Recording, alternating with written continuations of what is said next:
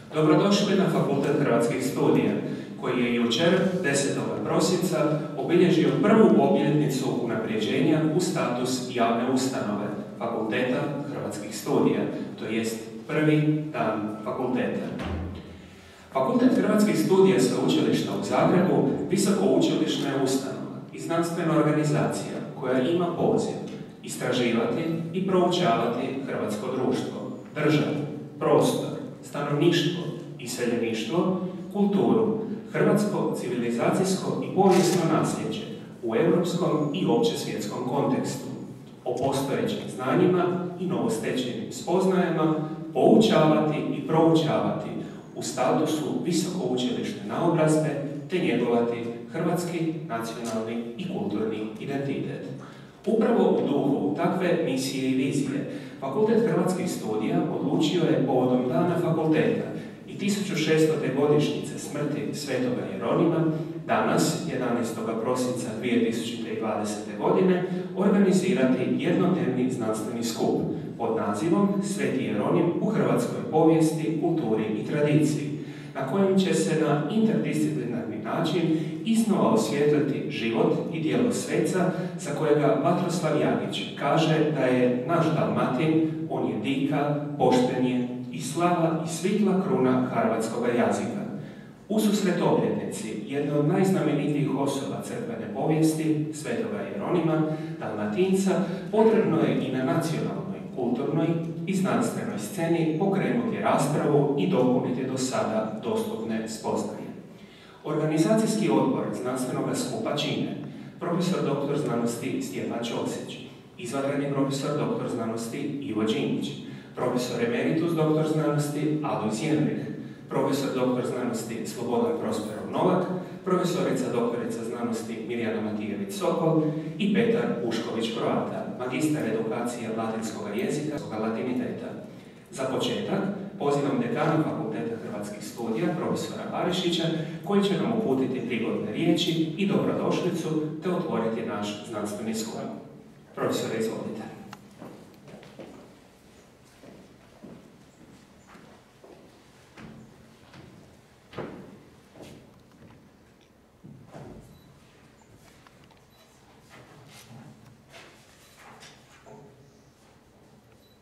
Uvaženi predavači, drage kolegice i kolege, poštovani uzvanici, kao i svi vi koji pratite ovaj naš znanstveni skup posredstvom video prijenosa koji je ovdje organiziran.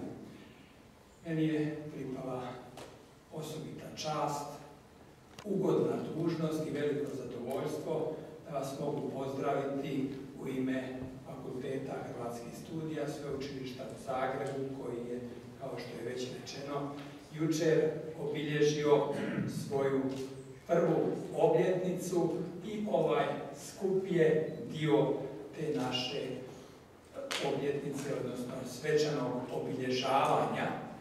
Prve nije e, velika u statusu fakulteta, ali je godina bila burna, pa mi osjećamo kao da ih je bilo puno iza nas. U svakom slučaju, e, naš je ponos što u ovoj akademskoj godini, kad obilježavamo prvu obljetnicu, cijelu smo posvetili velikom jubileju svetoga Jeronima Dalmatinca. Imali smo ovdje na početku akademske godine za sve nove studente uvodno predavanje koje je držao profesor Slobodan Prosperov Novak, upravo o svetom Jeronimu Dalmatincu, a evo s ovim i e, nastavljamo e, svečanosti i znanstvene skupove kojih je u Republici Hrvatskoj bilo nekoliko tijekom godine. Želio bih posebice iskazati zahvalnost svima onima koji su dali svoj prinos organizaciji, održavanju ovoga znanstvenog skupa, ali naravno i osobito vama, poštovani predavači, koji ste unatoč ovakvim nepovoljnim epidemiološkim uvjetima došli zajedno s nama ovdje podijeliti vaše spoznaje, vaša istraživanja o ovoj temi. Svi smo danas okupljeni oko lika ove jedinstvene osobe e, u povijesti svetog Jeronima, čiji je veliki jubilej 1600. obljetnica smrti trajao sve od 30. rujna prošle godine do 30. rujna ove godine. I e, naš fakultet, evo kao što sam kazao, pridružuje se tim ceremonijalnim svečanostima, jer mi smo fakultet koji se bavi temama hrvatskog identiteta, povijesti, tradicije, sadašnjosti i budućnosti, a u sklopu proučavanja te tradicije i hrvatskog identiteta Sveti Jeronim je ostavio svoj duhovni trag, ne samo za Hrvatsku, nego za cijelu Europu i svijet.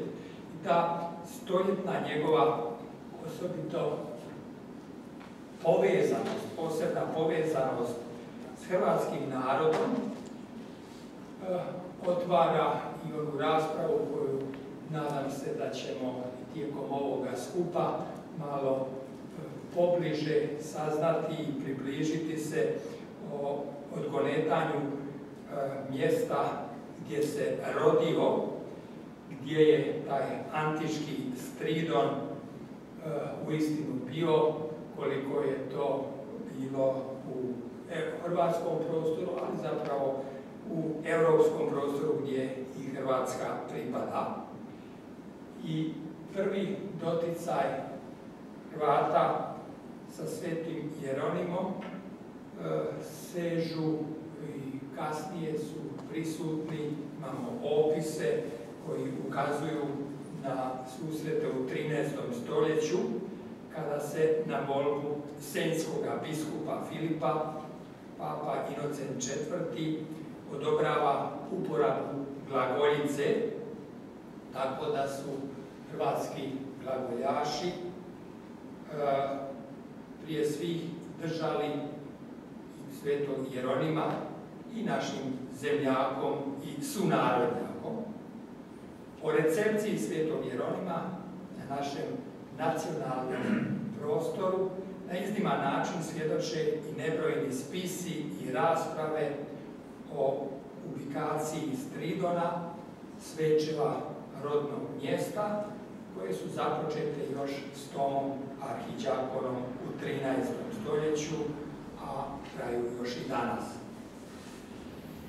Za naše predšasnike teritorijalna povezanost sa Svetim Jeronimom poprimila je i duhovni karakter, pa ga s pravom možemo promatrati povlaštenim hrvatskim svecem, čijom smo zaslugom često kroz našu povjesnicu argumentirali pripadnost europskoj uljudbi i iskazivali vjernost i povezanost s katoličkom crkvom.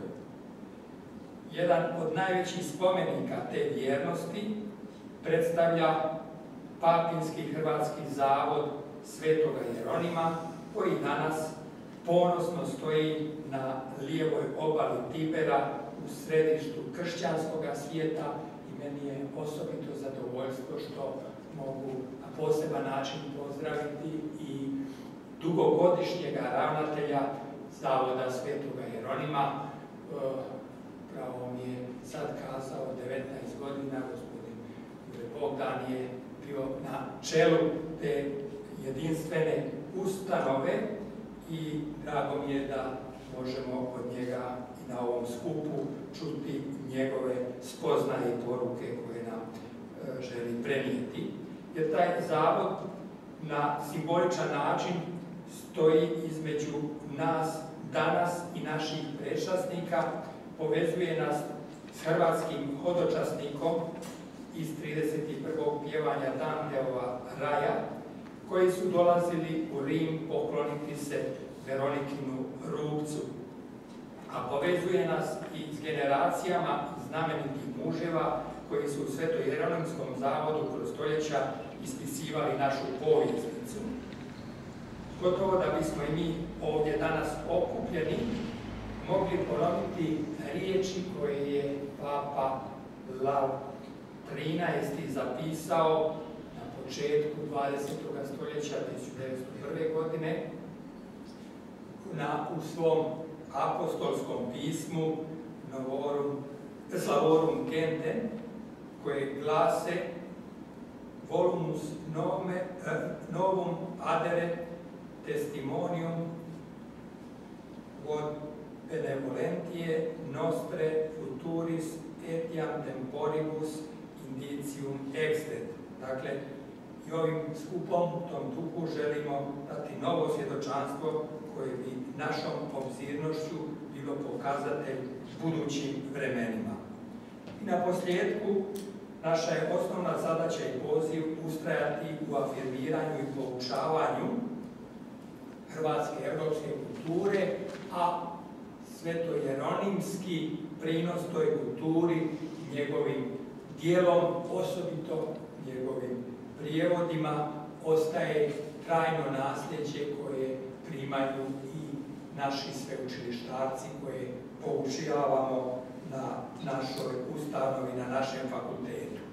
Mnoge su generacije bile zadivljene njime i mene osobno kad odem u velike galerije, National Gallery ili Louvre ili sad ne govorim posuda, uvijek impresionira nešto što ne znam e, je li to za sva razdoblja, ali kroz nekoliko stoljeća e, sigurno je bilo na vrhuncu europske slikarske umjetnosti da osim svete obitelji najčešći motiv koji sam primijetio je sveti Joronek, a ima puno razloga zašto je taj mistik koji je ujedno poseban tip intelektualca e, toliko privlačan. I za kraj ono što mi se iz njegovih brojnih izjava koje kao vrlo impulzivna, da ne kažem pomalo svađalačka priroda, eh, ali pravog intelektualca koji je znao ukazati otvoreno, posebno svidjelo jedan, jedan eh, njegov aforizam koji govori o tome na koji način se raspravlja i u naobraženim krugovima kakvi smo mi ovdje.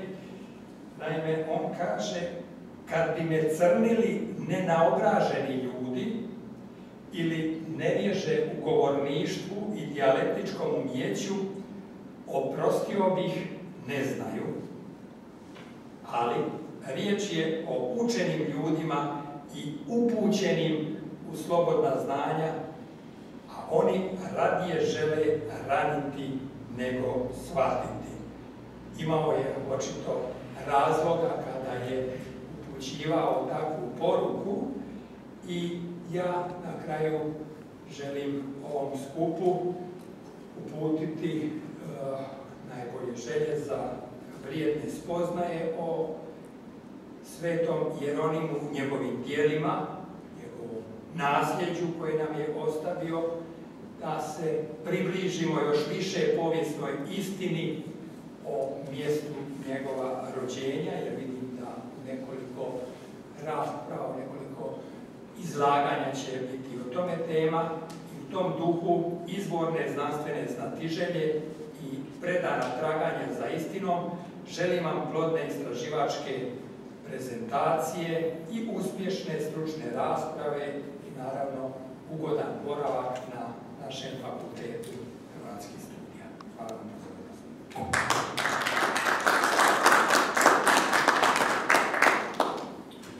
Zahvaljujemo profesoru Barišiću. Sada pozivam prodekana za znanost izvanrednog profesora doktora znanosti Buđinića, koji će također uputiti prigodne riječi u ime organizacijskog odbora današnjeg skupa. Izvolite, profesore. Poštovani gospodine dekane, poštovani gospodine biskupe, dragi predavači, nakon ovako nadahnutih lijepih riječi našeg dekana nemam šta doista puno dodati, nego i u svoje ime, u ime organizacijskog odbora zahvaliti što ste došli, posebno vama koji ste uh, ovako poduzeli malo dulji put i na taj način nam približili našu dragu Dalmaciju i pokazali vašu odgovornost uh, da sudjelujete na ovako značajnom skupu povodom ovako velikog jubileja, to je 1600. obljetnica smrti svetoga Jeronima. Ovdje smo razgovarali, svjesni smo da je ove godine bilo, ajde, s obzirom na epidemiološku situaciju, možemo slobodno reći značajan broj tih e, manifestacija znanstvenih kojima se obilježio ovaj veliki jubilej, pa se i Fakultet Hrvatskih studija s obzirom na svoju misiju, poslanje, viziju, nekako osjećao prozvanim, da tako kažemo, da ispuni tu e, radosnu zadaću i da i mi sami obilježimo ovaj veliki, veliki e, jubilej. E, znamo da ste vi neki već sudjelovali u nekoliko tih znanstvenih manifestacija, pa utoliko je naša radost veća što ste ovdje danas i što ćete e, sve naš skupa obogatiti svojim spoznajama o svetom Jeronimu, a ja vam isto tako ime organizacijskog odbora svima želim da se ovdje ugodno osjećamo i da doista na temelju onoga što ćemo danas čuti o životu i radu Svetog Jeronima, puno toga i za sebe naučimo, da nas njegov život i rad inspirira kako bismo i mi u svojem životu i radu mogli dalje e, težiti spoznajama, pa i one najviše naravi, kako je to i Sveti Jeronim nastojao, i na taj način doista ostvarivati svoje poslanje kao akademskih građana, intelektualaca i onih koji su željni spoznati. Još jednom svi skupa dobrodošlo i dobrodošli i želim vam e, ugodan boravak na ovom znanstvenom skupu. Hvala vam. Zahvaljujemo profesoru Điniću. Započinjemo sa prvom sesijom kojom će predsjedati magistar Mušković Hrvata, pa ga pozivam za katedru.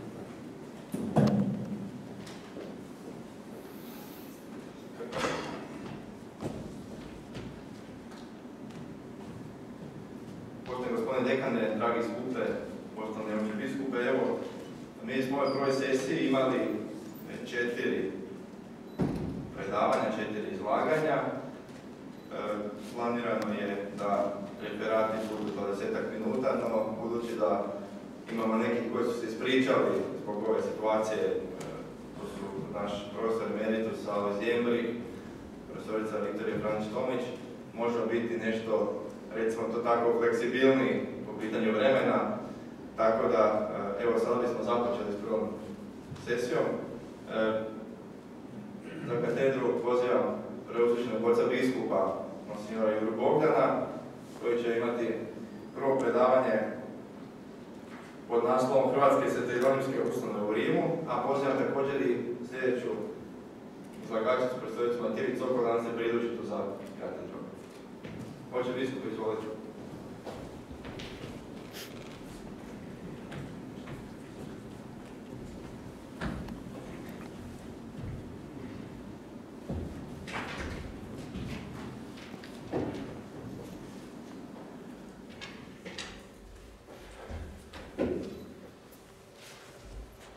Poštovani dekane, gospodine dekane, poštovani predavači, sudionici znanstvenog skupa,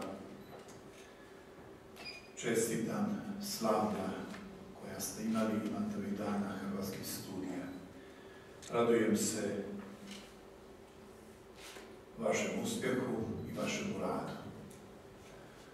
U Papinskome hrvatskom godišnjaku za 2020. godinu pod naslovom Institu, Istituti Ecclesiastici di Educazione di Istruzione u poglavlju Collegi e Conviti per alunni sacerdoti nalazi se najnoviji popis 38 nacionalnih i internacionalnih crkvenih svećeničkih zavoda u Rimu. Među njima je i Papinski Hrvatski zavod Svetog Jeronima, koji u sadašnjem ustrojstvu postoji i uz neke prekide djeluje od 1901. godine. Godišnjak Rimske biskupije o popisu rektorskih crkava redovno donosi Hrvatsku crkvu Svetog Jeronima, koja se nalazi uz isti zavod. Objave ustanove po zaštitom Svetog Jeronima od samog početka njihova djelovanja imaju dugu i vrlo bogatu povijest. Radoslav Katičić u svome radu o ustanovama Svetog Jeronima u Rimu i povijesti hrvatske kulture i narodnosti kaže Veliko je značenje ustanova Svetog Jeronima u Rimu. Ni približno ono, ono još nije ni istraženo, ni proučeno.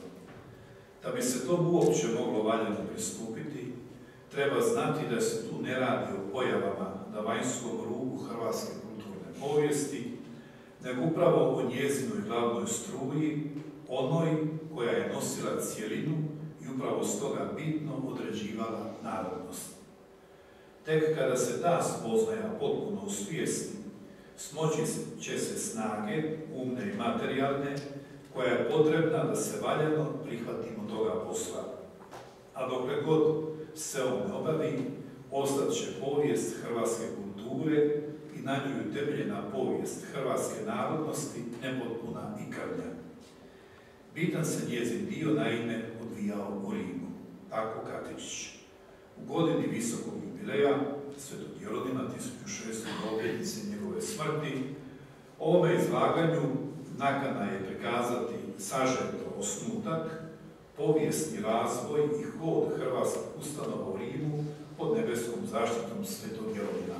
Danas ću iznijeti samo nekoliko naglasaka iz te bogate duge povijesti. Vječni grad privlačio je od ranog srednjeg vijeka čitav jedan narod. Hodočašća u Rim osobito su živjela od uspostave svetih godina 1300. godine. Otad je i broj hrvatskih hodočasnika bivao sve veći, što je već ovdje spomenuto, što je zapazio i Dante Alighieri i opjevao u božanstvenoj komediji. Quale colui che forse di Croazia viene a veder la Veronica Nostra. I tako dalje. Povijesna vrela nam također potvrđuju da je u Rimu od davnine stalno boravio značajan broj ljudi iz naših krajeva.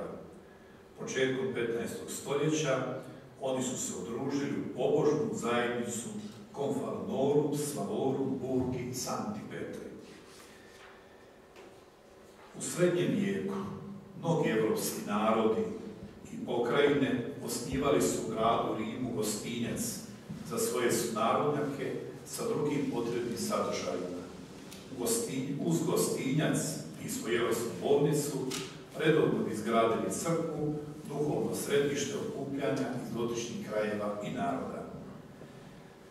Gostinjac i bolnica. Na čelu pobožne Hrvatske udruge u Rimu 1441. godine bio je svećenik Stonske biskupije iz Potomja s polotoka Pelješca. Kako se broj članova u Ilirskoj udruzi kasnije Bratoštini stalno povećavao eremita Jeronim, zamolio je papu Nikolu V. 21. travnja 1453. da pomogne našim sunarodnjacima. Papa svojim apostolskim breveom Bis Fedelium Votis, dakle istoga dana, 1453. Samo spomenimo kontekst, mjesec dana kasnije pao je Carigrad. Nikola V. daruje pobožnoj udruzi ruševnu crkvu i uz grobnicu rimskog cara Oktavijana Augusta. Uz crkvu on im je dao zemljište i dozvolu za izgradnju gostinca i bolnice. Članovi udruge ubrzo su obnovili crkvu i posvetili je, kako stoji, najvećem naučitelju svetoga pisma, svetom Jeronimu Dalmatincu, crkvenom ocu, prevoditelju svetoga pisma, rodom iz Tridona u Dalmaciji. Izgradili su također i gostinjac i bolnicu. Osobito je važno što se ta bradoština od samih početaka vezala za ime svetog Jeronima. Predstavljala se narodnim imenom, dalmatinskim i slovinskim, a 30 godina poslije osnutka gostinca počinje isticati i ilirsko ime koje je poslije prevladalo. Time se vrlo jasno iskazivala kulturna i narodnostna pripadnost onih što se okupljaju u istoj bratovštini i što su odsjedali u gostincu. O tome se te ustanove izrečito uključuju u povijest naroda. Zborna crkva i kaptor. Papa Bio peti uzdigao je crkvu od Svetog Jeronima 8. veljače 1566 na kardinalski naslov, a treći kardinal naslovnikom ostaje 1570. Felice Peretti iz Montalta, discendente di una famiglia originariamente croata dalla Dalmacija, potomak jedne hrvatske obitelji iz Dalmacije. Uzeo je ime Sixto V. Još kao kardinal naslovnik crkve Svetog Jeronima brinuo se o svojoj crkvi, a kao vrhovni svećenik dao je porušiti postojeću crkvu Svetog Jeronima, te iz temelja podići u umjernom baroknom stilu veću, ljepšu prostraniju, koja je završena 1589. i na blagdan Svetog Jeronima Sixto u pratnji 25. kardinala dolazi inaugurirati našu crkvu. Crkva je odmah započela se uređivati i sa umjetničkim dijelima, uređivanje konačno završeno 1852. odnosno treće godine. Prošle subote talijanski povjesničar umjetnosti Claudio Strinati je imao jednu izvrsnu emisiju na talijanskom radiju o umjetničkim dijelima, motivima i tumačenjima freski iz naše Hrvatske crkve Svetog Jeronima. Bulom Sapiencija Santoru 1. kolovoza 1589. uza crkvu je osnovao kaptor koji se sastojao od šest kanonika i četiri beneficijata. Članovi kaptora, koje je vrlo važno, morali su biti iz ilirskih krajeva, te aktivno i pasivno služiti se ilirskim jezikom. I kad je nastao problem što je to zemljopisno obuhvaćao pojam ilirik, Sveta Rota, vrhovno crkveno sudište, presudilo je 10. prosinca 1655. da se u kontekstu Svetog Jeronima podrazumijevaju ilirskim Dalmacija, Uža Hrvatska, Bosna i Slavonija. Pod vodstvom predsjednika Protoštine Dubrovšanina Stjepana Gradića učenjaka i diplomata, Andrea Bufalini izradio je 1655. zemljopisnu kartu spomenutih ilirskih zemalja, koja se i danas u originalu čuva u zavodu Svetog Jeronima. U desnom gornjem uglu karte nalazi se latinski tekst koji u prijevodu glasi Kao što se u bratovštinu ilirskog naroda, kao što su bratovštinu ilirskog naroda ustanovili Iliri iz Dalmacije, Hrvatske, Bosne i Slavonije, koji su dolazili u Rim, tako samo njihovi su narodnjaci ili oni koji odatle potječu i govore slovenski, moraju biti dionici njihova, njihovih prava, kao što to proizlazi iz odluke Svete Rote dana 10. prosinca 1655. godine pred velečasnim ocem gospodinom Priolijem. Stoga, da bi se izbjegli nesporazumi ili prijevare, ucrtana su ova četiri kraljevstva i njihovi krajevi da se može razlučiti koja mjesta trebaju uključiti, a koja se moraju isključiti. Kod prikupljanja preciznih podataka o Ilirikumu čini se da su Gradiću pomagali Ivan Lučić Trogiranin i Spličanin Jeronim Baštrić. Prosuđujući tijek i ishod spora oko terminološkog i zemljopisnog značenja pojma Ilirik, povjesničar Stjepan Krasić zaključuje.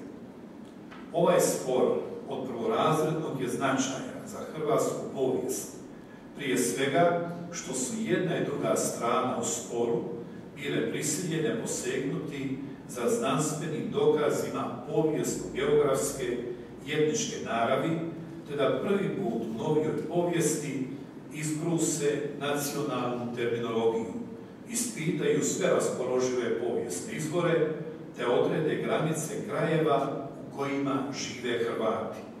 A s druge strane, što je imao veliki odjek ne samo u Rimu, nego i među domovinskim intelektualcima kao što su Juraj Hratkaj, Ivan Grizogon, Aleksandar Ignacije, Nikolić i drugi. Nije bez značaja nastavlja Krasić, ni to da je ta rasprava jednako kao i ona na jedinstvenom, kao i ona o jedinstvenom književnom jeziku, kao temeljno pitanje budućeg kulturnog i političkog jedinstva, unatoč svojoj domovinskoj rasjepkanosti na četiri države, bila pokrenuta upravo u Rimu, koji je od polovice 15. stoljeća postao najvažnije izvan domovinsko mjesto okupljanja hrvatskih intelektualaca iz gotovo svih hrvatskih krajeva, što je imalo daleko svežne posljedice za, nova, za sva kasnija gibanja na tome području. Nagla smrt Siksta V. 27. kolovoza 1590. čini se da je umro u kolbu od malarija. Spriječila je papu u ostvarenju mnogih nauma, pa tako i onih silirskom zajednicom, odnosno crkvom svetog Jeronima.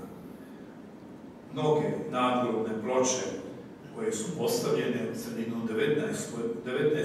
stoljeća u našoj crkvi, ali sa prijepisima onih starih prethodnih ploča koje su skinute, samo su dio velikog mnoštva hrvatskih ljudi, isadnih osoba iz naše povijesti i kulture i crkve, koji su pokupani u crkvi Svetog Jeronima.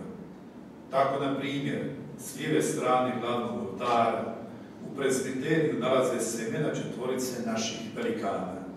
Ivan Lučić, Lucijus Trogirani, otac Hrvatske sustavne historiografije, opat Ivan Paštrić, Pastricio, 1708. preminuo, profesor istočnih jezika i polemičkog bogoslovlja, na kolegiju Pape Urbana kasnije nazvan kolegij propaganda fide.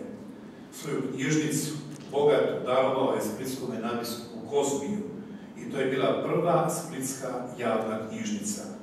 Opat Stjepan Gradić gradi, prefekt Vatikanske biblioteke i profesor na sveučilištu Sapijenca.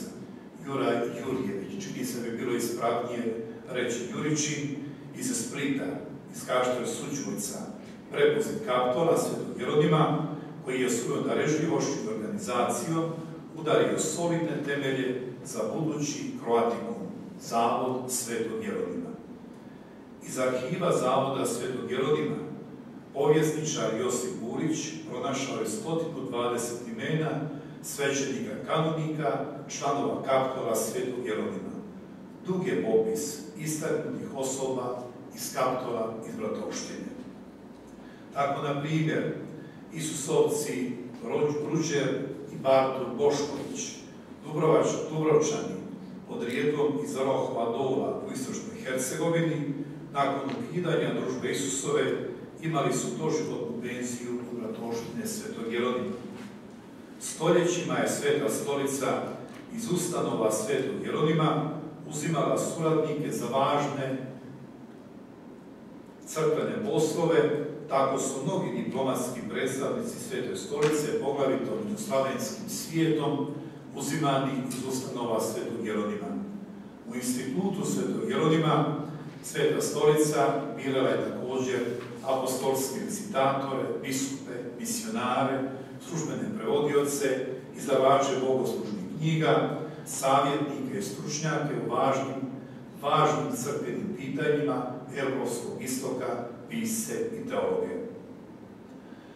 Pred izazovima protestantske reforme još u 16. stoljeću zbor Svetog Jeronima izdaje razne knjige za pouku naroda u vjeri. Još 1582. zbor izdvaja novac za tiskanje katekizma na hrvatskom jeziku, što ga je sastavio Aleksandar Komulović. Te iste godine institut je dao tiskati prijevod Šime Budinića, breve direktoriju ad parokos, naučnik plebanušev. Institut od Budinića izrečito traži da napiše da nas je finansirao, da mu je finansirao tiskanje knjige jedino iz ljubavi prema svome narodu. Pokušaj osnivanja zavoda nakon Trigenskog sabora. Trigenski sabor donio je 1563. odredbu koja obavezuje sve biskupije da osnuju prema vlastitim mogućnostima sjemeništa za solidni odvoj klera. Potaknut iskustvom dobroga odgoja u nekim već postojećim zavodima. Saborski su oci odredbu proširili na cijelu crkvu. Odredili su i narav svakog takvog zavoda da bi bio trajnim rasadištem Božjih službenika. Sukladno ovoj odredbi, neka nacionalna središta u Rimu, gostinci, transformiraju se u nacionalne crkvene kolegije, zavode za odgoj svećenika. 1598. Klement VIII imao je najozbiljnije namjere pretvoriti gostinjac, naš hrvatski, ilijski, u sjemenište. Tome su se žestoko usprotivili i Bratovština i Kaptol. Trebalo čekati više od dva stoljeća da Hrvati dobiju u Rimu svoj nacionalni odgojni zavod. Zavod Svetog Jeronima. Prvi zavod kolegi Svetog Jeronima osnovao je Papa Pio VI 27. veljače 1790. Kolegi je proradio tri godine poslije, osnovan je za one krajeve koji su imali pravo na gostinjac i bolnicu. I tako i danas. Ono što je definirano, što se živjelo u 15. stoljeću 1453. i potvrđeno ovoj presudi 1655. to se održava do danas, tako i sada kad se primaju na pozikovski studij svećenici u Zavodu Svetog Jeronima, mogu doći imati stipendij oni koji su po rodu i govoru Hrvati, a porijeklo su iz tih e, biskupija s toga područja. Ovaj prvi zavod djelovao je samo pet godina. Uslijed ratnih opasnosti i neprilika, zavodska imovina je opljačkana, pitomci iz toga, kao i kanonici, su bili protjerani. Zavod je ponovno proradio do 19. stoljeće, 1863. do 1871. te 84. do 1991. U razdoblju od 1790. do 1901. Zavod je djelovao samo 20 godina. Kroz to vrijeme u njemu su boravila samo 24 pitomca iz više hrvatskih biskupija. To je osobito istražio povjesničar Don Slavko Kovačić. Velika reforma 1901. suvremeni zavod Svetog Jeronima. Na prijedlog hrvatskih biskupa, Papa Leon XIII, reformira svetojeronimske ustanove i uspostavlja svećenički svetojeronimski zavod za hrvatski narod, koji djeluje i danas. Kad je zavod osnovan, digla se cijela buka i halabuka ne samo u našoj domovini, nego doslovno u cijeloj Europi. Sve što je moglo ustalo je protiv ustanove, ustanovljenja jednog eminentnog hrvatskog crkvenog zavoda sa hrvatskim imenom i prezinom, prezimenom kojim izravno upravlja crkva, a nad kojim nema utjecaja, ne bi trebala imati utjecaja ni jedna nikakva politika. Talijanska je redentna u Dalmaciji sa sjedištem u Trstu, onda Beč, Pešta, knjaz iz Crne Gore, Srbija, Rusija i tako dalje. Papinski hrvatski zavod Svetog Jeronima u Rimu. Što je to? Jest svećenički zavod u koji se primaju svećenici pod rijekom i jezikom Hrvati, prikladni po naravi, kreposti i nadarenosti. Nakon što su završili tečaj teologije i stekli neko pastoralno iskustvo. Tako da bi boraveći u njemu, osim postizanja strukovne specijalizacije na raznim rimskim sveučilištima, mogli usavršavati svoju svećeničku formaciju. Valja kazati, zavod je proradio tek 1911. i onda je početkom Prvog svjetskog rata opet zatvoren. Ondašnji rektor piše, sve sam pitomce poslao kući jer je rat na vratima Rima. A 1918. kad je završio Prvi svjetski rat, tek onda su nastale ogromne neprilike jer je talijanska država da je to njezin ratni plijen. Jugoslavija je, koja je nastala, smatrala da ona ima ingerencije nad tim. A katolička crkva, središte i naši hrvatski biskupi su bili čvrsti i uporni. Ovo je vlasništvo katoličke crkve i nećemo od toga odustati, borit ćemo se do kraja. I stvarno, spor je riješen 1924. godine, kad je zavod ponovno proradio i on u kontinuitetu djeluje do danas. Ovdje valja kazati da je izgrađeno novo sjedište zavoda u vrijeme rektora Jurija Mađerca 38. na 39. i da za vrijeme drugog svjetskog rata u našem zavodu djeluje bratovština Svetog Jeronima za pomoć hrvatskim ratnim stradalnicima i izbjeglicama, ne samo njima, nego i drugima.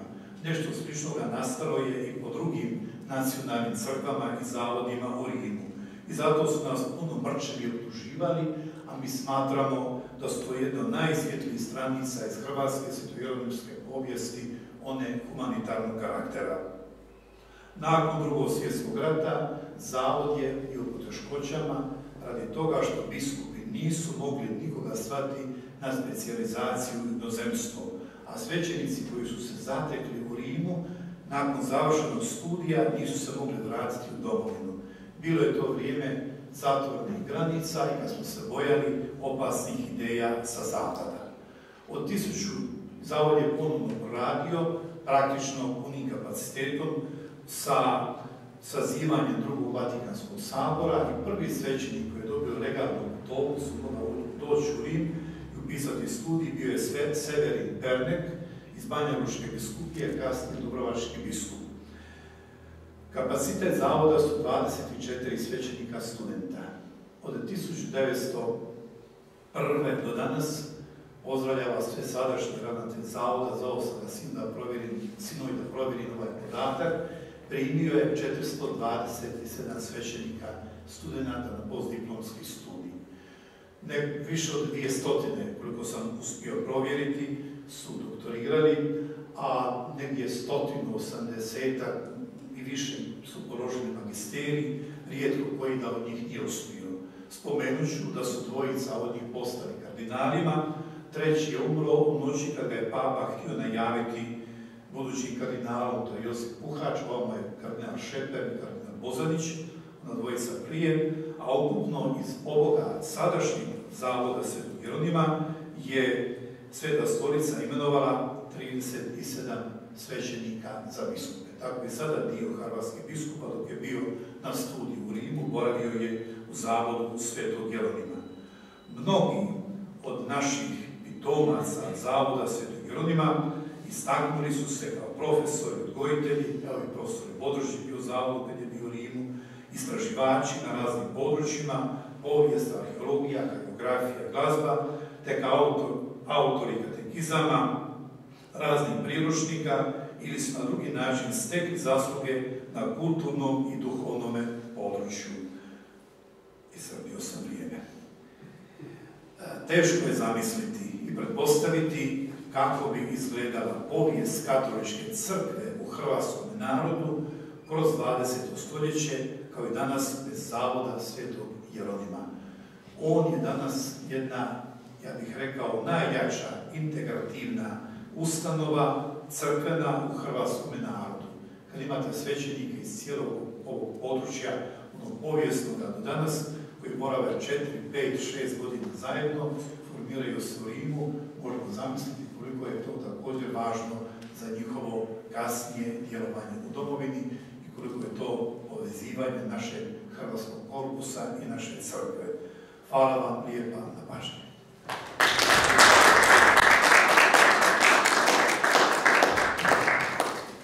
Zahvaljujemo ocu biskupu Juri Bogdanu što nam je ovako sažeto, ali vrlo pregledno predstavio povijest Svetojeronimskog zavoda, ili danas Papinskog hrvatskog zavoda Svetog Jeronima u Rimu i ne možemo ništa drugo istaknuti osim ono što je sam otac biskup spomenuo, a što je svoj vremeno izjavio i naš eh, povjesničar Jaroslav Šitak, a to je da se bez ustanova Svetog Jeronima u Rimu ne može pisati hrvatska povijest.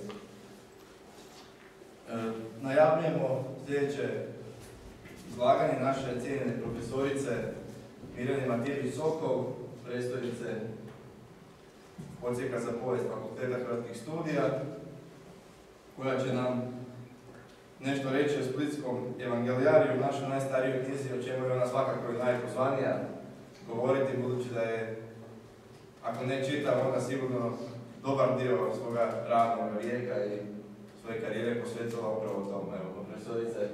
Hvala kolega Mušković. Oče biskupe, poštovane kolegice, kolege, sve vas lijepo pozdravljam, posebno pozdravljam oca biskupa zato, sad ću vam reći jednu situaciju, evo ova knjiga ovdje o kojoj ću ja sad govoriti, bila je dospjela je u papine ruke, zahvaljujući biskupu Bogdanu. Hvala vam, drago mi je to da se zapravo na taj način, evo, hrvatska kultura e, dođe do tamo od kud je i krenula. Dakle, tema moja je obilježavanje e, Splitske evangelijari, naša najstarija knjiga, na obilježavanju godišnjice smrti Svetog Jeronima Dalmatinca pridružujem se izlaganjem o najstarijoj knjizi kodeksu u Hrvatskoj koja sadrži četvero evanđelja u prijevodu Splitskog i Arabeskog koji je napravio Sveti Jeronim. To je ovaj Evangeliarium Spalatence. Kolega malo da se vidi.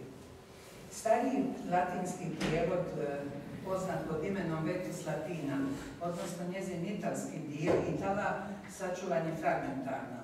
Itala je prijevod nastao u drugom, trećem stoljeću za rane kršćanske zajednice koje nisu pripadale obrazovanoj eliti na zapadu i sve to pismo je prevedeno na latinski jezik koji im je bio prihvatljiv, razumljiv i blisak jeziku kojim su govorili. Zbog toga je latinitet Itale neuravnotežen, nekonzistentan u kvaliteti. Karakterizira ga veliki broj solecizama, prevode se doslovno grčki i hebrejski idiomi. Mnoge posebnosti dolaze iz upotrebe vulgarnih latinskih gramatičkih oblika.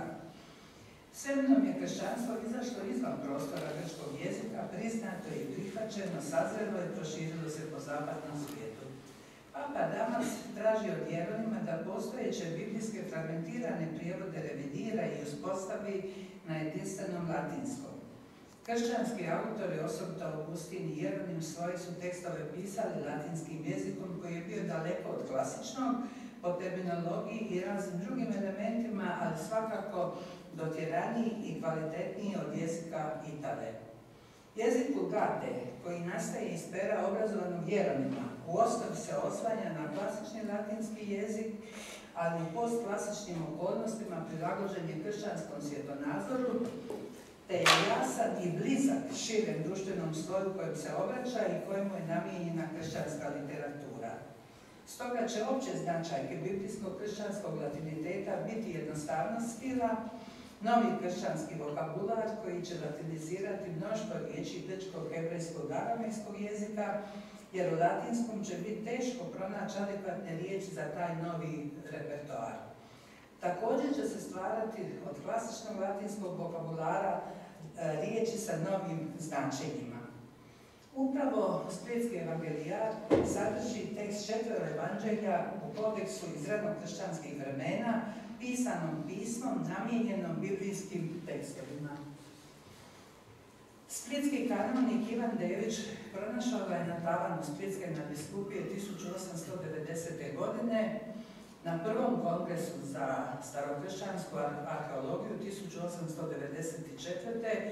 održanom u Splitu i Solinu, znanstvenici domaći i inozemni imali su ga prilike vidjeti i iznijeti njemu svoj sud. No već prije Devića ovaj kodeks spominje Daniele Parlati, a opisuju ga i Alberto Fortis. Parlati piše o Evangelijaru u riznici Splitske katedrale u kojemu su upisane tri formule prisega splitskih sufragana, a njihove tekstove donosi kad piše o ovim biskupima.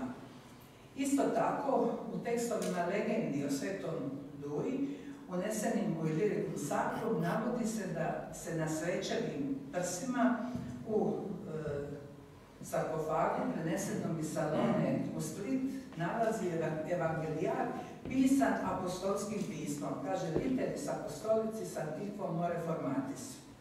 Dević je naveo i inventar Splitske crkve iz 15. stoljeća gdje se također spominje jedan evangelista, kaže item evangelistarium sine tabulis liber. A Fortis i evangelija opisu datirao u 6. ili 7. stoljeća.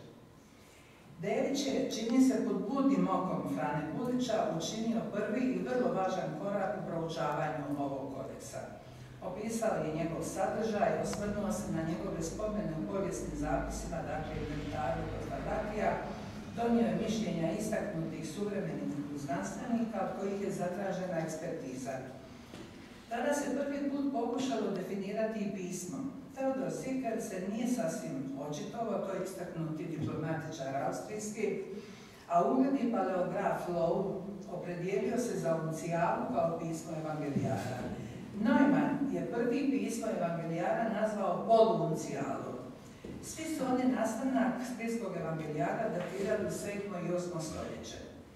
Dević je njihova mišljenja objavio u svom članku kojemu je ipak težište bilo na varijantama u tekstu četvera evanđelja u odnosu na vulgatu.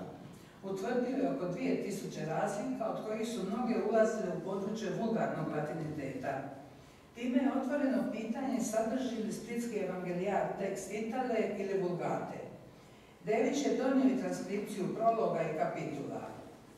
I ovim Devićevim člankom Evangelijari ulazi u evropski korpus najranijih biblijskih tekstova prevedenih na latinski jezik. Pripremajući ovo kritičko izdanje koje je objavio književni krug u Splitu 2016. godine u suradnji sa Splitsko-Bakarskom nadbiskupijom, desetak godina sam se družila s kodeksom. Dakle, radi se o jednoj jedinstvenoj knjizi navedenog sadržaja koja se nalazi u Splitu, ne postoje dvije iste, Zbog ove činjenice svaki kodeks zahtjeva poseban, osoban, osobni pristup svakog od njih, a zadatak je priređivača da ga otkriva svoj poslovi i da najbolji način učini dostupnim širim krugu zainteresiranim. Nakon prvog detaljnijeg uvida u kodeks uočena je njegova vrijednost i važnost kao specifičnog povijesnog vrela, a znanstvenici su trudili izvod zaključke o podrijetlu i vremenu nastanka, temeljene nekako na vlastitim znanstvenim afinitetima i znanjima. Kritičko izdanje nametnulo se kao kondicija sine qua non hrvatske medijevistike. Već je Viktor Novak predvidio i najavio ovu fazu rada i naveo je da, tu, da je tu zadaću preuzeo do Lovre Katić, hrvatski e, svećenik i hrvatski povjesničar, inače Solinjanin. Kasnije je transkripcija evangelijara bila povjerena profesoru Jakovu Stipišiću, a onda mene, isto Solinjanki, pa eto na neki način smo obavili tu zadaću. Velika je odgovornost, ali sto godina je prošlo i čas bila preuzeti takvu zadaću. Čini se da je to osjetio i Sveti Jeranim kad je dobio nalog od pape Damasa da rekonstruira i priredi Bibliju na latinskom jeziku, pa je pape odgovorio pius labor sed periculosa presumpcio. Temeljni radovi uz one Ivana Devića, kojima su definirane sve bitne značajke splitskog evangelijara, jesu oni Viktora Novaka. Oni su do danas u svojim osnovnim postavljenim tezama i porukama neosporeni, iako su i kasniji istraživači uzimajući kao polazište nadograđivali, nekad i revidirali. Neki se nisu slagali s Novakovim interpretacijama vremena i mjesta nastanka, pa time i povijesnog konteksta, ali su svojim razmišljanjima otvarali nova pitanja, te nas poticali da dublje zavirimo u njegovo pismo, jezik i povijesnu kontekstualizaciju. Sumirane dosadašnje spoznaje dopuštaju nam da se složimo da je Splitski evangelijar pisan polvuncijalom pismom rimskog razdoblja koje se upotrebljavalo od 5. do 9. stoljeća. Ovim pismom, kao i suvremenom uncijalom, nešto malo starijom, uglavnom su pisani kodeksi kršćanskog karaktera. To pismo, kao što i vidite ovdje, pomalo u toj svojoj zaobljenosti podsjeća i na grčko pismo. Njihova zajednička značajka su u odnosu na afirmiranu kapitalu svojstvenost, svojevrsna zaobljenost grafema koja podsjeća na grčko pismo, pa time i na grčki jezik s kojega je prevedena Vulgata. S obzirom na duktus grafema i kratice koje se pojavljuju u osnovnom tekstu, Novak ga je vremenski smjestio u 8. stoljeće, a njegov je nastanak pripisao Splitu, kada sam datira početke Splitske crkve. Dragutin Knival ne dovodi u pitanje Novakovo mišljenje o vremenu nastanka kodeksa, ali zbog palografskih i jezičnih odlika osnovnog teksta te drugih specifičnih dodataka, kao i marginalnih bilježaka, odbacuje Split kao mjesto nastanka, smatra da je potekao i nastao negdje u sjevernoj Italiji, odnosno u Raveni ili Rimu i da ga je u Split donio prvi splitski nadbiskup Ivan Ravenjanin. Viktor Sakser nastanak je evangelijara smjestio u sjevernu Italiju, u neki skriptoriji uz rijeku Po u vrijeme 6. 7. stoljeća i smatra da se još uvijek u 8. stoljeću nalazio na ovom području, te da je uspjet dospio u 9. ili čak 10. stoljeću.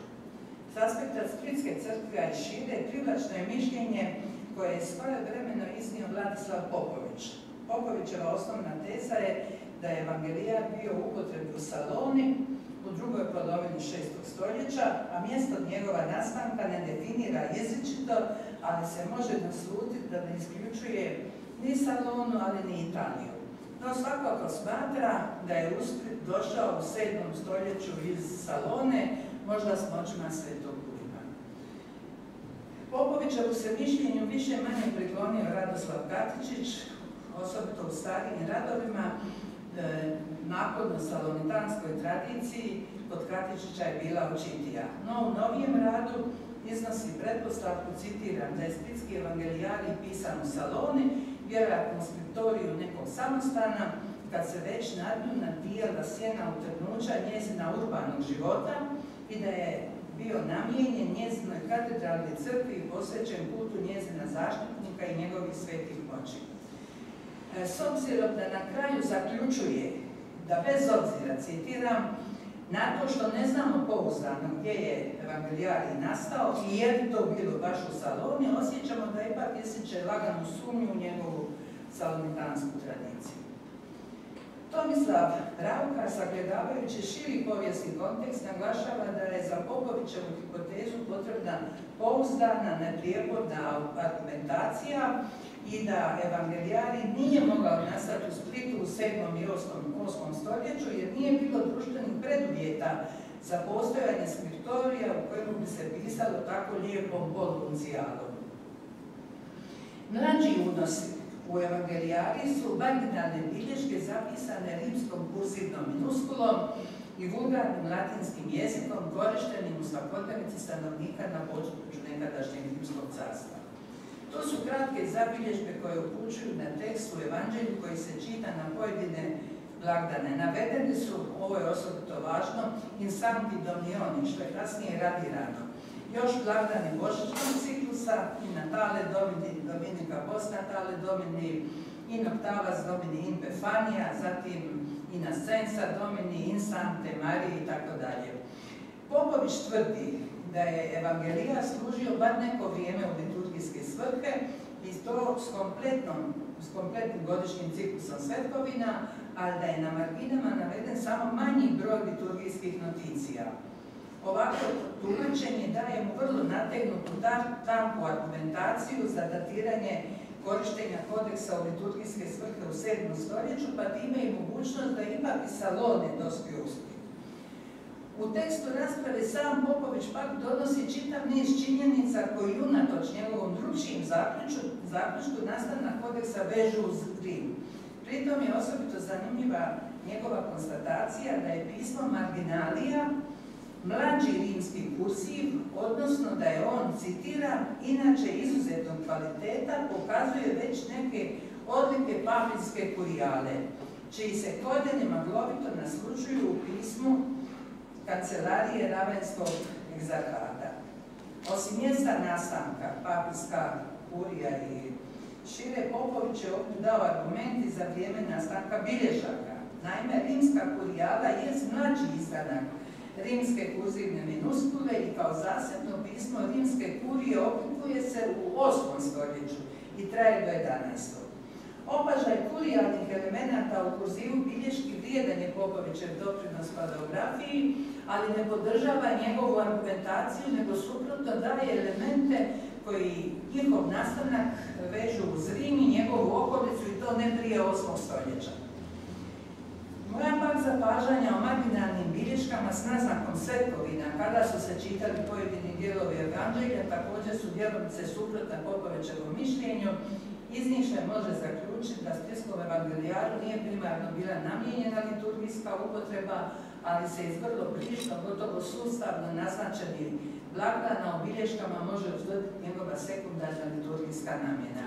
Navođenje svjetkovina uz dijelove evanđelja može smo povezati s nekim, nekim navodima o Ivanu Ravenjanu, po tome Arhiđakona. Upravo bilješke svetkovina na marginalijama te među odnos osnovnog teksta i njih mogu se povezati s tomenim poglavljem o Ivanu Ravenjaninu i time pomoć datacije i uspostave Splitske crkve na temeljima Salonitanske, krucijalnom povijesnog događaja oko kojeg se također još vode brojne rasprave u historiografiji.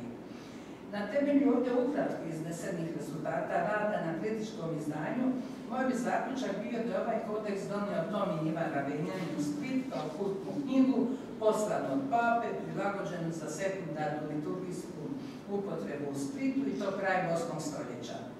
Za direktne veze s papinskim okružjem govori zapis teksta evanđelja na praznim listovima evangelijara i to grčkim jezikom, a latinskim pismom. To je upravo ovo što ovdje vidite.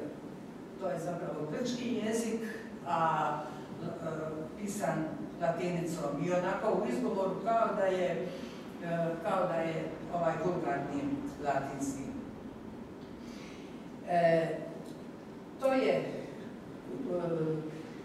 u izuzetno svečanim prilikama kao što su Božić, Uskrs, pa i kanonizacije kao nedavno dvaju papa, bio je običaj da se čita evanđelje na grčkom jeziku. To sam bila jako ugodno iznenađena kad sam gledajući preko televizije taj e, kanonizaciju čula taj grčki jezik onda me to direktno, evo, opet asociralo na ovo i dokazalo da to ima takve veze. Na praznim stranicama ovog kodeksa tijekom njegove upotrebe u Splitu od 9. do 13.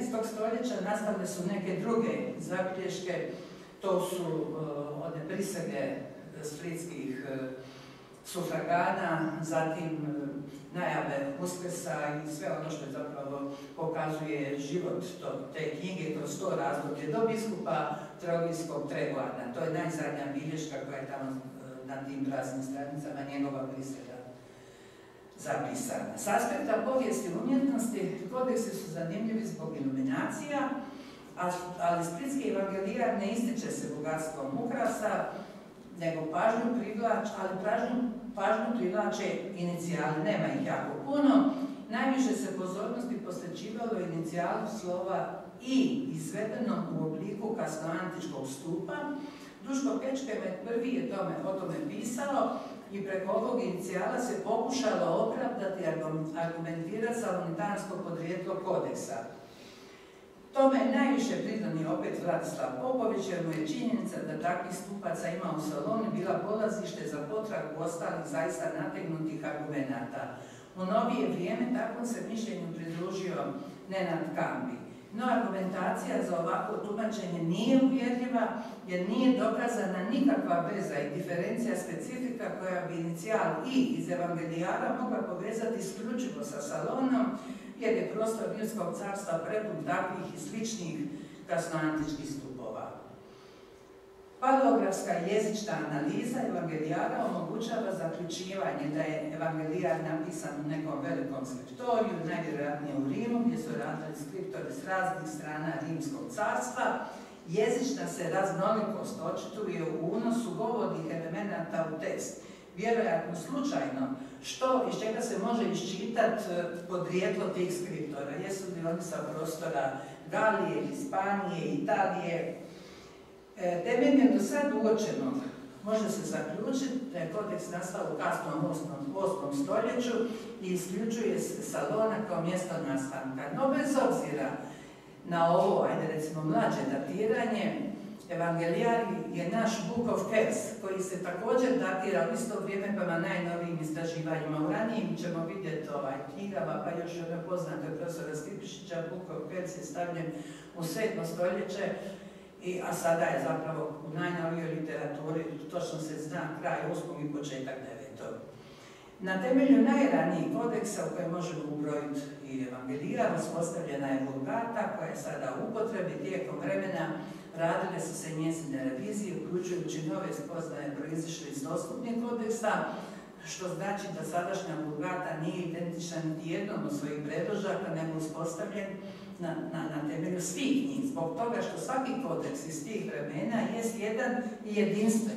Mi, odlučila sam se u ovom kritičkom aparatu donijeti sve vrste razlika između teksta evangelijara i danas važeće vulgate i registrirala sam ih preko 5000 u komentarima koji su kombinacija kritičkog aparata i drugih bilježnika. Upravo prisutnost evangelijara na hrvatskom prostoru koji je pisan apostolskim pismom, koji je vjerojatno pisao sveti Jeronim kad je prevodio Bibliju, najviše nas približava njegovu vremenu. Mislim da smo mi sa ovom knjigom najbliži tom e, vremenu svetog jere sa, onim što imamo na hrvatskom prostoru. Čini se da se premalo na svim dosadašnjim skupovima posvećivala važnost ovom glavnom radu Jeronima Dalmatinca, a to je njegova vulgata.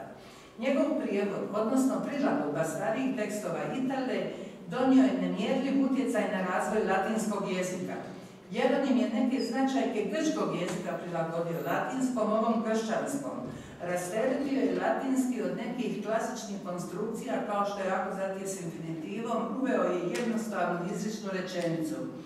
Dao je riječima nova kršćanska značenja sve u onom njegovom duhu Sancta Simplicitas.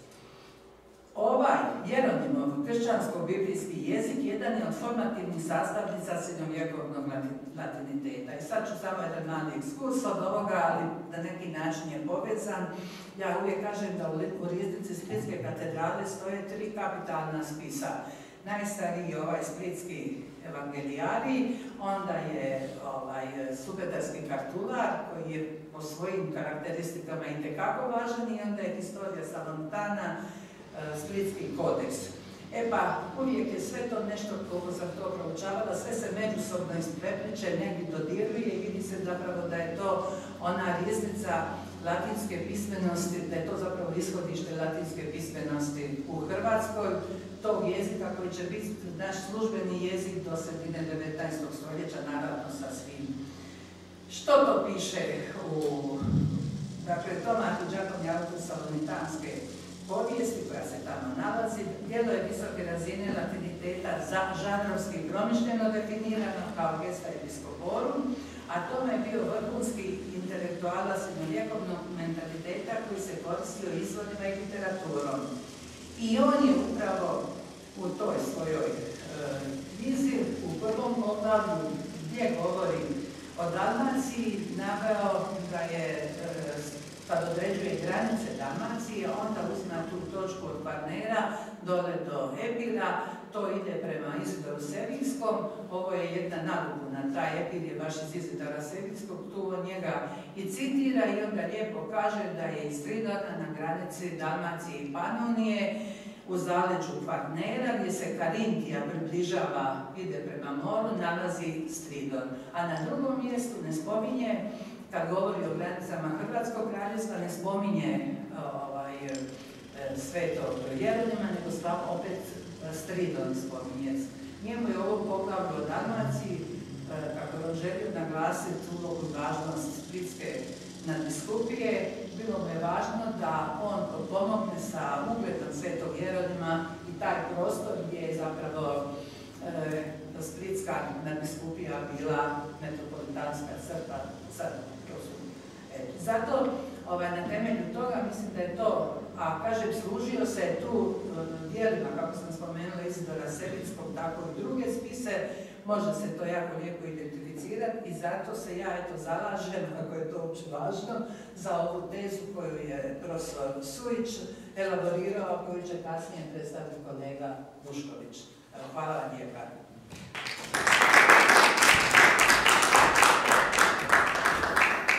Zahvaljujem profesorici Mativi Coko, što je ovako lijepo izložila svoju temu o splitskom evangeljariju koji je na neki način njezino životno djelo, ako smijem to tako reći. A mi nastavljamo e, dalje sa našim skupom.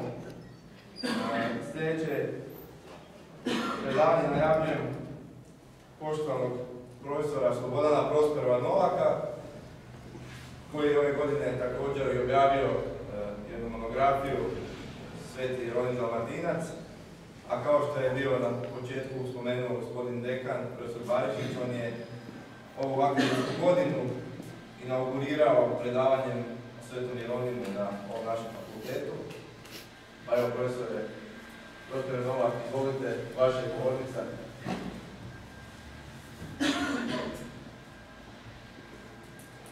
Hvala lijepa. Pozdravljam vas, dragi prijatelji i kolege. Eto,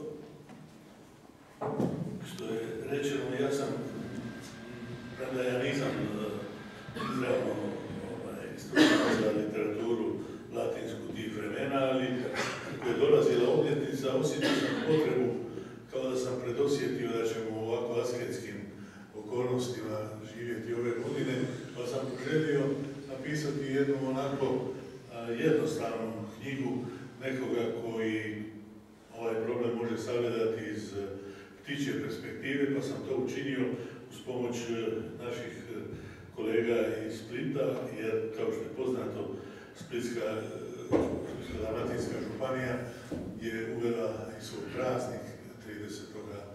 rujna na dan smrti Svetoga Jeronima kao dan županije, pa je njima bilo stalo da se to nekako profilira, kako se to danas kaže, brendira ovaj, u njihovom političkom diskursu, što je dobro i pa sam ja onda za njihove potrebe napisao jednu malu monografiju.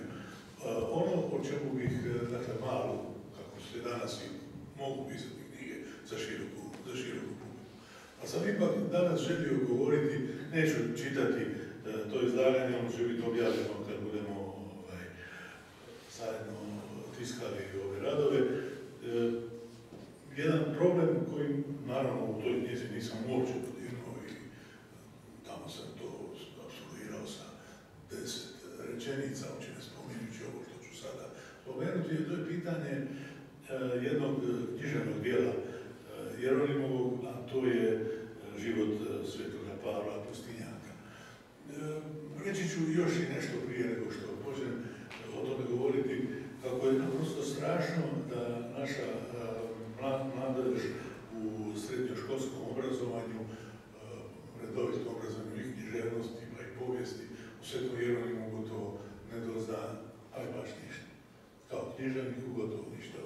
U srednjevjekovnoj književnosti koja se uči u prvom razredu srednjih škola i naravno stručnih škola, o Svetom Jeronimu nema čak niti spomena da je bio suvremenik Svetog Augustina koji se tamo, tamo spominje. A da bi tekst, evo koji ću ja danas govoriti, tamo bio interpretiran ili čak naveden kao književni tekst toga vremena, naravno da uopće nema ovaj, sumnje da bi tamo se našao. E, mi smo prije nekoliko godina vodili polemike oko upravo ovaj, reforme tih kurikula, kako se to zove, iz književnosti, ne da nismo došli do ovih tema, jedno smo stigli do teme Marulića, da Marulića vratimo u sustav e, hrvatskih književnosti, pa nismo ni stigli dotle da pokušamo objasniti zbog čega bi čitanje, recimo, života Svetoga Pavla, jednog iznimnog književnog teksta, bilo nužno u poduci književnosti. Pokušat ću to pokazati, pa ću baš o tom tekstu govoriti. Poznato je da je Jeronim napisao tri geografska teksta i još i tako to kažem, to su tekstovi koji su u Hrvatskoj, ali u znanstvenoj javnosti Hrvatske poznati dobro, jer su ne tako davno objavljeni u jednom lijepom, skromnom, lijepom izdanju profesorice Vesne Manuline Stipčević i Grubišića, pa se dakle ta tri ovaj, teksta o Marku, dakle gotovo žurnalistički, novinarski tekst o svecu, kojega je sam Jeronim poznavao, pa onda e, prekrasan tekst o Hilarionu, Vilaru, u hrvatskoj literaturi vrlo važno, svetsku povezano sa našom literaturom 17. stoljeća Dubrovačkom posebno i poviješću Caftata i Epidavora i tako dalje. I, naravno ovaj život svetoga, svetoga Pavla. Mene posebno je u toj, u toj e, knjižnici, doista kratki tekst, sve zajedno možda imao bi 20 stranica, ima 18 fragmenata, e, privuklo, je prije svega literarni prosede. Naime, to je jedan literarni prosede koji zavrijeđuje vrlo, vrlo obsežne i vrlo duboke interpretacije. Naime, vidljivo je da taj tekst nije napisan odjednom. Život svetoga Pavla nije napisan odjednom. Pretpostavlja se da ga je Jeronim počeo pisati, a to je također vjerojatno shvatljivo i vidljivo, za vrijeme svog boravka u Kacidejskoj pustinji. Dakle, svakako prije dolaska u Rim.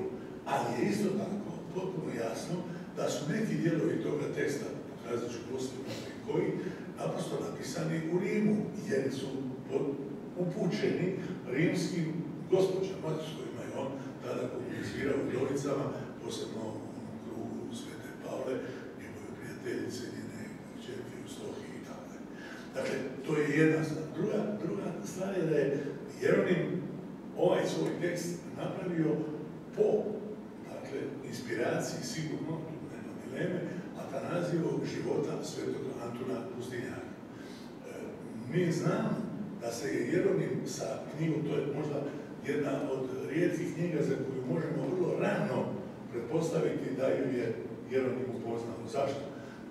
Knjiga Sveti, e, ovaj, knjiga o Svetome Antunu, koju je napisao Atanazije, jest u izvorniku na grčkom i nju je preveo onaj e, glasoviti, a i u Jeronimu biografiju vrlo bitni čovjek, koji se zvao Evangelije, kojega je Jeronim sreo još za vrijeme svoga boravka u Aquileji, znači odmah nakon svoga prvoga boravka u Rimu, dakle još dok je bio vrlo mlad, to je negdje 60.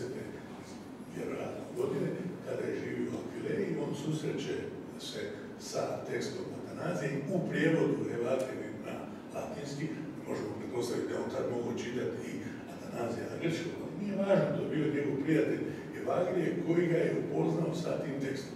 Nedvojbeno je da je Jeronim shvatio da u ruci ima hit toga vremena. Naime, knjiga koju je Evangelije preveo Atanazija na grčkom napisao, je knjiga koja je ono doba bila jedna od najčitanijih knjiga onoga vremena. Prije svega kao neka vrsta jeli, zagovora asketizma i kao takva se čitala. Jeronim je to znao i shvatio. Kada je došao u Kalcidejsku pustinju, on je očito na toj knjizi, a vidjet ćete kad budem neke dijelove citirao iz Svetog Pavla, on je na toj knjizi životu Svetog Antuna počeo pisati svoju knjigu o Svetome Pavlu. E, da upotrebim e, riječi Dostojevskoga, a ovdje su čak i izravno se odnose na tabanicu šinjer, kako ćete nazvati, plašt e, Svetoga Atanazija, jer se o tome u priči i radi. Sveti Pavle je nastao iz kabanice Svetoga Atanazija. Ima naime prizor kada ta kabanica je upravo temelj priče o Svetome Pavlu i njegovoj vezi sa Atanazijom. Sveti, Sveti Jeronim je, dakle, nama se čini, jer pa se prvo da odmah razjasnimo, nijedan dokument nije pronađen nikada o Svetome Pavlu. Samo je Jeronim onaj, Svetome Pavlu pustinja. Samo je Sveti Jeronim onaj koji je ponudio priču o tome svetu. Zbog toga bismo mogli kazati da je Sveti Jeronim čak izmislio tu priču. Da je Sveti Pavle, dakle, potpuno izmišljeni, fiktivni lik, koji je on izmislio da bi napisao priču o njemu i da bi stvorio ono što bi vi čak neki pisci to i nazivaju, baš u vezi s Jeronimom, stvorio jedan skup literarni, jedan dakle, jedno iznašašće koje će stvoriti literarni hit. On je sam htio napraviti u svome životu Svetoga Pavla jedno dijelo koje će nadmašiti rezultate djela Svetom Antunu i o njegovom životu. Zašto je to napravio? Pa zato upravo kad se vratio iz Placidejske pustinje boravka na istoku prvome, on je došao u stupio u kontakt e, žena, mladih, razmjerno mladih tada koji je htio privući sa literarnim dijelom koji im je ponudio. Što im je ponudio? Ponudio im je život e, svetoga, Pavla.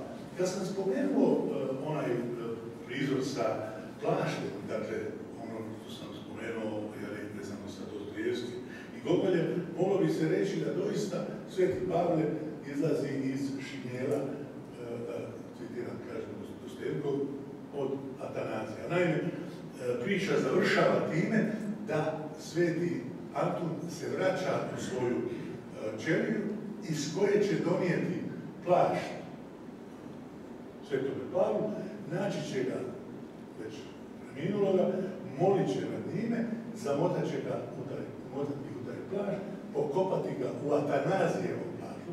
Vidite da je to šifra, dakle on nema drugu šifru nego šifru književnika kojega je uveo u priču. Tako da e, e, tekst o Svetome Pavlu, život Svetoga Pavla je jedna literarizirana priča o svecu koji, kao što rekao, nema nijednog dokaza da je postojao izvan priče Svetog Erona, pa se čini da se radi o fiktivnoj osobi, koji je on izmislio da bi stvorio ovo literarno, literarno djelo.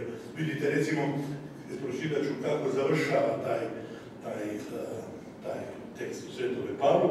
To je jedan dio koji u većini glagolskih tekstova naših je izostavljen, ali nekima ga ima, on kaže ovako, na kraju djerca svoga, htio bih upitati one koji zanemaruju svoju očevinu i oblažu domovine mramorom, koji za jednu nit tkanine troše kuće i manja, što li je uopće nedostajalo nagu starcu? Vi pijete iz čaša optočenih dragim kamenjem, a on prirodu zadovolji rukama. Vi imate zlato utkano u tunikama, a on nije imao ni haljinu najjadnijega vašega roba. Ali zato ovome siromašu otvoren je raj, a vas u zlatu čeka pakao. On, ako i gol, sačuvat će Hristovu haljinu, a vi obučeni u svilu, izgubili ste Hristovu odjeću. Pavao leži pokriven običnim prahom i uskrsnut će u slavi, a vas koji ćete gorjeti sa svojim blagom pritišću kamene grobnice. Poštedite, molim vas sebe, poštedite barem bogatstvo koje volite. Zašto svoje mrtve omatate zlatnim haljinama? Zašto se taština ne povuče u žalosti suzama? Zar trupla bogataša ne mogu drugčije truliti nego u svini? I kad čitamo ovaj tekst, mi točno vidimo e, Jeronima za vrijeme onih aventinskih poznatih jeli, skupova, gdje on u stvari e, neka vrsta e, ne samo redovnika koji tumači onim ženama kršćanski nauk, već im u stvari kritički govori o njima samim, upozorava ih da je asketizam put kojim trebaju, kojim trebaju krenuti. Što se tiče onoga mjesta o, o plaštu, moram i taj dio ovaj, samo kratko ovaj, navesti iz ovoga dijela da vidite kako, kako, i, on, kako zvuči. Na, sad je ovaj, njihov susret, je to je onaj poznati sa Gabranom i tako, a da, e, Pavao reče Antunu ovako, davno sam znao, brate, da živiš u ovome kraju. Antun je naravno mlađi, bitno. To je ono što sam rekao, e, Sveti Jeronim se trudi da otkrije mistika, e, asketu, koji je stariji od svetog Antuna i on ga otkriva u svome svetom Pavlu, kojega je, kako rekao, najvjerojatnije stvorio Pavlu knjiženi, knjiženi lik. Kaže dalje, davno sam znao, brate, da živiš u ovome kraju i davno mi je tebe, mog subrata, Bog. Ali došlo je vrijeme mog počinka, a ja sam se uvijek htio razriješiti i biti s Hristom, jer mi nakon životnog puta preostaje vijenac pravi. Ti si od Boga poslan da zemljom pokriješ moje tijelo, da vratiš zemlji zemlju. I sada dolazi dio sa plažom. Kad je Antun ovo čuo, plaćući i javčući molio je da ga ne ostavlja, te ga primi kao pratioca na takav put. A on mu govori, ne smiješ žuditi za onim što je tvoje, nego što je tuđe. Pristoji se tebi, nakon što odbaciš breme tijela, nasljedovati jaganca. Zato te molim, idi, pa ako ti nije teško, i sad je ovaj bio sa plaštom, donesi plašt koji ti je dao biskup Atanazije. Dakle, što mi donesi? Donesi mi dijelo, donesi mi književni tekst koji ti je dao uh, Atanazije. Tu je plašt u stvari šifra za književni, književni tekst. Čak se to otkriva i na samom početku ove, ove priče, kada ona ima ovaj uvod. Kaže, često su, kaže uh, ovaj, jer oni mnogi raspravljali koji je prvi pustinjak započeo život u pustinji. Neki su držali da prvenstvo pripada Blaženu Miliji ili Ivanu, misli na proroka i e, drugog proroka Ivana Krstelja. Među njima neki pak misle da je Ilija bio više prorok nego pustinjak, a da je Ivan počeo pripovjedati prije nego se rodio. Drugo, čije je mišljenje potpuno prevladalo, drži se da je Antun prvak, dakle sad govori o Atanaziju, ovoga načina života, što je s neke strane točno. Ipak, on nije bio pustinjak prije svih, već je prvi ustrojio pustinjačke zajednice.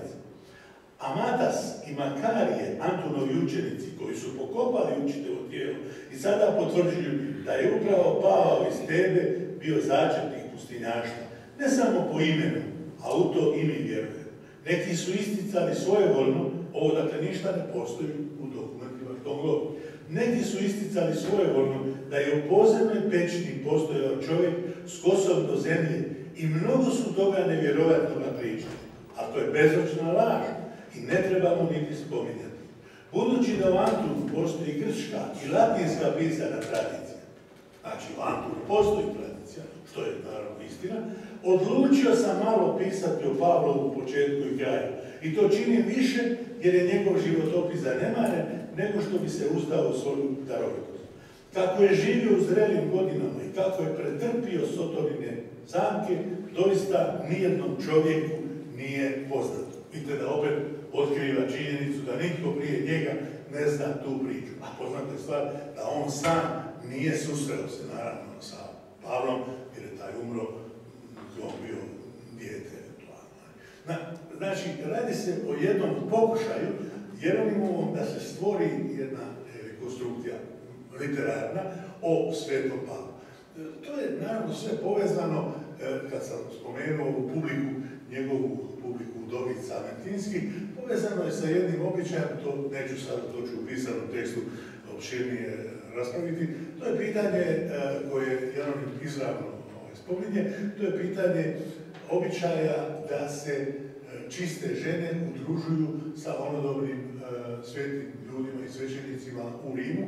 To je taj običaj koji se poznaje pod imenom agapeta. Dakle, žena koje u čistoći žive sa muškarcima. Jeronim kritizira taj običaj jer da se izvituperio, da on više kao takav ne postoji, da se ne radi o čistoći, da se radi o jednom seksualnim odnosima koji nisu dopustivi. Zanimljivo je da i u tekstu Svetoga Pavla ima namjerno dijelova koje vjerojatno nisu uobičajeni, gdje se izravno opisuju, opisuje neka vrsta seksualne napasti i to izravnim, izravnim riječima koje nisu, e, kažem, uobičajene. Recimo, kad on govori što se sve e, vrhnjacima, Pavlovima ostvaruje u, u, u tim vizijama erotskim, on kaže, drugoga su mladića, tu isto vidite ovu publiku aventijsku koju on želi dati žensku, koju on želi dati poruku.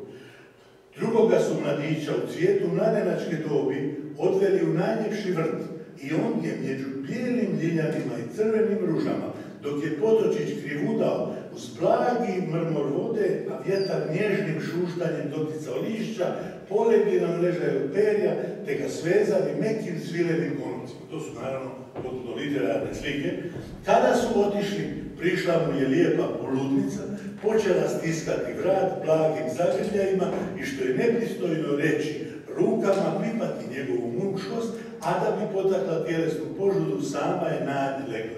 Kristov junak sad dalje ide priča. E, meni se čini da se radi u životu Svetoga Pavla, radi se prije svega o jednom izvanredno vrijednom književnom tekstu, koji kao takav bi morao biti objavljivan i posebno čitan kao naprosto književni tekst Svetog Jeronima. Posebno je to važno, čini mi se u našoj sredini, ja ću napraviti sad jednu digresiju, e, gdje nikako da, premda teoretskih razloga za to više uopće nema, nikako da se e, ono što se naziva lijepom književnošću e, ne odvaja od onoga drugoga dijela. Mi smo još prije, pa nije eto, prije točno 20 godina, je vođena polemika koja, nažalost, možda je trebalo da bude tako, nije dospjela do javnosti, nego ostalo isključivo u stručnim krugovima, polemika o tome da li u leksikonu hrvatskih pisaca koje je štampala školska knjiga velikog leksikonu koju su uredili uh, akademici Nemec, Fališevac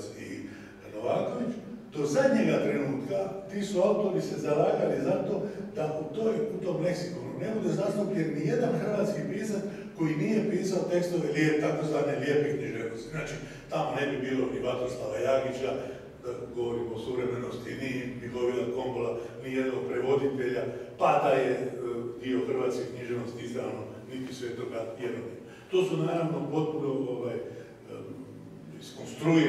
i netemeljene na teoriji e, književnosti, teoriji naših znanja istine.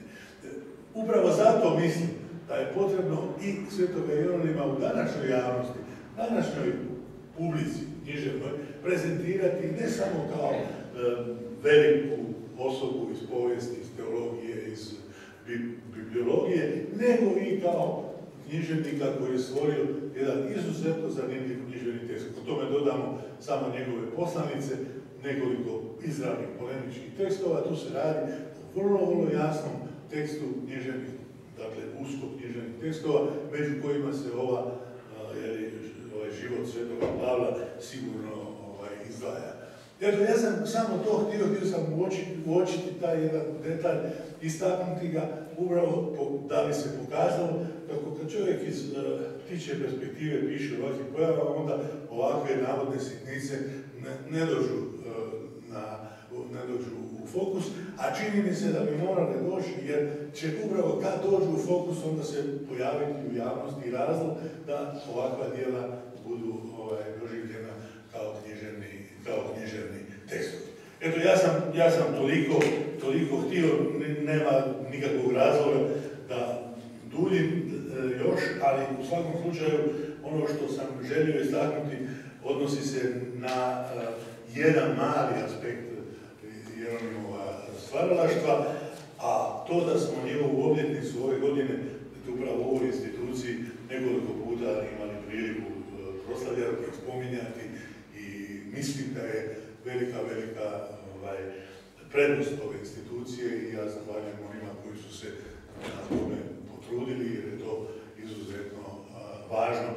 Mi nemamo većih osoba da slavimo i baš eto smo spominjali na početku Splitsku Dalmatinsku županiju, nedavno sam dobio informacije da i u Istri postoji jedan vrlo ozbiljan pokret i da upravo u ovom smjeru da se uspostavi čak u onim onom dijelu oko grada Oprtalja i tako gdje je Zrenji, gdje je vjerojatno on e, situiran jedno od njegovih e, ovaj, mjesta rođenja, da već čini mi se da su ovih dana stavili ovaj, ploču na ulazu u to mjesto na koje piše rodno mjesto Svetoga Jeronima, a da, a da ovaj, idu, idu i dalje, da će se stvoriti čak ideja da se cijela, cijel taj projekt nazove narod Svetog Jeronima. Dakle, Hrvati su narod Svetog Jeronima. Što je, mislim, sasvim ovaj, legitimno i, u redu i mislim da je to ovaj, sitnica. Premda sam nedavno čitao da je e, protestantski teolog e, gospodin Kusmić, mislim da se on zove Peter Kusmić, protestirao što je u e, večernjem listu i onim edicijama vezano za 12 hrvatskih velikana uvršten Sveti Jeronim jer da on nije Hrvat. A isti pisac onda objašnjava zbog čega je tamo nije trebao biti uvršten Marko Polo. Ako je mogao biti Marko Polo, onda je ovaj, dakle, potpuno i logično. Kad sam rekao jednom prijatelju to da pročita, on mi je rekao, neću, taj gospodin je jedan heretik. Pa vjerojatno to je heretička misao, ali u svakom slučaju nije nitko tamo napisao da je Sveti hrvatski pisac, je Hrvat, ali on je i više od Hrvata. S time ću završiti. Sjećam kad sam 1985. radio na izložbi pisana riječ u Hrvatskoj, ja sam radio tada 17. i 18. stoljeće, a profesor Katičić i pokojni Ivančević, punski stoljeća su objedinjavali naše poslove. I onda sam se ja nekako mladi, neiskusan profesoru pokušao pobuniti da imamo previše Jeronima tu i da on ovaj, ipak nije dio toga i da je to i mi i tako dalje. A onda je rekao, ja moj mladi kolega, vi ne razumijete da je legenda puno stvarnija od stvarnosti i dobro je da imamo tako, da imamo više takvih legendi, bilo bi još i bolje. I naravno da, da sam od tada tu lekciju ovaj, prihvatio i mislim da proslavljati legende nije, nije loše, mislim, i to svakako legende koji imaju takvu stvar kao što je ovaj, drago mi je čuti da će u Splitu, kako sam imao informacije, početi izdavanje njegovih sabranih dijela. Mislim da ove hagiografije i uopće ove historiografski njegovi tekstovi treba biti jedna od prvih knjiga koja bi sigurno ovom narodu trebala u cijelini da bude pomoćena. Hvala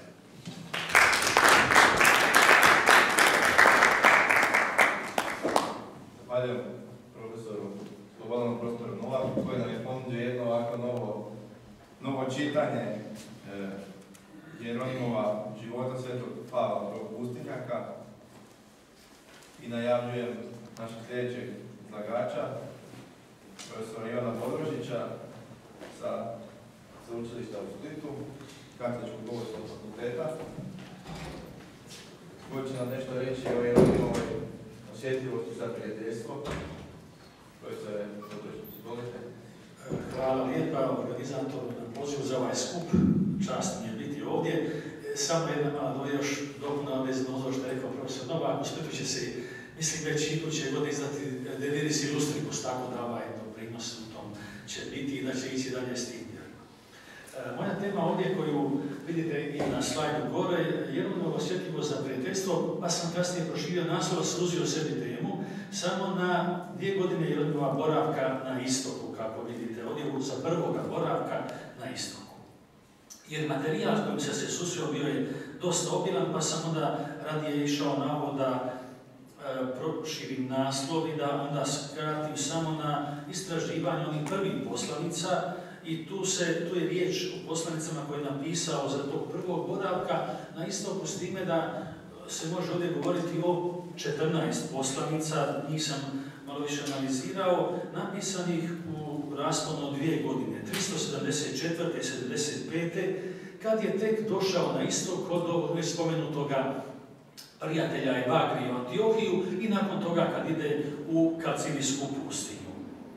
U četiri poslanice koje je tako napisao za to prvog boravka na, na istoku, koje je pisao papi Damazu 3, jednom svećniku Marku, nemamo nikakvih tekstova koji bi govorili o prijateljstvu, nego govore više tekstovi o drugim problemima teološke naravi, razumijevanja arijanizma i pojmova koji su se ticali arijanske krize.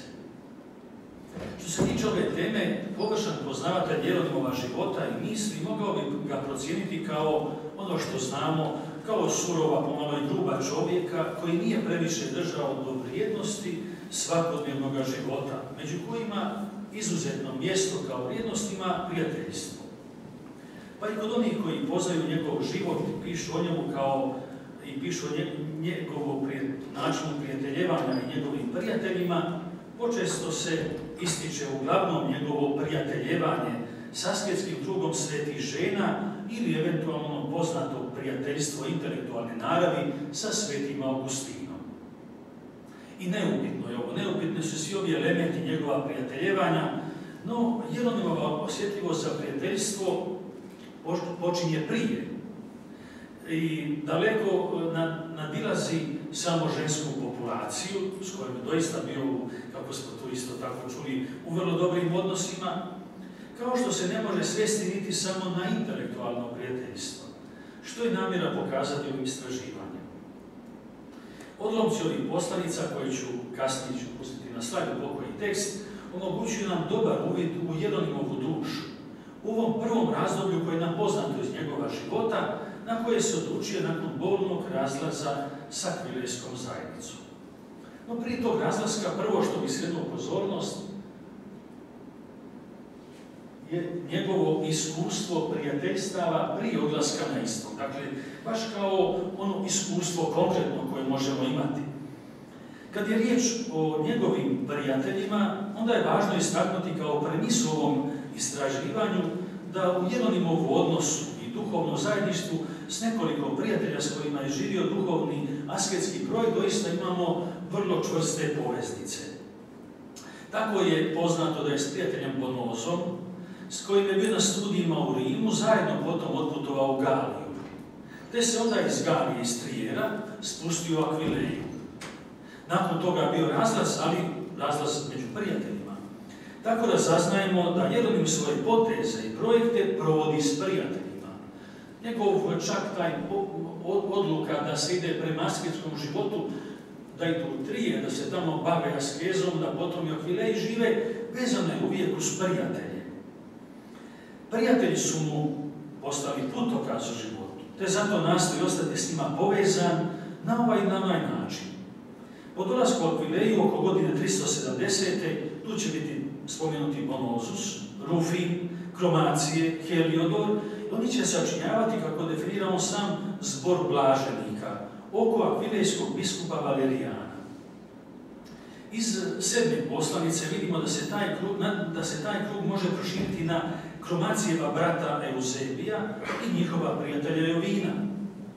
Ovo blaženstvo je potrajalo oko tri godine, te je prekinuto razmiricama kojima je doprinuo i njegov voštar jezik i burne reakcije. Kad je došlo do svađa i razdora asketskoj akvilejskoj zajednici, on se odlučio udaljiti iz Akvileje. Ovi je, s kojima je bio prijatelj, ostali su mu prijatelji, te ih je cijenio i s njima održavao pisanu komunikaciju. Akvilejske razmirice za njega i za Rufina će biti prigoda da se odluče, doduše odvojeno, na hodočašće na isto, hodočašće na izvore askeze, tako da Rufin odlazi u Egipatsku pustinju, tamo su živjeli papa oko, i Antun, tako da je pustinja bila ishodište egipatska asketskog života.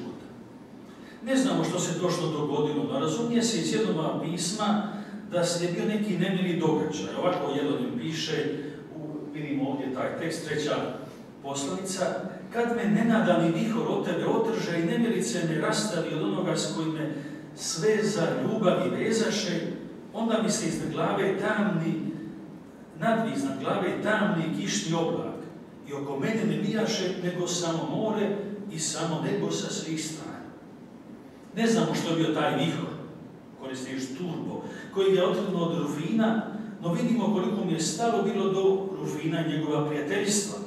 Te govori o ljepilu, glutinu, ljepilu ljubavi, kojim su njih dvojica bili spojeni. Kad je potom Evagrije Antiohijski 373. godine se vraća u svoju domovinu, jedan im je iskoristio prigodu da ide s njim do Antiohije. Pa će se potom sam, jer se onda bio razbolio, pa je ostao na imanju kod e, ovoga Evagrija, kad mu dopuste prilike, on će se sam potom otisnuti u Kalcirijsku pustinju. No već prije toga piše Rufinu, iste poslanice da saznajemo da prati kuda su išli drugi prijatelji. Tako Rufina izvještava da je Bonozus išao na jedan od dalmatinskih otoka gdje živi u samoći potpuno posvećen gospodinu. A njega, notabene, su o Bonozusu podrobnije izvijestili bili Kromacije, Jovin i Eusebije, što znamo iz poslanice sedme. Tako da vidimo da Jeronim u tom razdoblju doista se trudi održavati kontakte sa svojim prijateljima s kojima imao evo, ove veze i zajednička opredjeljenja.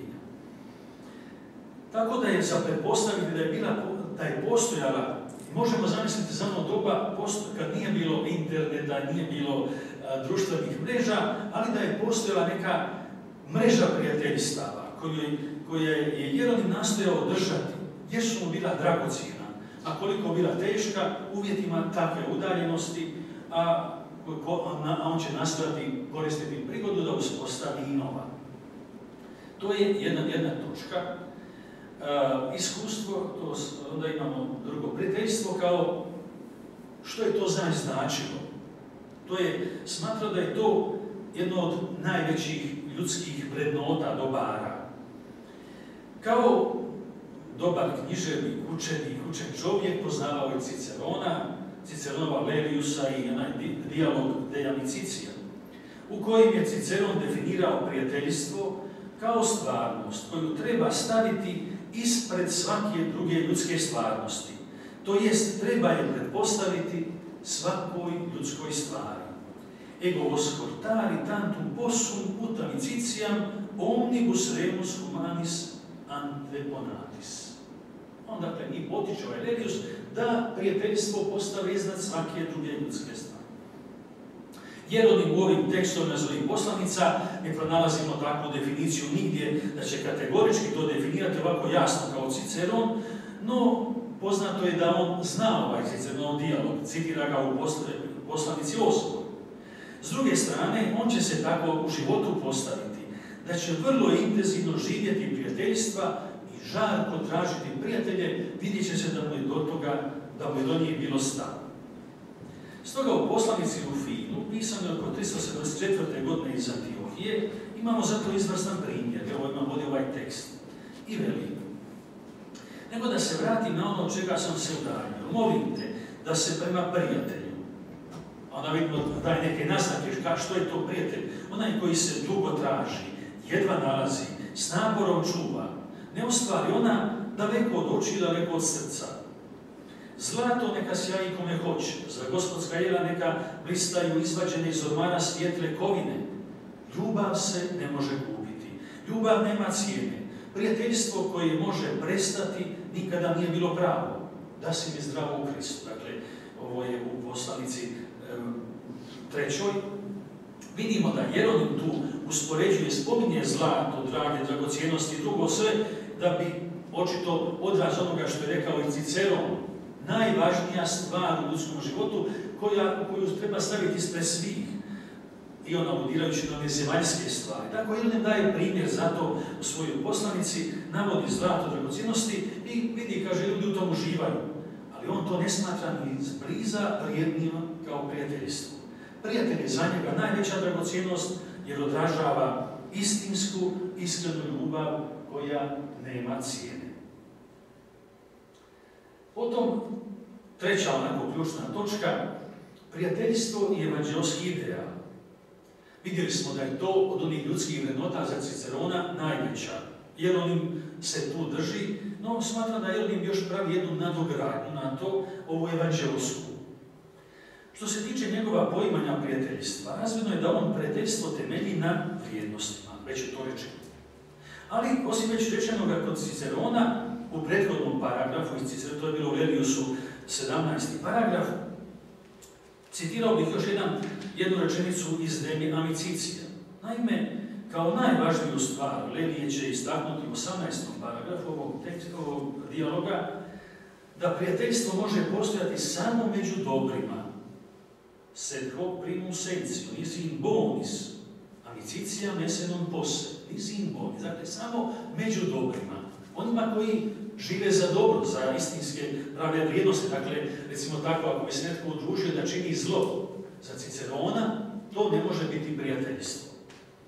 Stoga već na razini ljudskog ideala mu je jasna Ciceronova poruka. Prijateljstvo ne može biti niti među zlim ljudima, niti čineći neko zlo. Pravi prijatelji nisu oni koji se dogovore činiti zlo, već samo dobro. Nadalje, kada to podine na onu duhovnu razinu, svjestan da je evanđelski život najveće dobro i najveća blagodat čovjeku, razvidno je onda zašto je Jeronim toliko težio prema prijateljstvima koja su se kretala oko duhovnih dobara. Na poseban način prijateljima je smatrao monahe. Ovi su njegovi prijatelji bili dakle, iz ovog asketskog kruga monaha i želio da mu budu prijatelji, nastave to biti i on njima. Osim toga bio je duševljen svima onima koji su živjeli evanđelske savjete i činili dijela milosrđa kako je savjetovao gospodin. Iskreno je cijenio koji su evanđelje provodili u život do mjere da je s njima htio sklapati prijateljstvo. Jedan od tih kao primjer novog sklapanja prijateljstva bio je Florencije, koji je živio u Jeruzalemu i će pisati poslanicu 374. i piše ovo što imamo ovdje u tekstu, gore na slajdu. Dakle, da vas evo neću nego samo parafraziram kad imate tekst, on je čuo da je spomenuti Florenciji činio mnoga dobra kršćanima u Jeruzalemu, da je davao, da je bio poznat onaj koji je davao siromasima, sirotinji, pomogao je potom onda, kaže, brata Helioda, dakle monaha, jednog prijatelja koji je bio monah, pomogao njemu i tako da ga je poprav, bolesti mu je pomogao da se popravi i onda Jedan ovdje insistira na kraju, završava čestitate, dakle i molim gospodina da se udostoji utvrditi naše prijateljstvo koje se rađa. I Agor je rekao na vrhu da ga je započeo prije ljubiti nego poznavati. Dakle, želimo biti prijatelji i želi da se to učvrsti. Za Jeronima je doista ova duhovna povezanost u prijateljstvu vrlo bitna. Oni koji žive prema evanđelju spojeni su Hristovom svezom ljubavi, To će opet posvjedočiti u sljedećem pismu koje piše godinu dana kasnije istom prijatelju Florenciji. Vidimo gore tekst. Dakle, prema onom što sam sada vrijedan, umjesto sebe stavljam predate pismo, govorit ćemo o kasnim pismima, pa ako sam odsutan tijelom, ljubavlju, pak i duhom dolazi. Mole ste s tim srce da se naše mlado prijateljstvo, koje je Kristovom svezom spojeno, nikada ne razvrne, niti dužina vremena, ni daljina mjesta nego gledajmo da ga bolje utvrdimo međusobnim pismima. Vidimo prijateljstvo koje on smatra, ova ljubav koja tu dolazi, da je Kristova sveza. Prijateljstvo jednom temelji na povezanosti u Kristu. Dakle, istinska ljubav među prijateljima čini ih da su jedan pored drugoga i onda kad su daleko, a prijateljstvo je utvrđeno u Kristu. To je ta vrijednost nad vrijednostima na kojoj Jeronim želi e, temeljiti svoja prijateljstva, a naravno i Krist je tom poučavao svoj učenik i on im je rekao, vi ste prijatelji moji i poticao ih da oni također žive kao istinski prijatelji. Godine 375. piše prijatelju monaku Heliodoru, koji ga je dopratio bio do Antiohije, te se spriječen okolnostima u tom trenutku vratio nazad u domovinu.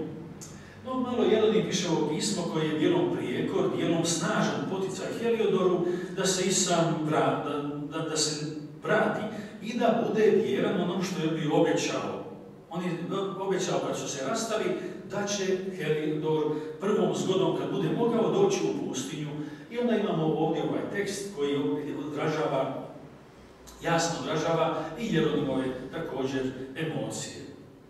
Kolikom ljubavlju i kako sam živom željom nastojao da bismo zajedno boravili u pustinji. To zna srce, dionik naše međusobne pažnje. Zar je srce koristi pektus, grudi, srce, kojim sam nadikovanjem, kojom žalošću, kojim uzdisanjem ispratio te kad ti ode.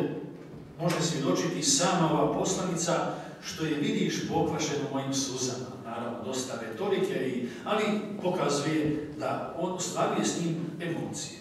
Naravno, poslije kako ga nije ovaj nije Heliodor došao kako je bi obećao, onda jednom se poziva moja prezredna ljubav učinila je ono jedino što je mogla. A sada onoga koga nije bila kadra zaustaviti kad je bio kod mene, sad ga traži odsudna.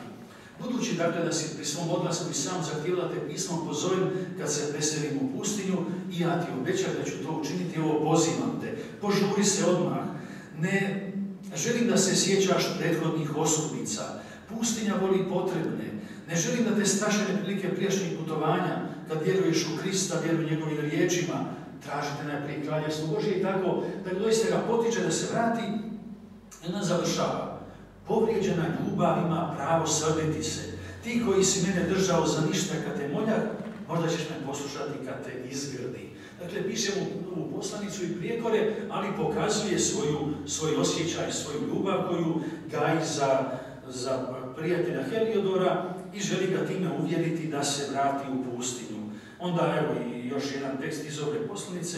Tvoja ljubav, brate, nadam da ti ovo izreče, kako ćeš onda biti dionik onih dobara za koje ti je sada trud težak. Dakle, opet se poziva na dobra koja Bog obećava, koja su onaj temelj na kojem se mora temeljiti istinsko prijateljstvo. Sada bih još nešto malo pojasnio ovim važnostima. Čuli smo kako on piše poslanice, kako ih gotovo preklinje, moli, natopljene suza na te poslanice. Koliko su bile važne za održavanje komunikacije. To su, poslanice su važne za prijateljstvo. Jer ako se na tim daljinama rastave, kao što je Jelon išao u, Siriju, Rufin je išao u Egipat, Bonoz ostao na, u Dalmaciji, drugi su bili koji kuda, ali on se trudi s njima održavati i znakovita su ova pisma pisana iz udaljenosti, iz Antiohije, iz pustinje, jer se u njima osjeća poseban jedan vapaj za blizinom prijatelja i potreba da unatoč udaljenosti ostvare zajedništvo. Jedna od onih prvih pisana Rufinu iz Akvileje, u kojoj se čak da ne može poput njega otići u Egipat, pisao je iz Antiohije. Bila mu žaka želja da ide i on sam u pustinju. Ali bolest iscrpljenost ne dopuštaju, te stoga piše poslanicu. No baš zato on tim žače izražava svoju želju. O da bi mi sada gospodin Isus Hrist dao, pa da i ja u najkraći čas budem prenesen kao Filip Keunu iz dijela apostolskih ili Habak Danielu.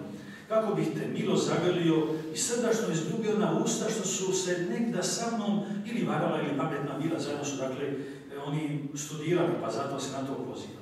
Ali ja sam nedostojan, ne toliko da na taj način ti dođeš k meni koliko da bi sam pošao k tebi, jer mi česte bolesti sasvim oslabiše tijelo, nemoćno i kad je zdravo, umjesto še, sebe šaljem ti ovu poslanicu na susret, da te sveza na uzicom ljubavi k meni dobe. Dakle, veza ljubavi i ovako slikovito ta uzica kojom on želi ići do njega poslanicom, a želi njega vratiti k sebi. Još jedan drugi tekst Jelenić će ostaviti u e, svjedočanstvo ovom koliko je vezan s Rufinom u poslanici Florenciju, koji ga moli da Rufinu, taj Florencije koji živi u Jeruzalemu, jednom je čuo da je i Rufin došao u Jeruzalem. Još to nije tada bila, bilo, e, nije provjerena bila vijest, Rufin je došao tek malo kasnije, pa mu je to Florencije poslije. Ali svakako ovako mu veli Florenciju. Budući pak da je brat Rufin sa mnom vezan nerazdjeljivom bratskom ljubavlju, a kaže se da je sa svetom Melamijom došao iz Egipta u Jeruzalem, molim ne bude ti teško izručiti mu poslanicu što je prilaže ovoj tvoj. Dakle, drži do toga da prijatelja s kojim veza nerazdjeljivo ljubavlju, do duše život će htjeti da se kasnije njih dvojica i razdijeliti. Ali to je bilo kasnije vezano uz spor oko origena i origenizma. Potom još jedan tekst iz ovoga razdoblja, to jest i ovo ovoj tematici za važnost poslanica imamo e, vezan, pisan Akvilesko pod Đakonu Niceji. Jer on mi piše da bi prijatelji trebali komunicirati jedan s drugim, te da bi pisma bila način da se učine blizu jedan drugom. Što je naime da tako kaže, tako prisutno među odsudnjima, nego razgovarati po poslanicama i čuti one koje ljubiš. Potom onda imamo ovaj tekst koji ima ovdje, zaključuje o žalošćen što je Niceja zanemario prijateljstvo. Ti pak, otišavši od nas, sada raskidaš više nego li rašivaš naše mlado prijateljstvo, što mudro zabranjuje Ciceronom Levije. Osim ako ti istok nije omrznuo, pa se bojiš da čak i tvoje pismo ne dođe ovamo, probudi se, probudi se, trgni se od asna, pošalji listić papira mojoj ljubavi, pri uživanjima o domovini ponekad uzdahani i nad hodočašima koje smo imali zajedno. Ako me ljubiš, piši mi, molim te. Ako se ljutiš na me, premda ljuti, piši mi. Mojoj će čežnji to biti velika utjeha ako primim pismo od prijatelja, pa i srbita. Iz ovih riječi vidimo doista baš ono i način na koji se održava, to može održavati prijateljstvo, jest, ova, jest pisan putem, putem poslanica. I zato je još nešto malo i zaprekama i poteškoćama koje su mogli imati prijatelji onda u onom vremenu. Problemi prijateljstva i zapreke koje su bile sljedeće. Velika udaljenost, slaba mogućnost komunikacije, nekada zahlađenje odnosa i ljubavi, nekada mala gorljivost ili možda nečiji se drugi ljudi posvete pa onda nemaju vremena, ali zanimljivo da je malo toliko snage da je i koliko je bila ondašnja poštanska služba sposobna prenijeti poslanice njegove s istoga, donijeti njemu sa zapada na istok, to isto tako nešto fascinantno što je onda funkcioniralo relativno vrlo dobro. Onda piše, glede ovoga što piše monahu Krševa u Akvileju. Kakva je moja ljubav prema tebi mogao ti istinito javiti naš predragi Heliodor, e, koji te ljubi ne manje ljubavi nego ja. I tako onda e, dajemo na znanje da koliko bi trebali češće razgovarati. Onda to e, slikom risa, upotrebljava sliku risa, kaže da je ris takve naravi da kad se obazre nazad, ne sjeća se što je bilo ispred njega. I onda to predbacuje kršćanu, kaže ti si možda se okrenuo na drugu stranu i zaboravio si što smo imali zajedno i što smo, i zaboravio si jednu poslanicu što je pisana u kršćanskim srcima, što spominje Sveti Pavao drugoj Korinčan to pismo ljubavi, poslanica koja se piše duhom Božim. Potom produbljuje sliku risa imamo ovdje, e, jer kaže jednim kad se ris, kad uhvati plijen, onda jede dok se ne najede. I tek onda kad se dobro najeo, kad više ne može ništa, onda se on povuče od svoje žrtve, svoga plijena. Onda mu jednim predbacuje ovo. Ti koji se mene još nisi nasjetio. Ti si kao taj nekakav ris koji se odustao od toga da me se, evo tako govori, da me se nasjetiš. Zašto privodiš kraju što si tek započeo? Zašto me puštaš? Još prije nego me imaš u svojim rukama. Ako valjda za izgovor koji je vazdan nemaru drug, ne tvrdi da nisi imao što pisati.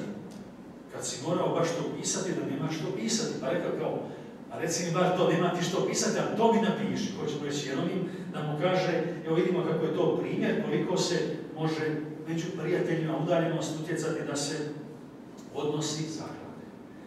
Djevicama u Emoni piše iz pustinje, 375. ražalošćen što od njih nema nikakvog odgovora. A on sa svoje strane, uspjeva u pustinji naći čak i komadić papira da im napiše. Dakle, u ovakvoj prilici domišljatost nadvladava oskudicu. Da, slova su sićušna, mora štediti, mora sitno pisati da iskoristi to malo papira. Slova su sićušna, ali će razgovor biti dug. Te bar iz ovog slučaja moje potrebe spoznajte moju ljubav. Budući da me ni, ne, ni onoga što je potrebno zapisati ne može umesti da me piše. Ko će reći, pa nekad je to bio problem. Imate li papira? A on kaže, evo ja ju pustim imam. A vi, molim, oprostite meni tužno me, oprostite što ću uređen reći, što ću reći doneći suze. Vi ni samo me jednom crticom ne podariste onoga koji je prema vama svoju dužnost toliko puta izvršio.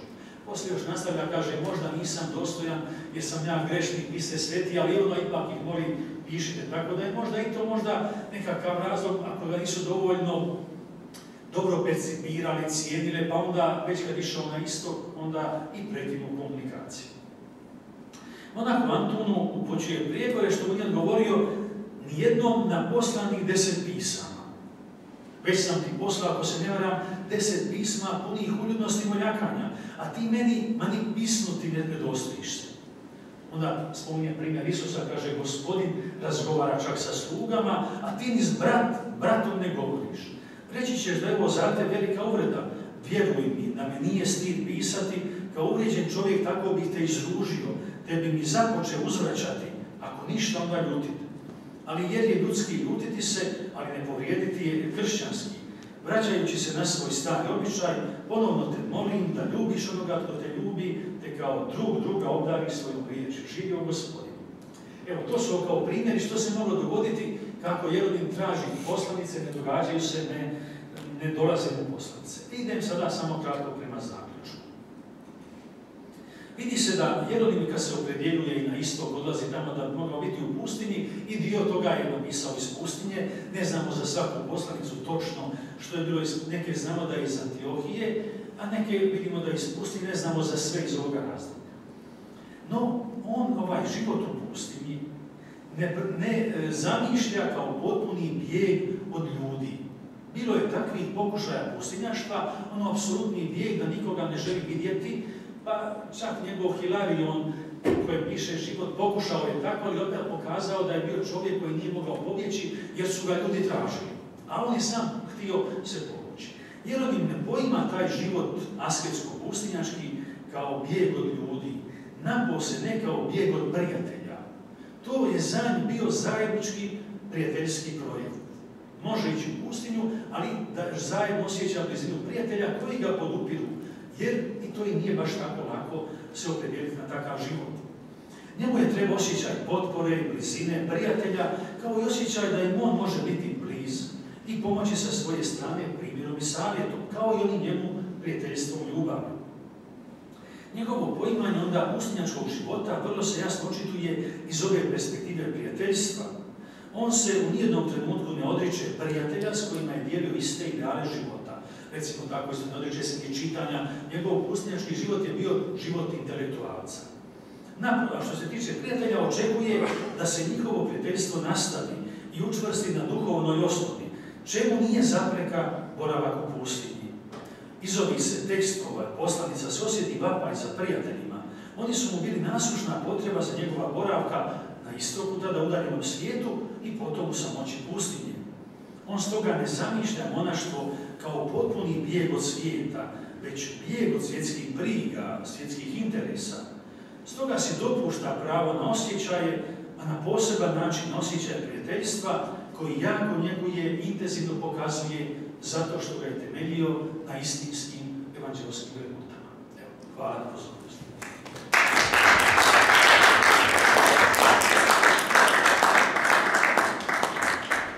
Zahvaljujemo profesoru Bodrožiću, što nam je ovako prikazao, barem u jednoj etapi, jer on imamo odnos prema prijateljima i tu jednu antičku povezanost to je mogao jer onaj koji je jako dobro poznao Antiku prije svega i onda znati Ciceronu definiciju, a on je ono kako se i sam jednom ovaj, zapisuje da mu se u snu ukazao anđel rekao Ciceronijanus est non Christianus.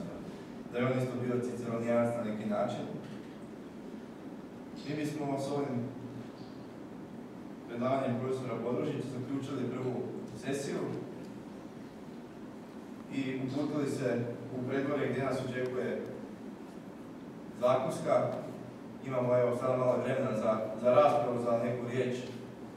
Da, s obzirom da je okrepa naručen za 13 sati, možda je sad dobar trenutak da raspravimo možda neka pitanja vezana prvoj sesiji.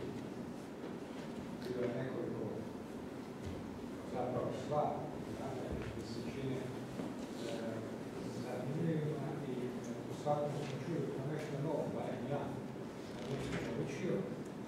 Znao sam da ću nešto naučiti, ali sam isto tako ugodno iznenađen. E, htio sam pitati, ako, ako ćemo onda tako učiti se za tu varijantu, mislim da se čuje.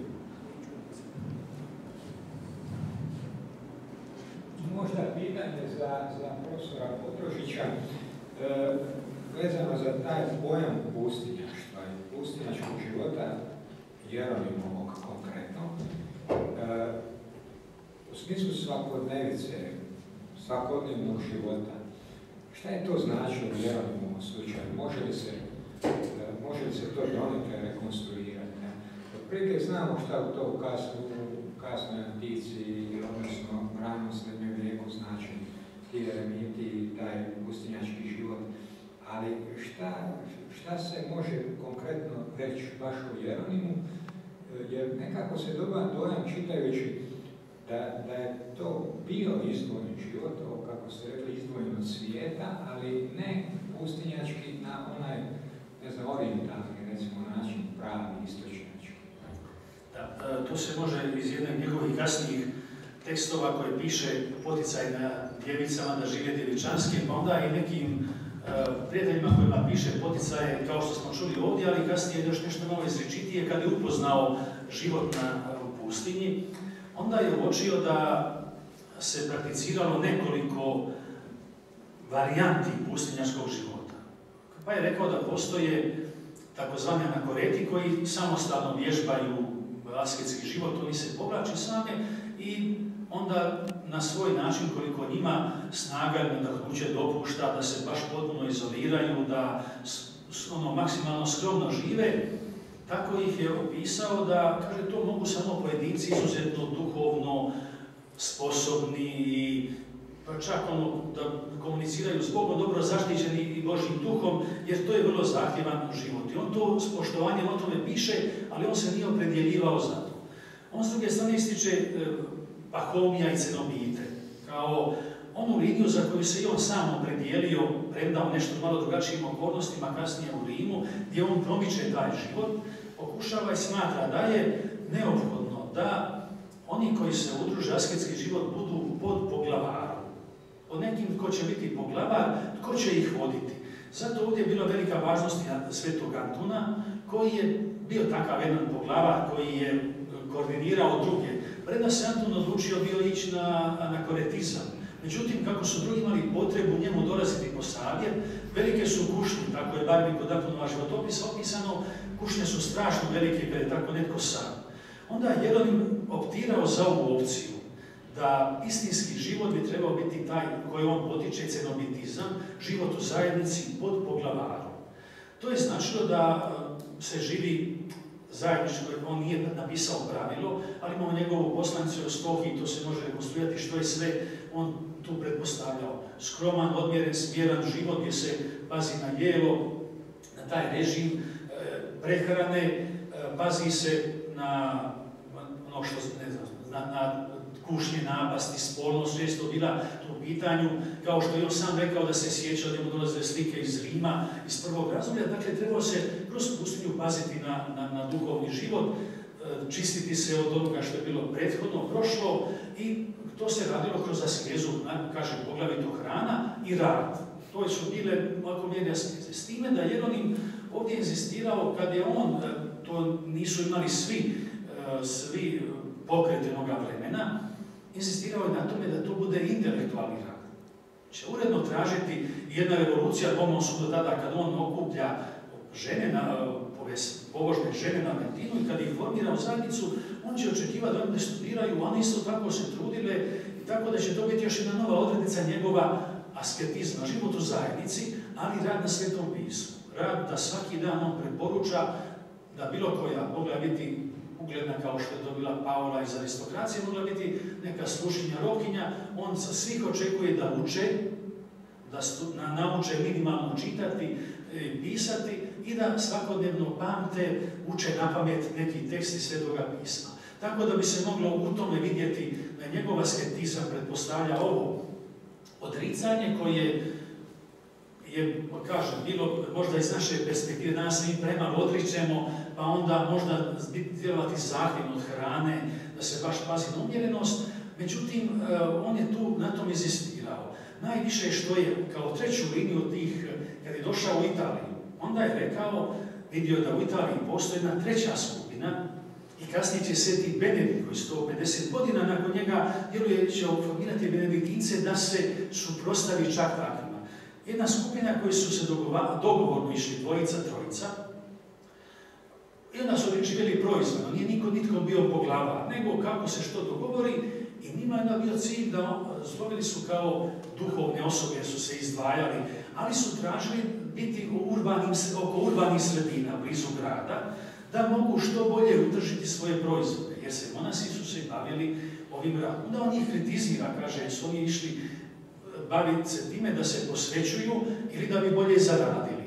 Tako da kritizira tako treću skupinu koja nije imala poglavara, nego je proizvodno živjela, samo što su njih dvojica, trojica bili zajedno, ali su imali sasvim ono aktivnosti svoje kako je tko htio i naravno pazili su na to da dobro zarađuju, da onda kad nitko ne vidi imali su bili kao duhovno na glasu, ali kad nitko ne vidi imali su neku vrstu obilja bogatstva što su strogo osuđivali Anton Pustinjak i drugi pustinjaci i baš su strogo pazili da svoja dobra ne koriste za užitke.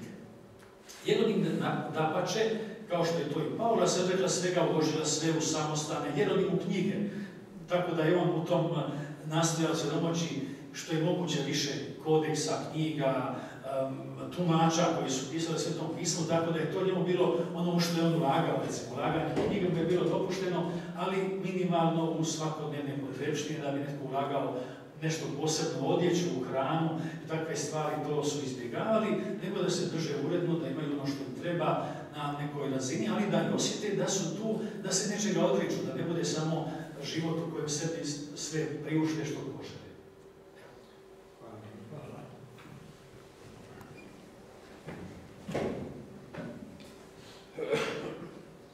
Evo ja bih isto imao mogu za dodatno pojašnjenje. Prije svega zahvaljujem svim e, izlagačima, doista se puno toga novoga moglo čuti, ali ovo što je mene posebno zaintrigiralo jeste kod izlaganja profesora Prosperova e, Novaka, e, to je taj pokušaj opisivanja životopisa, odnosno života svetoga Pavla Pustinjaka i ova vaša konstatacija da se najvjerojatnije radi o nekom fiktivnom liku. Sve mi je jasno, dakle, sve je jasno kako ste vi to ovaj, izložili, ali nekako mi je, evo, mi se nameće pitanje, poznavajući svetog Jeronima koji je vrlo odgovorno, e, filološki odgovorno pristupio i, i, i prijevodu svetoga pisma, pa evo, gledajući ovo kako je kao čovjek i kao prijatelj zapravo sve to skupa odgovorno, savjesno recimo to tako shvaćao, razumijevao, e, nameće mi se onda pitanje kako to da se odlučio za jedan tako fiktivni, fiktivni ovaj lik, pogotovo, odnosno da li postoji ikakva mogućnost da je taj lik ipak stvaran, tim više što je sada i kolega Podružić rekao, bilo je tih e, eremita povazda, Možda je on stvarno vidio nekoga koje u nekakvoj svojoj skrovitosti, koje možda nije bio nametljiv, nije dolazio do, do, do, do izražaja, pa je evo htio pokušati opisati njegov lik. Možda bi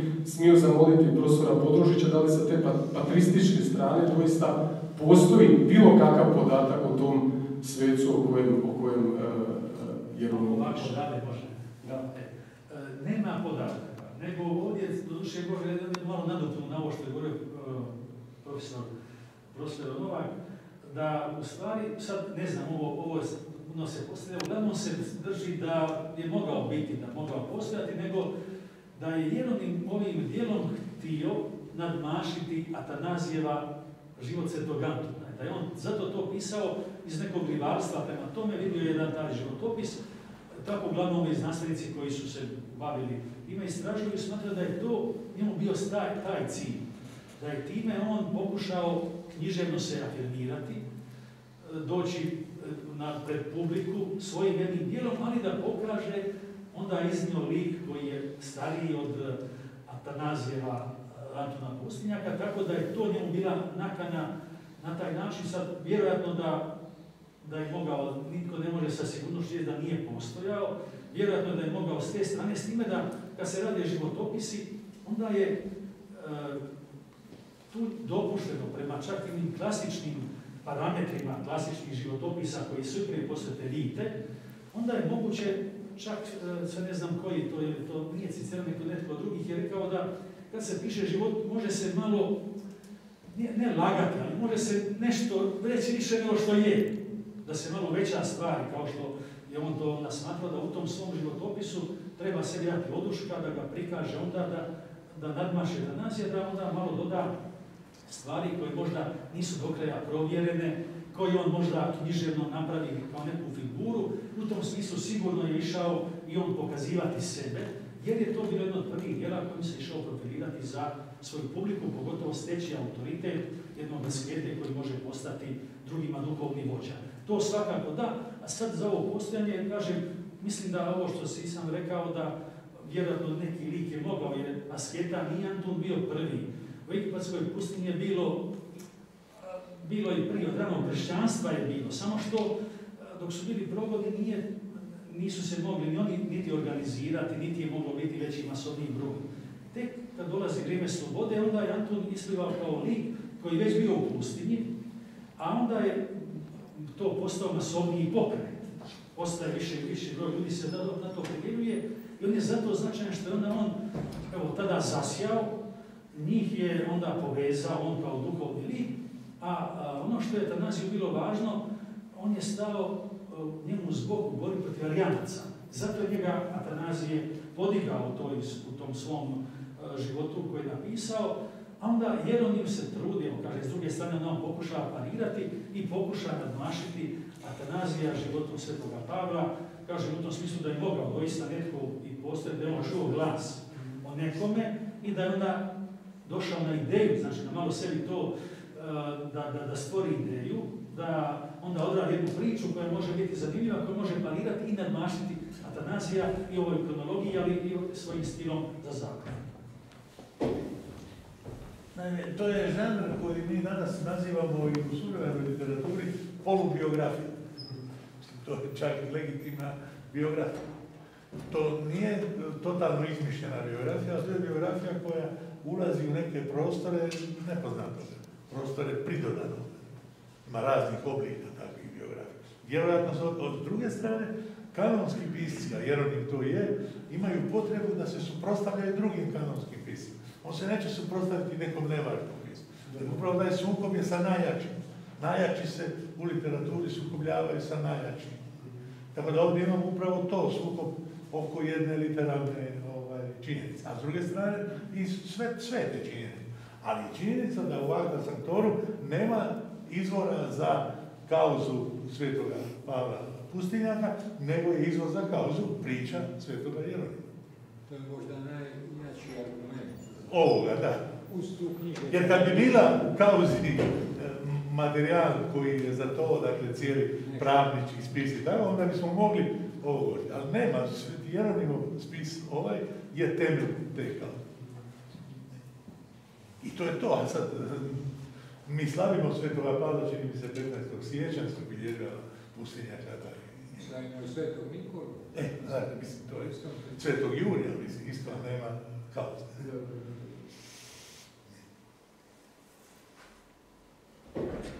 Mislim, ja sam se založio da bi ova knjiga ušla u, opticaj, da je naša djeca čitaju, džaci, sasvim normalno.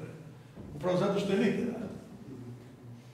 Može jedno pitanje, ako moram ići tamo do, Može to, evo, ja samo ja nešto također pitanje. Resi to, da, da. Za, za monsignora Bogdana, naime, negdje sam, vi niste to vjerojatno stigli, negdje sam našao podatak tragajući jednoj redovnici našoj koja je umrla u 17. stoljeću u Rimu na glasu svetosti. Radi se o Magdaleni Pereš Vuksanović iz, iz Olova, iz Bosne i Hercegovine, e, da se zavod jedno vrijeme financirao, ne znam kako je danas razpovestili, da su e, Hrvati koji su umrli u Rimu bez nasljednika, sine Herede, da se njihova sva ostavština, da je jedan dio išao automatski dakle, za zavod Svetog Jeronima. jer baš piše u njezinom životopisu kako je bila nekoliko godina prije nego je postala redovnica u službi e, rimskih matrona, dakle pomagala i tako dalje, da je stekla ne baš tako mali metak i da je dakle nakon smrti ona je pokopana u crkvi Svetog Siksta i Dominika, da je da su, da su bile neke rasprave i tako dalje, dakle da je jedan dio njezinog imetka također otišao u zauzete evo pa samo jedan, ako, ako može, nije to ni pitanje, nego više jedan komentar, dakle kako se zavod financirao kroz povijest i kako su bila njegova sredstva materijalna.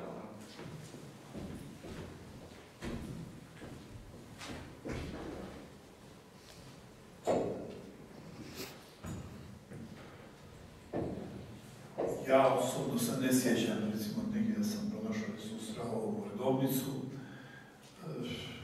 u moru imena koja su prodefinirala kroz ustanove Svetog Jeronima kako se zavod uzdržavao, kako se uzdržava i kako danas funkcionira. Praktično, ovo što ste spomenuli, glede ostavština, bilo je neko vrijeme i propis u Rimskoj biskupiji za one koji su umrli bez nasljednika iz dotične nacije, da se njihova imanja automatski da prilazi u vlasništvo dotične nacionalne crkve. Tako je, to je jedan od načina kako je Zavod stekao svoje imanje, svoju imovinu. Spomenut ću ovako, gdje se nalazila ona stara ruševna crkvica Svete Marine i onaj posjed kojeg nam, kojeg nam je dao Papa Nikola V. 1453. To je skroz izvan središta grada, na periferiji u dosta vlažnome i onako podvodnom području uz rijeku Tiber. E, tu je, nije recimo bilo neko to naročito bogatstvo, ali e, članovi ove naše udruge Bratovštine, oni su e, organizirali se i onda su e, i sami sticali dobra. I već od davnine oni su iznajmljivali svoje zgrade, kuće, isto današnja palača daljega Svetog Jeronima, nego iznajmljivali su i na taj su način sebe uzdržavali. Ovdje ću spomenuti nešto drugo. Kad je umrla 25. listopada 1478. Katarina srča, pretpostavlja se, negdje umrla u nekoj kući tamo današnja pjaca Venecija, ispod oltara domovina pokopana gore Kapitoliju, ona je oporučno ostavila, e, mlada je bila, imala je 50 i nešto godine oporučno je ostavila e, liturgijsko posuđe i također neke zemlje koje ona kao kraljica imala e, ustanovi Svetoga Jeronima. To se malo pomalo akumuliralo, tako reći ću, u stoljećima od 1453. do danas, ali doživljavalo isto tako i otuđenje i pljačke. Poglavito, ono što sam spomenuo usput, kad je Rim, kad su Francuzi ušli u Rim, nestale su sve naše knjige. Mi nemamo, naša knjižnica, o tome nisam govorio, nije bogata. Ova današnja praktično postoji, negdje od 1850. na kanonik Mlinarić tu je, mislim, iz područja Varaždinske biskupije, je inicirao darivanje knjiga i ponovno uspostavljanje osnivanje knjižnice Zavoda Svetog Jeronima. Gdje su te knjige nestale, teško je to reći. Arhiv kojega imamo je jako bogat.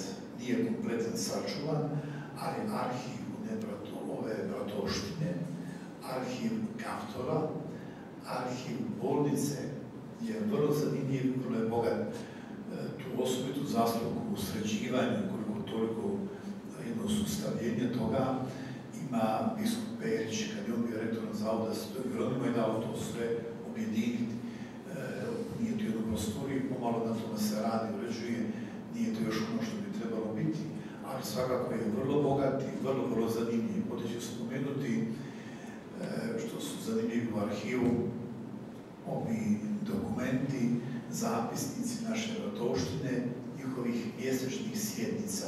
Ima 20 i nešto svezaka gdje se može iščitavati kako je funkcionirala Bratovština, odnosno kako je funkcionirala ova naša ustanova Svetog Jeronima.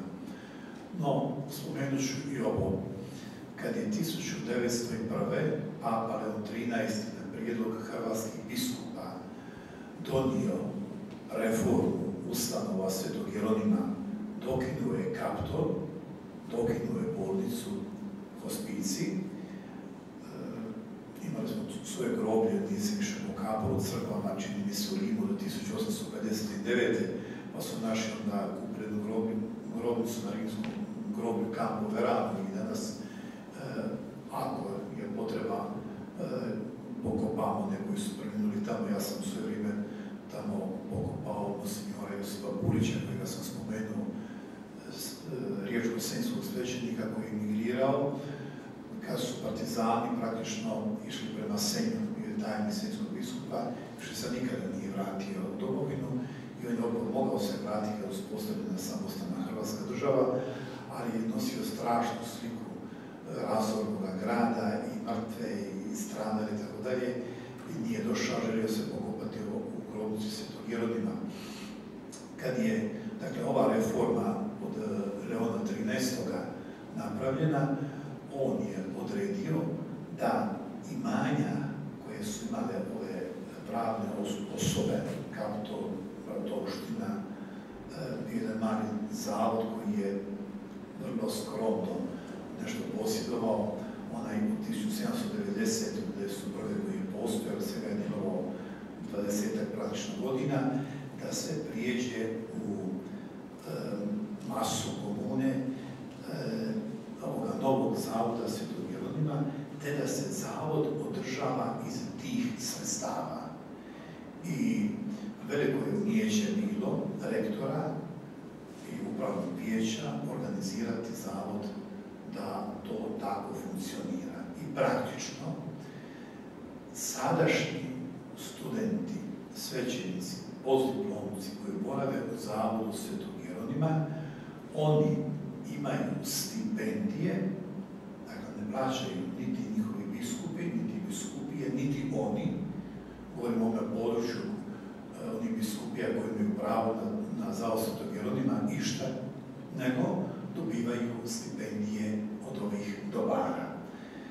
Ovdje ću spomenuti da kad je izgrađen, izgrađen novi zavod u Solini, ni manje ni više, on je 30. godina prošlog stoljeća dao doslovno srušiti cijelu gradsku četvrt tako je izgradio one velike monumentalne barače tamo gdje je sadašnja zgrada zavoda Svetog Jeronima, tu je bila predviđena jedna barača da se gradi, međutim, e, nije bilo predviđeno da bi to bio naš zavod.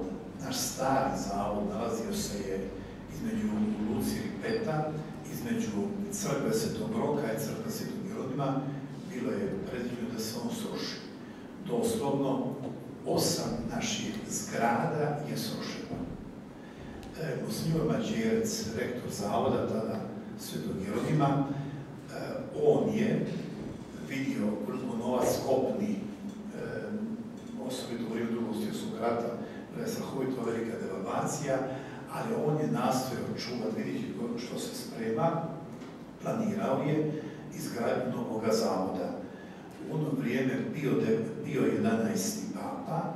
je želio da se svi zavodi iz centra grada, isto tako i ova crkvena sveučilišta, presere tamo na vija e, Apija prema rimskoj zračnoj luci, jer su tamo bila velika ogromna prostranstva, slobodna, i da se izgrade suvremeni zavodi, da bude funkcionalnije, da bude urednije, da bude zdravije, jer u centru je bilo, e, tu sjetimo se samo tuberkuloze i tako dalje. Tako je bio plan da se zavod izgradi e, vani na periferiji Rima, ali u Mađerci. Znao je za ovu paraču koja će se graditi tu, nasuprot Augusteuma. On je jako insistirao da se napravi da zavod ostane tu i da se napravi na tome mjestu. I uspio je. Papa nije bio tome sklon, doslovno, tražio audienciju kod njega 15 goda kad on ide kod Pija 11. traži prijem, audijenciju sa svećenicima, studentima, papa je primio, a Mađerac mu nosio ogromne fascikle, papa je mislio da će to i tražiti mi pomoć, pa ne mogu više, a ovaj kardisal svetosti došao tražiti nikakvu financijsku pomoć, nego blagoslovite ovaj moj projekt, mi Hrvati želimo ostati uz crkvu Svetog Jeronima. Bio je svjestan, ako se zavod izgradi udaljeno od je bila predviđena da je ona ostala, da nije bila opasnost da se sruši, praktično onda će prestati živjeti naša crkva Svetog Jeronima. Papa je to odobrio je, neka ide, neka bude tako. I 38.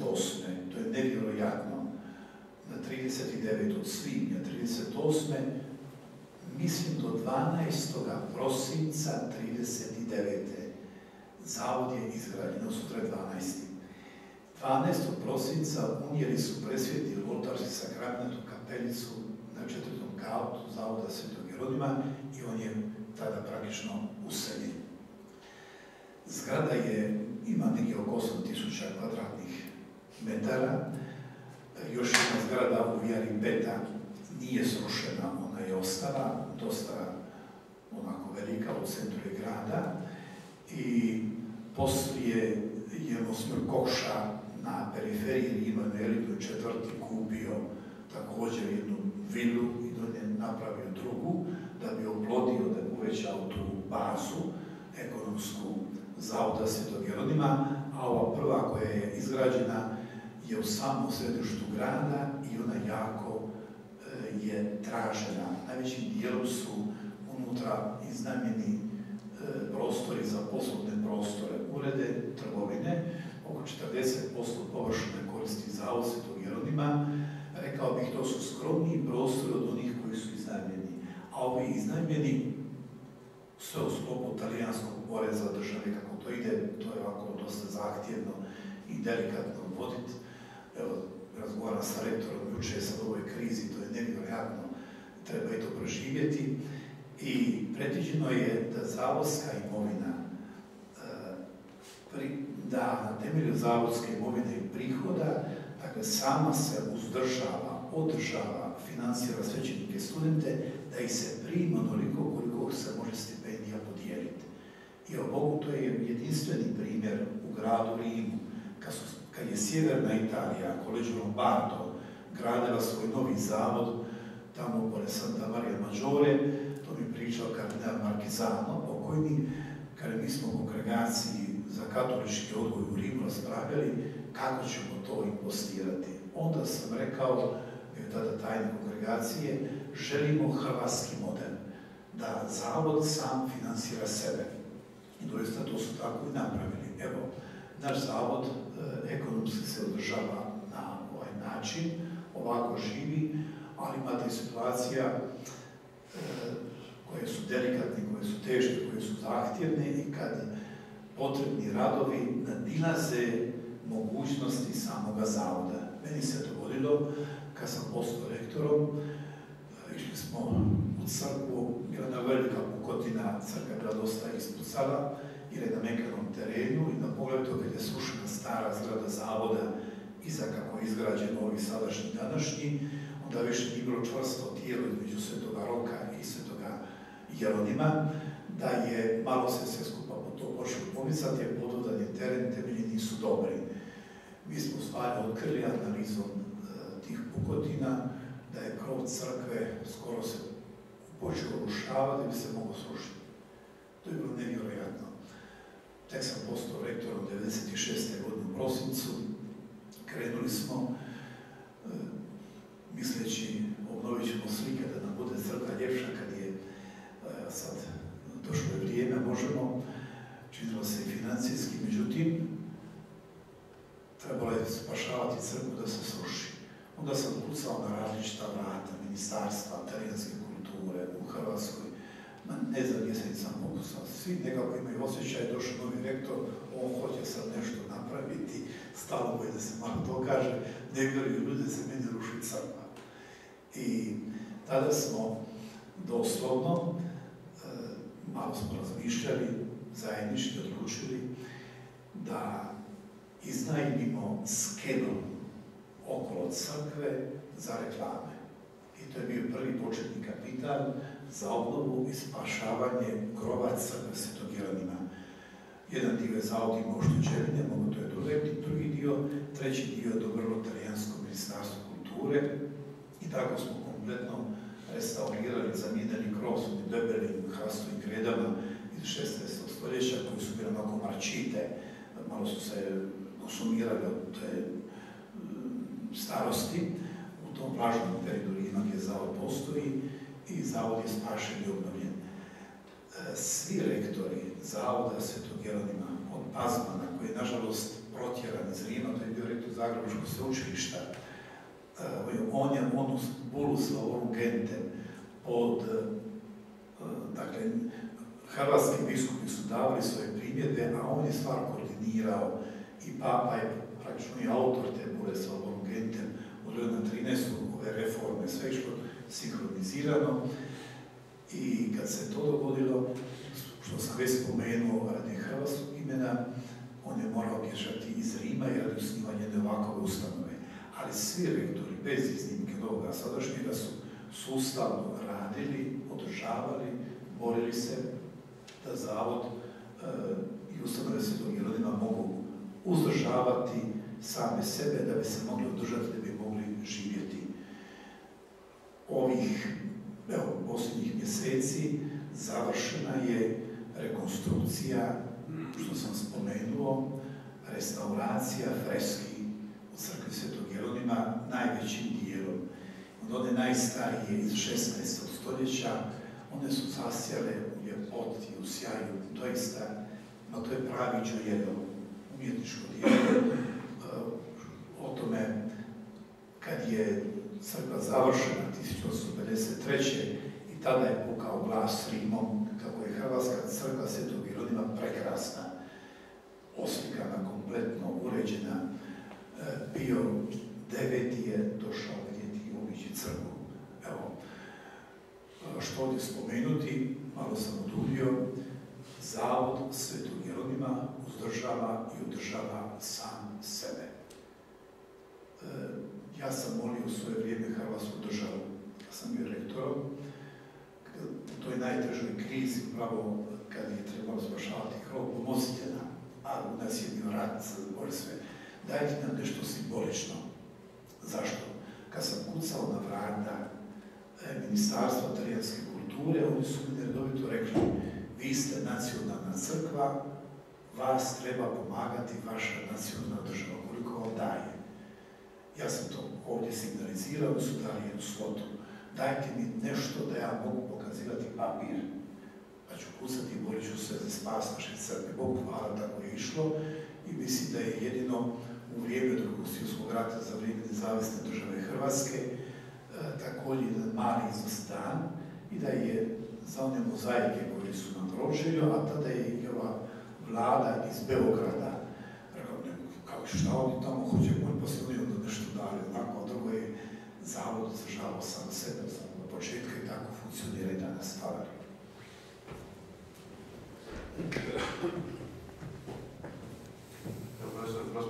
Ma samo kratko, kad je ovdje ovo prvo divno je bilo slušati e, biskupa ovom govoru o Svetom ali ovdje je spomenuta jedna osoba, to je Magdalena Beroš, vi ste spomenuli, pa e, to je jedna od najzanimljivijih mikropovijesti hrvatskih 17. stoljeća, pa ste spomenuli tu njenu ostavštinu. Ja ću samo kratko reći, to nije bila samo njen, naime, to je bila njena ostavština, to je osoba, ta žena je pobjegla od svoga muža u Bosni.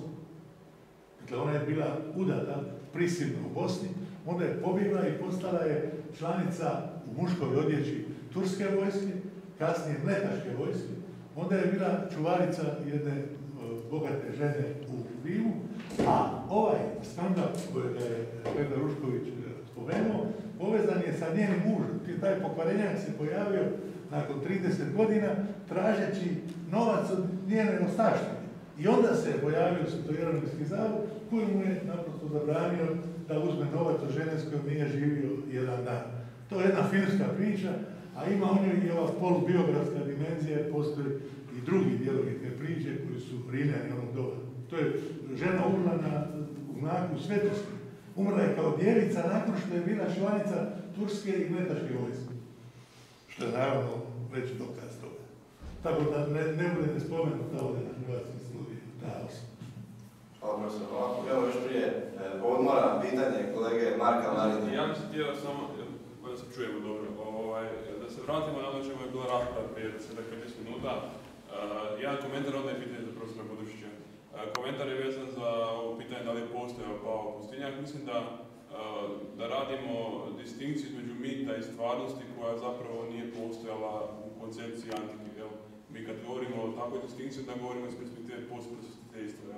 I mislim da je, da je na dobro tragu profesor je rekao da uh, antička biografija, odnosno biografija Antici se nije pisala na isti način kao što se piše u današnjoj biografiji. I ako možemo vidjeti nekakve sekundarne razloge zbog kojih uh, Sveti Jeronим piše o toj osobi, dakle tom Pavlu Pustinjaku, nekih drugih razloga, ne zato što on stvarno postoji, a ako uh, nemamo nekakvih drugih izvora koji bi nam uputili da on postoji, onda mislim da je logičan zaključak da nije postojao. Ne znam, mislim, možda, možda, možda griješim, ali, ali mislim tako čini. I druga stvar, uh, koju sam samo htio biti profesora govorio je o koncepciji prijateljstva kod Svetog Jeronima i često spominjao Cicerona, ali je spominjao i Evanđelje, Isusa Krista i tako dalje. I sad samo zanima što mislite, uh, kakav je, kakva je podjela utjecaja, koliko je utjecao, koliko je antika utjecala na, na, na razvoj ideje prijateljstva kod Jeronima, a koliko sama činjenica da je bio kršćan i da je, da je bio na neki način sljednik Isusa Krista. Svakako da je utjecao Ciceron na, na glede ovog poimanja prijateljstva, jer Ciceron ima jedno ono etičko, zdravo, naravno poimanje prijateljstva i rekao sam da je jednom čak od poslanica spominje to, navod citira, dakle, poziva se na, na Lelija, kaže Leli, evo to što ti radiš, ti raspijaš prijateljstvo, Lelije to ne bi savjetovao, ne bi dopustio. Tako da to postoji, no s time da se drži te baze koju da jedna zdrava antička filozofija, pogotovo u ovom prvom razdoblju, jer onim još uvijek dosta, nije do kraja jasno taj njegov san, kad je bio netko je spominjao san njegov, nije jasno je li bio Antiohij ili možda nešto malo prije, no nebitno je to svakako. Jeronim ne je možda bilo spočitano da je ciceronijanac u smislu da čita literaturu, ne toliko u smislu da se drži nekih vrednota koji su bile i naravne.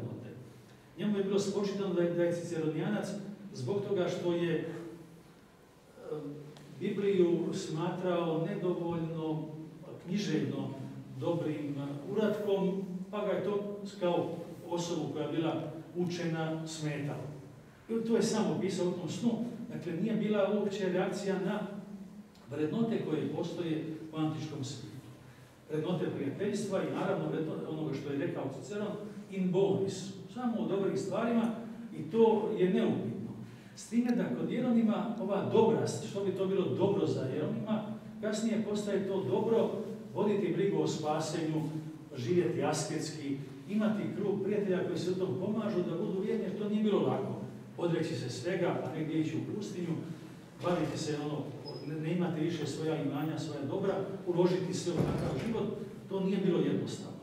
I lakše se može, može njega razumjeti u zanosu, kao mlad čovjek, u zanosu, oduševljen s nekoliko prijatelja, takav projekt je onda daleko izvediviji.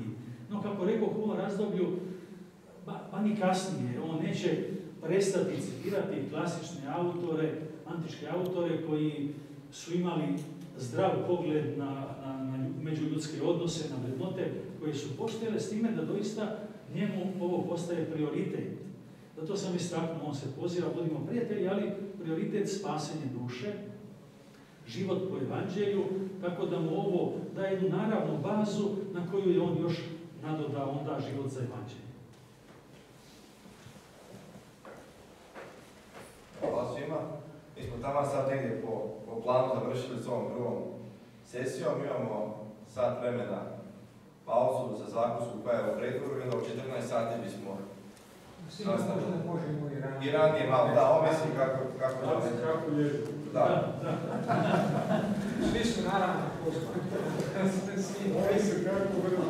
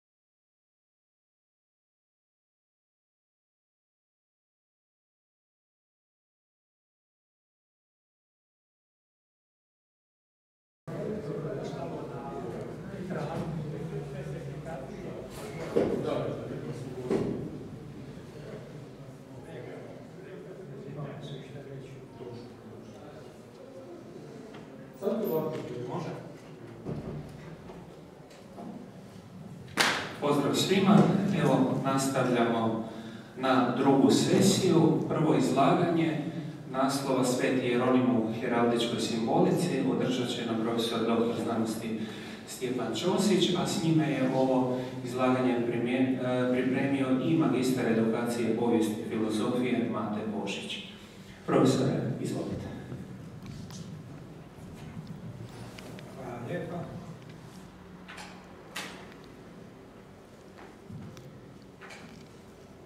Evo, kao što je Vlatko rekao, ovo izlaganje pripremio sam u suradnji s Matom Božićem, mojim bivšim studentom sa Filozofskog fakulteta u Splitu, što mi je posebno zadovoljstvo. E, on radi u jednoj e, školi u Solinu, tako da ću ovo naše zajedničko izlaganje ja e, vam danas izložiti.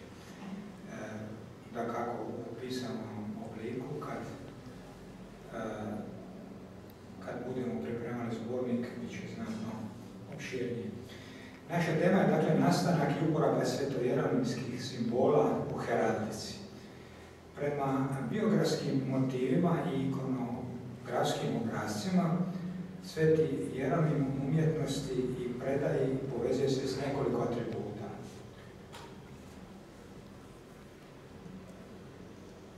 Kao crkveni učitelj najčešće se prikazuje s knjigama, napose s Biblijom ili kao pustinja, pustinjak u koste slavom u blizini.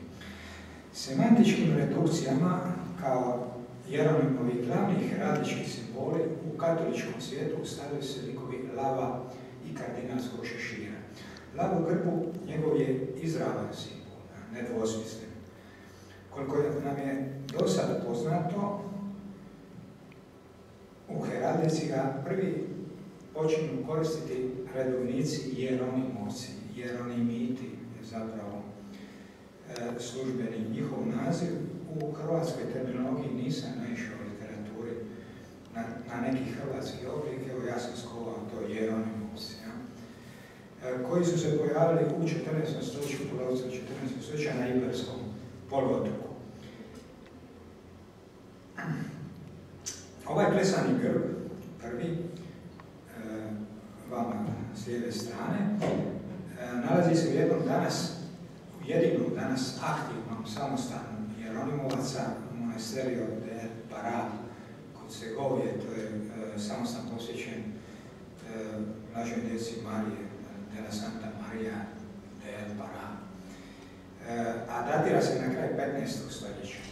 U isto vrijeme izrađen je grb Jeronimovaca u de la Santa Catalina u Kastilskom gradu Talavera de, de la Reina, to je ovaj drugi, ovaj sa ovim renesansnim uh, ovaj, vijencem. E, grbovi su gotovo isti, slavom u propnju, te križem i prelatskim šeširom s resama u nakitu. S obzirom da su Jeronimovci utemeljeni u drugoj polovici 14. stoljeća, a da se grb slavom javlja tek od kraj 15. stoljeća u ovim samostanima, opravdano pretpostavljamo da ga je redovnička zajednica preuzela od svog najznamenitijeg člana Hernanda de Talavere ili Ferdinanda de Talavere iz mjesta Talavera de la Reina. Hernán de Talavera pristupio je Jeronimovcima već kao zaređeni svećenik 1466. godine stekavši prethodno ugled u teološkim krugovima. U duhovnom i organizacijskom pogledu on je reformirao i obnovio zajednicu Jeronimovaca. Ostvario je impresivnu karijeru, prvo kao apostolski namjesnik Salamanke, zatim biskup Avile, potom prvi nadbiskup Granade, nakon što je e, emir Granade e, priznao e, poraz, odnosno pobjedu katoličkih kraljeva 1492. godine. No ono što je posebno obilježilo taj njegov život i vjerski i inače je činjenica da je bio dugogodišnji ispovjednik Kastilske kraljice Izabele I, sve do momenta kad je ona nastala da on postane nadbiskup Granade. Njegov dugogodišnji utjecaj na dvoru s jedne strane je bio za Jeronimovce e, blagodat, dok s druge strane e, ga je vodio s inkvizicijom. Biskupski, odnosno nadbiskupski grb e, Talaverin s propetim lavom, koji čak ima i ovu e, trn u šapi, izravno dakle upućuje na svetog Jeronima i njegova su ga subraća preuzeli kao grb čitavog reda, koji je u to doba, u doba njegovog života i neposredno nakon u 16. stoljeću bio na vrhuncu e, moći. E, uglavnom e, se, su se Jeronimovci širili u Latinskoj Americi nakon, nakon otkrića Amerike. Zanimljiva je Talaverina prelatska deviza upisana na traci oko grba, vicit leo de tribu Juda radix David. Pobjedio je lav iz plemena Judina, korijenika Davidova. Prema predaji to je bio to je dio egzorcističke molitve koju je sveti Anton tijekom, ispovjedi preporučio nekoj siromašnoj ženi koju je đavo iskušavao. Možda se tu misli baš na krajcu Izabelu koja je bila pred, pred različitim kušnjama, a sam Talavera bio njen ispovjednik. Preko Jeronimovaca i kult Svetog Jeron i kulta Svetog Jeronima lik lava propnju s kardinalskim šeširom našao je mjesto u više španjolskih i latinoameričkih municipalnih grbova. Tako e, sva mjesta u španjolskoj gradovi, pa onda i u Latinskoj Americi, u Meksiku napose, koja su vezana za Svetog Jeronima, gdje postoji crkva Svetog Jeronima ili katedrala, obavezno imaju u svojim grbovima i ovaj znamen. E, ja ih ovdje nisam napravio jer to zapravo nije u užem smislu tema.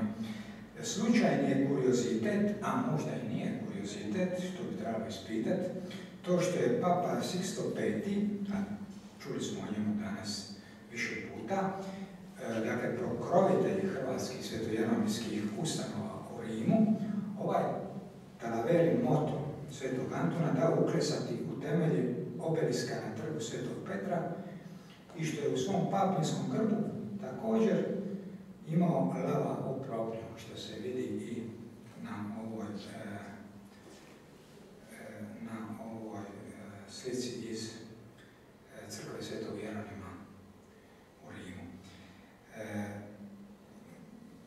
Možemo nagađati o tome radi se možda tu oznaku privršenosti svetom Jeronimu ili čak simbolički njegov odnos prema domovini, njegovi predak.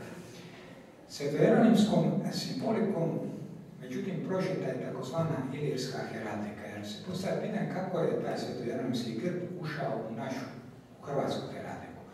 Dakle, e, ilirska heraldika kao fenomen prožeta je upravo simbolikom svetog Jeronima. E, je pod kraj 16. stoljeća u krugu hrvatske intelektualne elite oko crkve Bratoštine kapitula svetog Jeronima u Rimu i od strane moćnih rodovlasničkih rodova iz Sranskog primorja predvođenih Ohmučevićima. Riječ je o nizu grbovničkih prerisa u kojima je likovnim sredstvima izložen politički program proto-osmanske rekonkviste na jugoistoku Europe. Tvorci ilirske heraldike bili su u službi španjolskog i napolskog dvora, gdje su već uvriježenom jeronimskom kultu dodali i heraldičku dimenziju. Prihvatili su i promovirali lava propnju kao heraldički simbol svijeca koji je kao zaštitnik imaginarnih ilirskih zemalja, odnosno ilirskog carstva, igrao središnju ulogu u političkoj ideologiji vjekovnog ilirizma.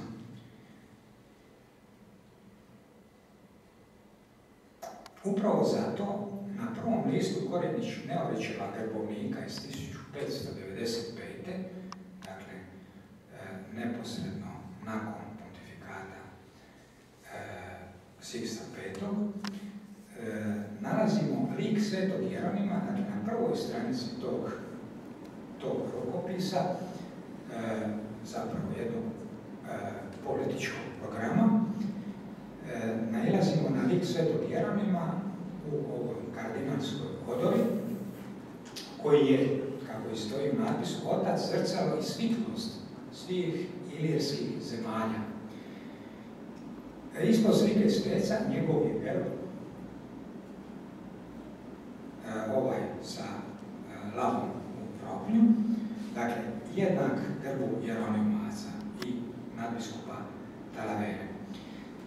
Taj su grb pripadnici slanskog kruga, vjerojatno preuzeli iz Iberske sredine, u kojoj su boravili često, no oni su svjetojerenemski kult zapravo razvili u domovini, ponajviše zaslugom Franjevaca i samostana Svetog Jeronima u Slanu, kojega je Dubrovačka republika utemeljila početkom 15. stoljeća i e, koji je stoljeće i po zapravo bio dio bosanske vikarije. To je vrlo značajno za razumijevanje simbolike ovoga grbovnika. Tako i sami vlasnici našeg prvog armorijala, Korenić Neolić i Slanov, čije su prezime u drugoj polovici 16. stoljeća stabilizirale u obliku Jerinić, kao što se vidi u ovom natpisu, znači Jerinić po Jerini, koja je opet dobila naravno ime po svetom Jeronimu i Slanom, jedna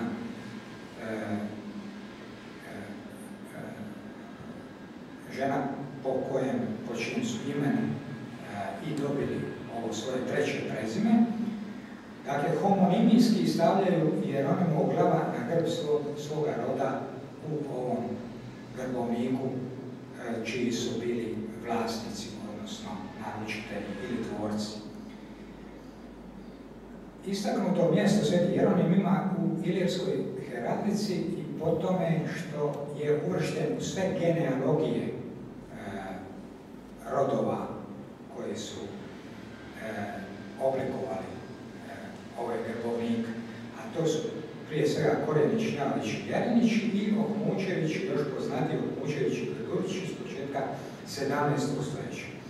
U vrhu obaju ovih rodoslovlja, ovo prvo je oštećeno je rodoslovlje, segment iz rodoslovlja Korjenić, Neorić, Jerinić, a ovo drugo Mučevića. I sad e, ova, e, ovi gornji dijelovi rodoslovlja nam zapravo ukazuju na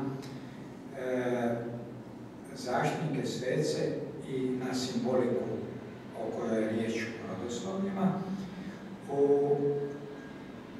Vrhu obaju rodoslovlja su likovi čudotvorne gospe Olovske, kod e, kod e, s lijeve strane e, je Sveti Jeronim i s natpisom Gloria Singularis Nationis i Lirice, a s druge strane su zaštitnici roda Sveti Kuzma i Damijan, dakle Sveti Vrač. Kod e, Korenić na ovoj pergameni vidimo izrezane e, dijelove na kojima se u sredini nalazila, slika gospe Oruske, a ovdje znamo sa sigurnošću po grbu da se kao i u slučaju e, nalazila slika Svetog Jeronima jer je grb u podnožju, kao što je ispod ovog Svetog Luke, koji je zaštitnik roda, Korinić Neović Jerinića, grb roda Jeremića opet sa ovim lavom upravo.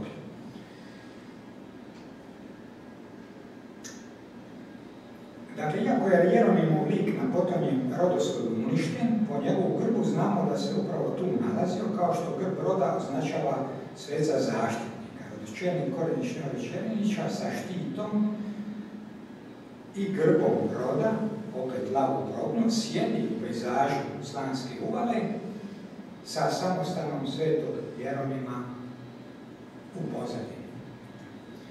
U hrvatskoj povijesti, međutim, znamenit još jedan heratički lik koji vežemo u svetog Riječ je o mladom mjesecu zvijezdi, dakle poznatim legijevima, koja su poput zasluga za stvaranje glagolice, svetom Jeronimu također pripisivali Hrvati.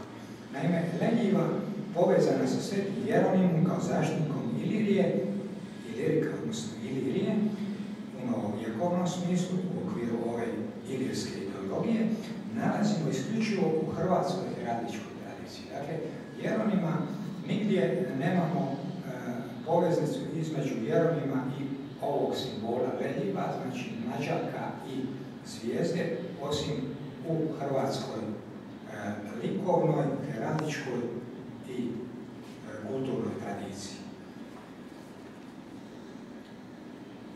Humanističkom učenošću prožeti ilirizam bio je prva predmoderna integracijska ideologija u Hrvata. Njegova se geneza u drugoj polovici 16. stoljeća može pratiti u već spomenutom krugu hrvatskih intelektualaca i klerika okupljenih oko svetojeronimskih ustanova u Rimu i s njim povezanom skupinom Dubrovčana, Slanskih Franjevaca i pripadnika brodovlasničkih rodova iz Dubrovačkog primorja koji su bili nastanjeni u Španjolskoj i na Apeninama, osobito u Napolju i u Pizi. Jedno od žarišta ilirske simbolike bila je crkva Svetog Jeronima s bratoštinom i gostincem u Rimu, osobito nakon što je Papa Sixto V 1589. u crkvu utemeljio i kaptor. Bratoština je bila najvažnija ustanova hrvatske dijaspore, a pod njenim su okrenjem u središtu kršćanskog svijeta djelovali brojni hrvatski intelektualci. Sveti e, Jeronim, odnosno heraldika povezana sa njegovim e, likom, e, bila je ne zaobilazna sastavnica identiteta bratovštine. Tako je Šimečani Natale Bonifacio oko 1584. u Bakropisu, odnosno list koji je za svoje članove Hrvatskih hodočasnika u Rimu dala izraditi pretočna svetog Jeronima. Uz lik sveca, oko kojeg teče ovaj napis, u kutovima letka smješteni su zemaljski grbovi Dalmacije, tri okrupnjene neoparske graje, Hrvatske, šahirana polja i Slovinja, tako bi nazvao taj grb, ova tri lovačka psa u trku, te grb Bosne na kojem je ruka sa sabljom, a iznad nje se kao novom radici po prvi put pojavljuje polu mjesec i zvijezda, dakle elementi nastajućeg ilirskog znamenja. Tim se grbovima željelo zorno označiti zemlje koje u kontekstu kasnijeg spora oko prava u rimskim svetojeronimskim institucijama, dakle ovo je 50 godina prije spora i, e, i više godina od one karte o kojoj je govorio e, danas Dakle, to su te zemlje koje treba smatrati ilirskime. Sad na tom tragu ovo ilirsko i slovensko, odnosno ilirsko i slavensko, čini mi se da bi e, teza o tome se mogla postaviti da upravo to ilirsko nije samo humanističko pozivanje na antičku topografiju, nego da je to sad jedna želja da se jednim novim imenom koji jest antičko razgraniči od ostalog slavenstva, odnosno slovinstva. I kroz točno ovo e, omeđivanje i razgraničavanje. I zato mi se čini da ovo ilirsko, dakle u 16. stoljeću upravo u tom smjeru prevladava. Znači, omeđivanje i ugrađivanje ovog budućeg hrvatskog prostora, odnosno i ali pod ilirskim imenom. E, dakle, to su one zemlje koje se i kasnije pokazano da se trebaju smatrati Mađak i zvijezda u paru, kao dio bosanskog grba, osim na letku Rimskog zavoda Svetog Jeronima iz 1584. nalazimo i na napravnom ploči Katarine Kotromanić Kosače, koja je iznova izrađena oko 1590. Znači u vrijeme kad nastaju i ovi drugi e, izvori o kojima koje, sam spomenuo. U rimskoj e, crkvi Aračuje u oba potonja slučaja mladi mjesec i zvijezda pojavljuju se na štitu kao dodaci glavnom heraldičkom liku u ruci sa sabljom, što je bio poznati bosanski grb Habsburškog postanja, jer prije pripisivan Bosni, bio je pripisivan Hrvatskoj, po opet homonimi, jer je to zapravo grb Hrvoja Vukčića, Hrvatinića. Ali onda je u 16. stoljeću se počeo pripisivati Bosni, ali ga nalazimo isto tako i u ovom asortimanu grbova koje donosi e, Dubročani Mauro Rubini u svom dijelu Igranja de Slave, koji opet ima programatski karakter sličan e, samo na širem planu slavenskom ovom koje su osmislili tvorci ilirskih, e, heradike. Istodobno s Bonifacijom grafikom oko 1585. nastaje i svojevrsni politički kriptogram koji se dugo čuo u Franjačkom samostanu Kraljevo Sutjesci, to je poznato sutješko rodoslovlje, koje je bilo zapravo začetak ilirske heradike i nastalo je prema ideji slanskog rodovlasnika u španjolskoj službi Pedra Ohmučnića. Tu se još uvijek traži prikladne, traže se prikladni simboli, a očituje se i kolebanje u definiciji ilirskog i slovenskog. Izvan složenog grba ucrtan je grb štit i lira starijeg Bošnjana, koji je dosta oštećen, ali se lijepo vidi ta crvena podloga na kojoj je zlatni polumjesec, a vjerojatno je zvijezda, ali zbog oštećenja to teško e, e, tvrditi da je i. Možda čak i nije, ali ima tim prvim prikazima je samo e, polumjesec. E, konačno, likovi e, mlađaka i osmorabrake zvijezde na crvenom štitu u svojstvu grba izričito pripisano Iliriji, prvi put se samostalno pojavljuju u Korijenići nauričnom grbovniku, najstarijem armorijalu hrvatske provenijencije iz 1595. godine. Isti znamen Ilirije u grbovniku uočavamo i na križištu zapornica apokrifnog grba Bosanskog kraljevstva, kao i na zastavi rukama Svetu Krpura, koji se značava kao otac bosanske zemlje, te samostalno na crvenoj zastavi na gonfalonu rukama Svetog Jeronima, koji je označen kao otac, zrcalo i stiklost svih ilirskih zemalja. Do pojave grbovnika nije poznat ni jedan prikaz potpunog grba Ilirije s pa je njegov nastanak logično tražiti u političkim, ideološkim i simboličkim nastojanjima njegovih tvoraca.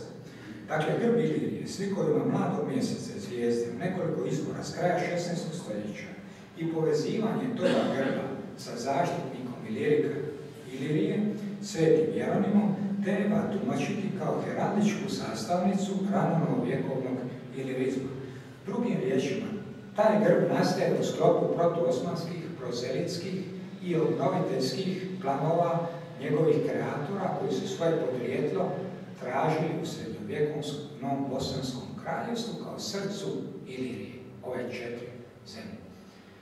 Zaključno se postavlja pitanje odakle potječu što u grbu Ilirije na kraju 16. stoljeća simboliziraju stari i rašireni likovi zvijezde. Lunarno-stelarni par u različitim stilizacijama spada među arhetipske simbole koji u svim epohama, kulturama i religijskim sustavima imaju širok raspon značenja. Zbog opće rasprostranjenosti i uporabe nebeskih likova došlo je do niza pogrešnih tumačenja njihova podrijetla u irijskom grbu i uopće u hrvatskoj heraldici i tradiciji. Do potpuno pogrešnih tumačenja koja su i danas na snazi i u vidu e, našeg grba i zastave. U našem slučaju, dakle, ti su simboli u grbu Ilirije nastali reduciranjem znamenja Gospe koja se u ilirskoj heraldici redovito prikazivala s mađakom i zvijezdom, odnosno atributima žene iz Apokalipse. Uzor za oblikovanje ovakvog heraldičkog političkog ideologema vjerojatno je bilo staro i rasprostranjeno štovanje Bogorodice s djetetom Isusom kao zaštnice Ugarske. To je ta mađarog Sonja, patrona Hungarije, do prenosa izvorno mađarskih konotacija Bogorodice i preuzimanja tributa žene iz otkrivenja kao simbola Bosne, odnosno Ilirije, vjerojatno je došlo u krugu bosanskih franjevaca u Panoniji pod osmanskom vlašću. U procesu kulturne razmjene na području znatno proširene Bosne Srebrene, uslijedila je sinkretizacija marijanske simbolike, odnosno spajanje panonsko-ugarske tradicije zaštitničkog štovanja Bogorodice sa snažnim domaćim kultom Gospe Olovske. E, zato je imamo ovdje u ovim i grbovnicima svim i u e. Tri i pol stoljeća kasnije, polazeći od pogrešnih premisa o njihovu autohtonom hrvatskom podrijetlu, simboliku ledljiva je reaktivirao Ljudevit Gaj, vođa modernog ilirskog pokreta. Krajem 20. stoljeća pod pogrešnim vidom najstarijeg hrvatskog grba, a to je navodno onaj koji se nalazi na frizaticima iz 13. stoljeća, elementi ilirskog heraldičkog znamenja, nađak i zvijezda, našli su se i na suvremenom grbu i zastavi Republike Hrvatske. Postoji još jedan element koji u heraldičkom smislu treba spomenuti, a to je kardinalski šešir koji se također javlja crveni ovaj, e, e, dakle sveto koji se javlja u e, grbu Vindiš marke, dakle krajnjeg jugoistočnog dijela Krajinske, zapravo današnje Bele krajine i nešto šireg područja, koji se također može vezati za sveto Jeronima, ali o tome će biti zapravo više u ovom pisanom radu, jer sam već iscrpio vrijeme. Zahvaljujem.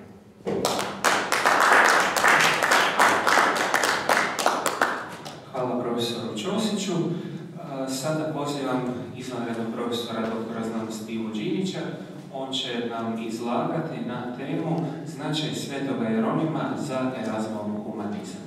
Profesore, izvolite.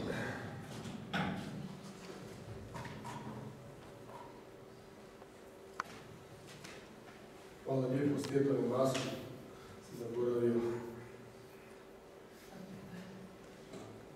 Nisam se narekao na novu Da, da, da. Poštovani dragi slušatelji, odmah ćemo krenuti. Jednostavna je činjenica da je nizozemski humanist Erasmo Rotterdamski uvelike cijenio svetog Jeronima i da je među njima postala srodnost koja je razum mnogo značila u realizaciji zacrtanih reformskih ciljeva. Za početak i za ilustraciju upravo spomenutoga pogledajmo dva zanimljiva i vjerujem svima nama dobro poznata portreta, poznati su zapravo zbog učestale reprodukcije, odnosno portreta svetog Jeronima Antonija da Fabriana iz 1451. godine, te portreta je razma Rotterdamskog Quentina Mecisa iz 1517. godine. Sličnost između dva portreta su gotovo izvaredne i vrlo živo izražavaju blisku povezanost između dva velika kršćanska humanista, pa zato mogu i poslušati kao polazište za temu mojega izlaganja. Kao što vidimo, Sveti Jeronim je prikazan u radnoj sobi, sjedeći za svojim stolom s olovkom u ruci, zapisujući u ogromnu knjigu koja je pred njim. Slično je prikazan i razno na drugom portretu u crnom okrtaču i kapiju u svojoj radnoj sobi, također zamišljeno pišući sa svojim stolom u veliku knjigu pred njim. Na dohvat, kako Jeronimove, tako i Razmove ruke, nalazi se dvostruka polica s knjigama. Kod Erazma se radi o tri položene, jasno, jasno istaknute knjige, Novum Testamentum, Hieronymus i Lovkijanus, koje praktički ukazuju na njegove glavne izvore inspiracije i značajne izdane. Erazmov portret je nastao 1517. a Erazmo je izdao Novi Zavet i spise Svetog Jeronima godinu dana ranije, odnosno 1516. godine.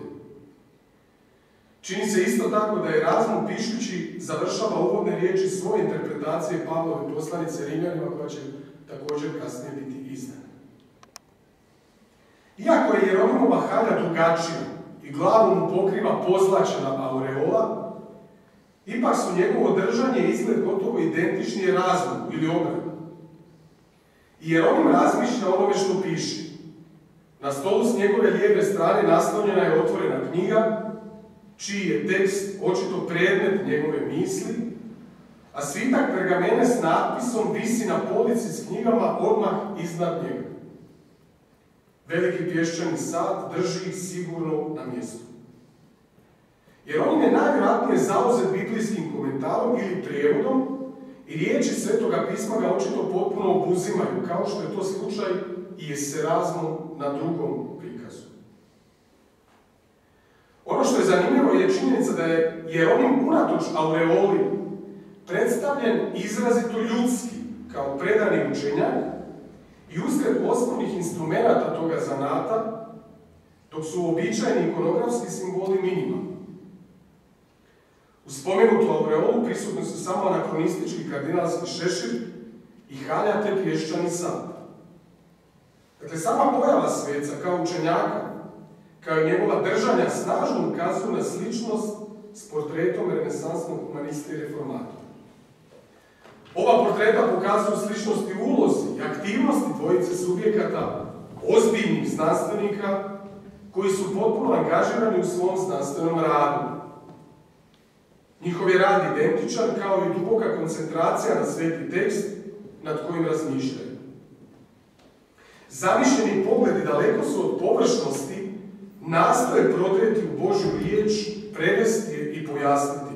Pritom ih nataknuje ista svrha i pokreće isti duh. Ono što se na ovim portretima ne može uočiti jesu još neke sličnosti dvojice velikana koje ih povezuju. Kako je poznato, jer on je bio žestoki polemičar nemirnoga duha, tome smo nešto danas već čuli, zbog čega je stjecao i dosta neprijatelja. Slično je bilo i se razmom koji je zbog svojih stavova nerijetko izazivao nelavu, pa i bijes, ne samo kod teologa, nego i filozofa i drugih učenjaka koji su se našli na obzoru njegove satire. Kasnije je kritiziran posebno zbog blagosti u pogledu jasnog svrstavanja na stranu ili protiv Luterova viđenja i vođenja procesa reformacije. I razum je poput Jeronima visoko kotirao među uglednicima i velikanima svojega vremena, politički utjecajnim ljudima, te se kao intelektualac predano zauzimao u starivanju zacrtanih ciljeva. S obzirom na radne osobine, Jeronim se je često znao povlačiti i tražiti svoj mir, što se može reći iz Erazma, koji ne samo da se povlačio, nego je uživao u svojem miru i radu, a u svojim bone letere čak i do određene mjere egoizma. Jeronim je u Rimu studirao klasične jezike, baš kao što je Erasmo stavljao naglasak na njihovo poznavanje, a i u pristupu radu na prijevodu Svetoga pisma su prepoznatljive njihove međusobne sličnosti, odnosno naglasak na filološkoj utemeljenosti, ispravnosti, ali i smislu samoga teksta.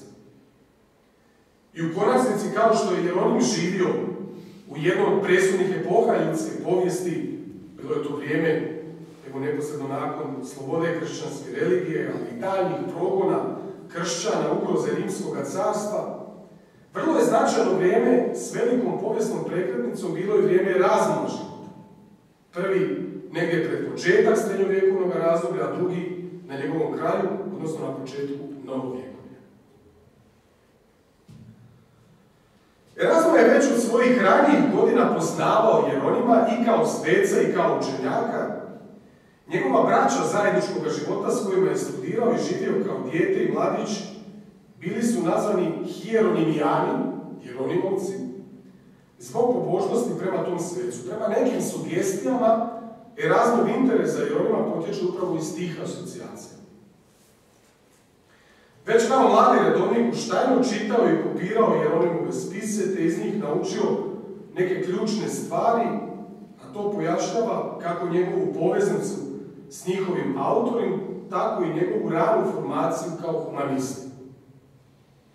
Jedno pismo subratu Augustinijancu Korneliusu najvjerojatnije napisano 1489. godine u tom pogledu vrlo značajno. Njemu je razvoj ističe da ako netko prezire poeziju i lijepo pisanje, treba samo pažljivo pogledati Jeronimove spise i vidio bi da nedostatak kulture nije svetost, niti razboritost grija. Jeronimovi tekstovi su mu postali literarno blago i oružje argumenta protiv barbarskih nasrtaja, te baveći se Jeronimom, jednako kao i svetim Augustinom, počeo pisati protiv svih oponenata dobre literature. U svakom slučaju, Jeronim je od početka zauzeo posebno mjesto u Erasmovim intelektualnim planovima. Oko 1500. godine je prionio poslu na projektu obnove uređenja Jeronimovih spisa i pisanja njihovih komentara. To je u biti bio prvi njegov veliki poduhvat. Odlučio je posvetiti se svetoj literaturi i reformi teologije, a Jeronimov projekt je bio bitnim dijelom toga velikoga programa. Ono što ga je na to poticalo jest dobrota svetoga čovjeka koji je među svim kršćanima bio najbolji učenjak i najbolji pisac.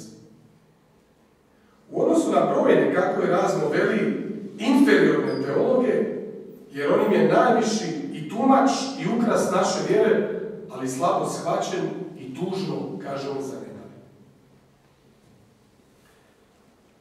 Jednostavno se razno čudio da se toga velikana zanemarivalo u poučavanju kršćanskog nauka. Citiram, moja je vlastita sklonost slijediti put na kojem me pozivaju sveti Jeronim i slavni spor svih onih drevnih pisaca. I tako bi mi volje neba, radije bih bio lud njihovom sjajnom društvu, nego beskrajno racionalan s masom današnjih teologa.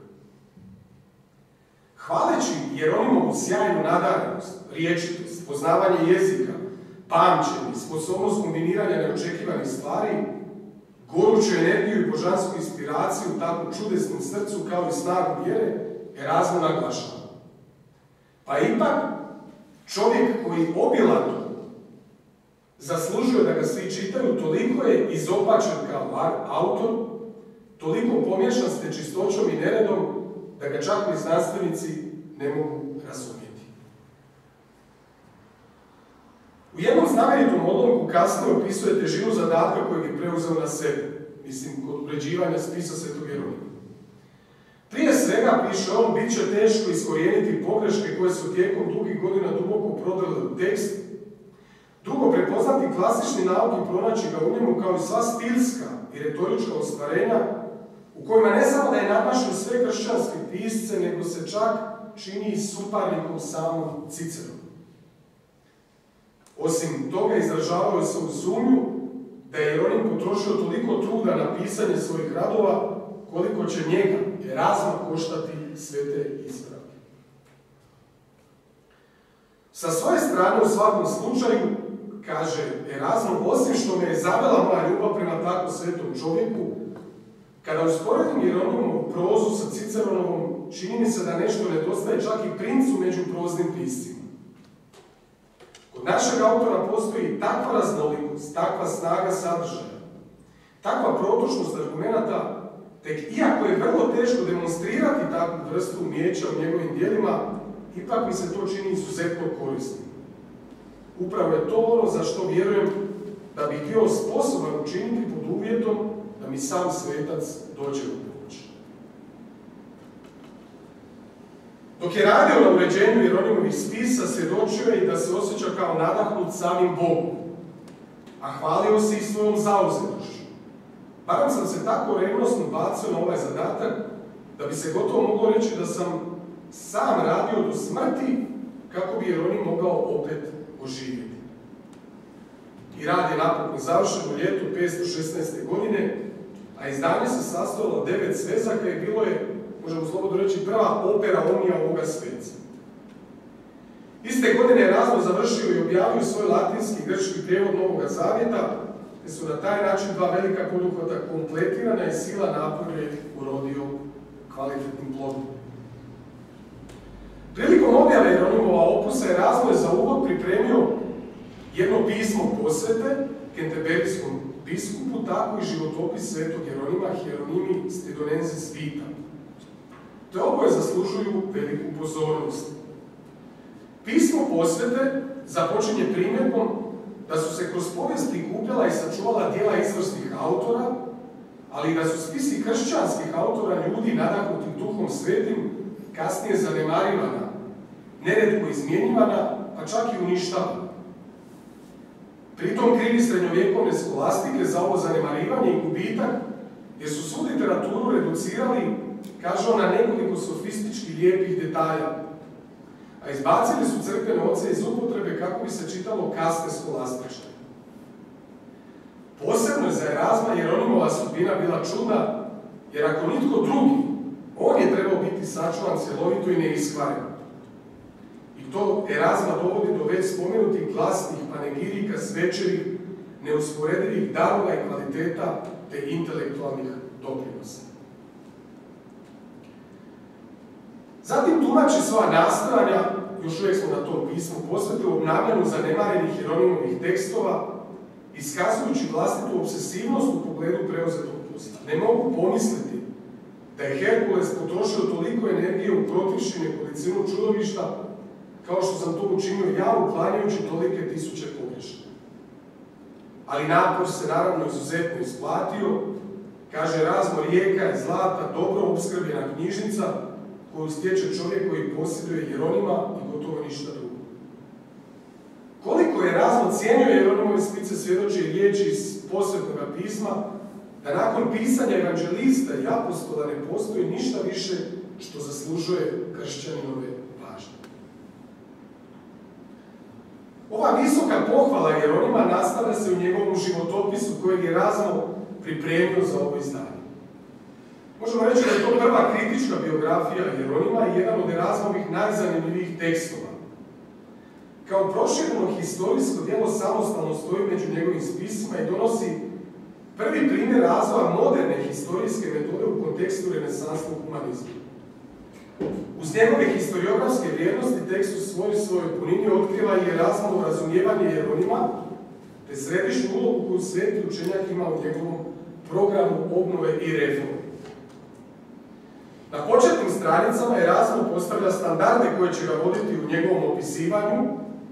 On odbacuje upotrebu, kako on kaže, plemenike ili platonske laži, ono čemu smo malo raspravljali, odnosno prakse pričanja izmišljenih priča s dobrom svrhom i potvrđuje da će iskreno prikazati Jeronimov život. Kaže on, mislim da ništa nije bolje nego prikazati svece onakvima kakvi su zapravo bili. Te nastavlja, Istina ima vlastitu moć koja se ne poklapa s nikakvom izmišljotinom.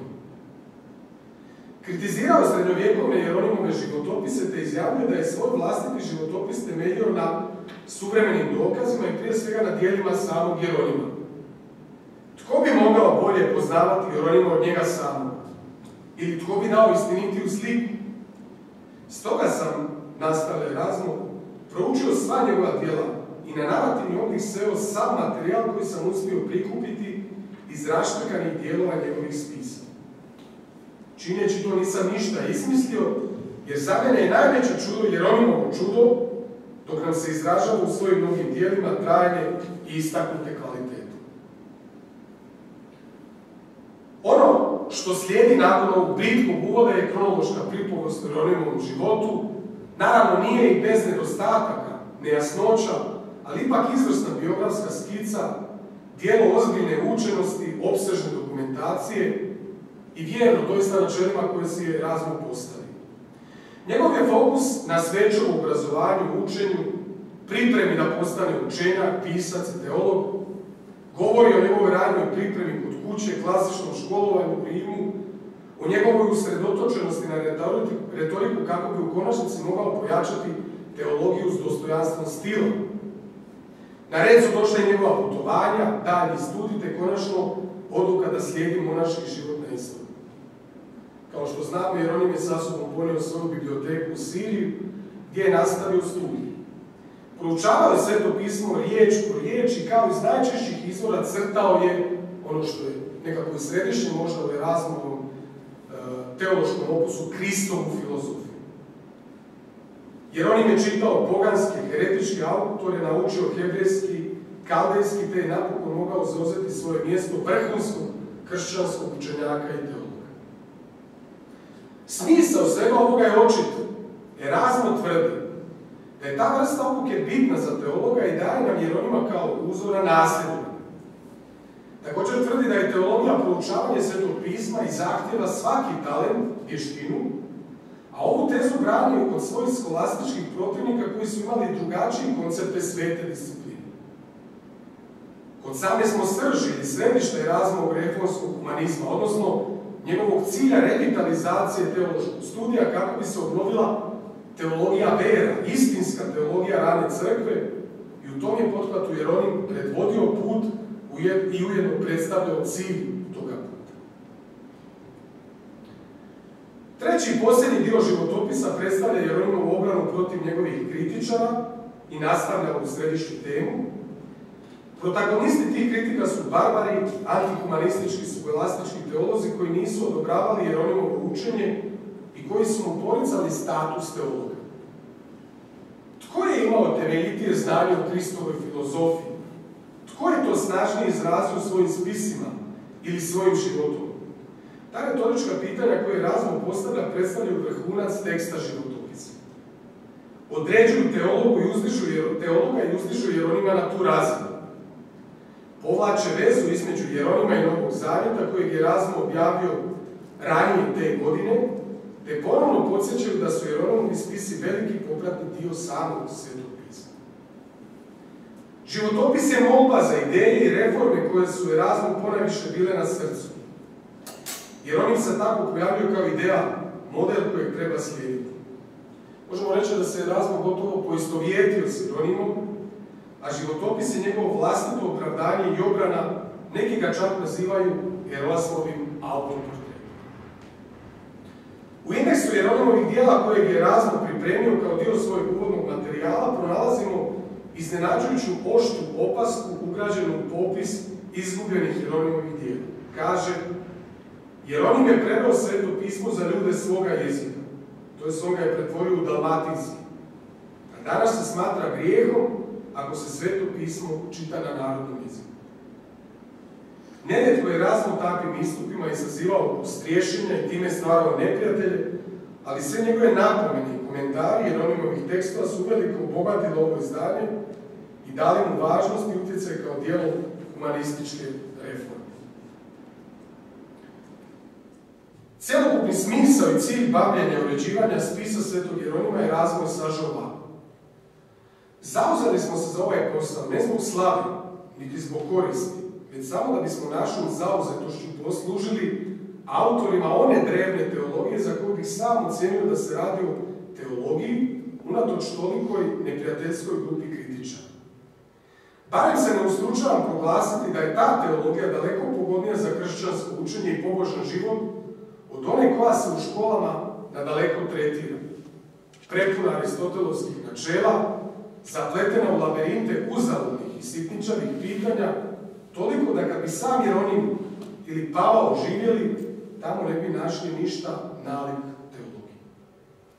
Sve u svemu, Erasmo je bio reformator i njegovo znanstveno i književno djelo bilo si sastavni dio njegovog programa reforme. Kao što sam rekao, cilj je bio reformirati teologiju, vrativši je biblijskim i patrističkim izvorima. To je predstavljalo zamjenu teologije pravaca moderne teologije, odnosno moderne teologije, okamista, skotista i drugih dijalektičara, s ono što je Razmo smatrao izvornom teologijom rane crkve. Vetusa vera teologije. Sve ostalo proizašlo bi iz te obnove religije, kako reforma pojedinog kršćanina, tako i poboljšanje kršćanskog društva. U ovom povratku izvorima svetom pismu, prvenstveno se radilo naravno posebno u evanđeljima i poslanicama, ali nakon te Kristove literature nared su došli rani crkveni Njihov autoritet proizašao iz bliskosti u vremenu, kao i u duhu s božanskim izvorom, a njihova glavna vrijednost ležala je u tumačenju svetog teksta i poticaju na njegovo potpunije razumijevanje i prihvaćanje. Oci su nas uputili i nadahnuli u kršćanskom životu, jer je teologija u biti po razvoju mišljenju praktična znanost vodiš kroz život više nego li neka tema za raspravu ili više stvar transformacije nego li spekulacije. I tu je, ili u svemu tome, jer on im bio avangarda. Uzor kakav bi teolog trebao biti, rijeka zlata za one koji žele upoznati i živjeti evanđelski nauk. Evo, hvala vam lijepo na vašem strpljenju, ispričavam se vam sam malo.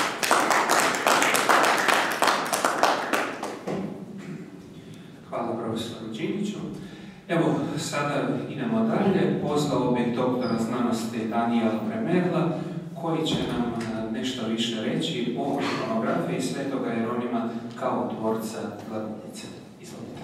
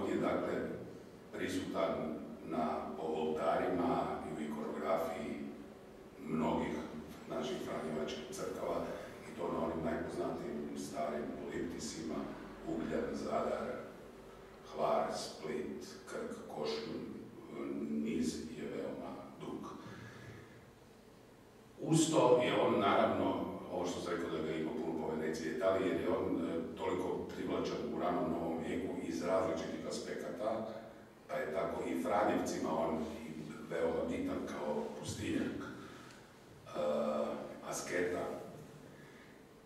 Uh, tako da je on i u Italiji dio Franjevačke ikonografije, ali upravo na nekakvim primjerima, recimo kod nas, uh, smještaj unutar politikaoce uh, kao komplementarno stavlja recimo uz, ne znam da košinu, uz Svetog Kvirina recimo glavna središta slike uznesenje Bogorodice, desno Sveti Kvirin, lijevo uh, Sveti Jeronim. Kvirin koji je lokalni zaštitnik Krka, Jeronim je tu taj širi zavičaj. Uh, na Dubrovačkom, uh, u Franjevačkoj sakristi, na Močniku, isto tako, kad se otvore vrata, na jednoj strani Sveti Vlaho, na drugoj Jeronim, ono, uži i širi tako da u već i kroz 15. i 16. stoljeće on je nedvojbeno se doživljava kao uh, nacionalni sveta zaštitnik. Tome je još važan uh, nekakav signal su te bratovštine uh, naših iseljenika u Italiji. I to polovicom 15. stoljeća zapravo se razvijaju četiri bratovštine, to redom Udine, recimo, to je jedna bratovština koja se malo zna, bila je posvećena Svetom Jeronimu, a okupljala je uh, iseljenike iz, i to čini se uh, uglavnom iz Ugarsko-Hrvatskog kraljevstva. Potom Venecija, poznata bratovština, koja jest bila posvećena zbog velikog broja dakle Svetom Juriju i Triponu, ali od samog početka vrlo i, i izrazito štovala i Svetog Jeronima i na njihovim oltarima je uvijek i on bio.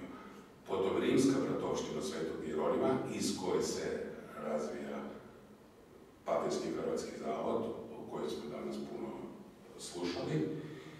Uh, a njemu je recimo bila posvećena i bratovština uh, sklavonskih iseljenika u Pezaru primjerice.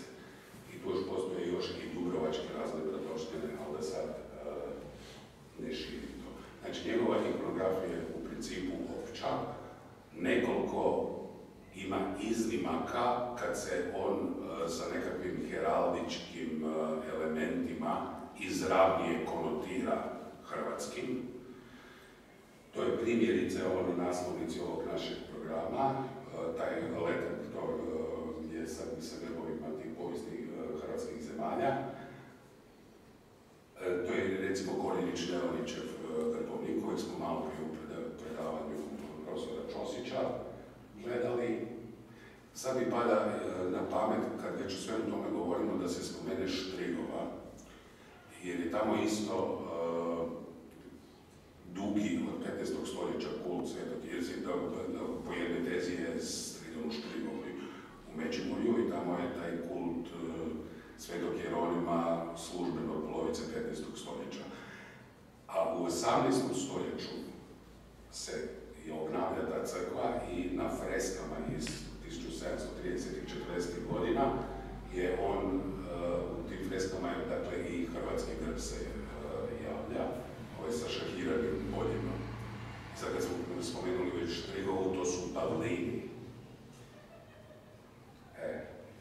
Pavlini, a danas smo u predavanju profesora Prosperova Novaka slušali o Jeronimovom životopisu Pavla Pustinjaka. I to su također zanimljive veze. Ali sad da ja tako dođem do svoje teme, postoji jedna mala skupina dijela gdje se ikonografski direktno ono konotira Sveti Jeronim uz Hrvate, to jest uz Glagoljicu.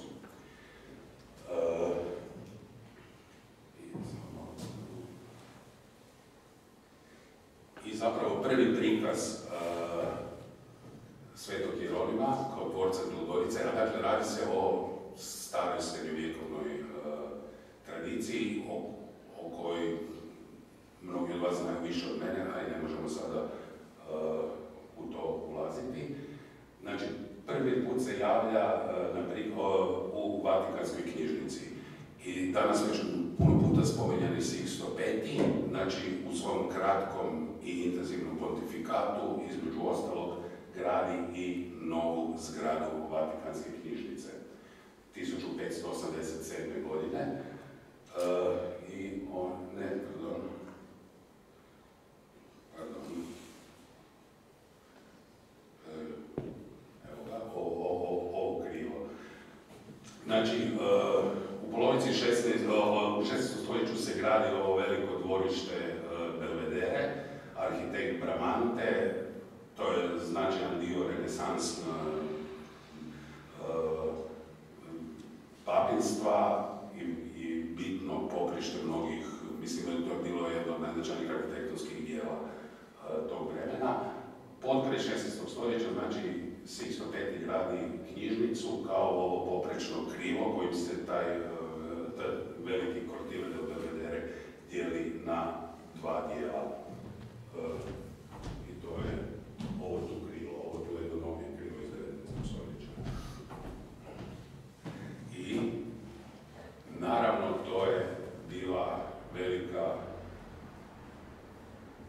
postridetska ambicija i ideja da se napravi kao odgovor na protestantizam i na značaj koji su oni pridavali knjigi, knjizi, tiskarstvu, da se napravi hram kršćanske knjige za proučavanje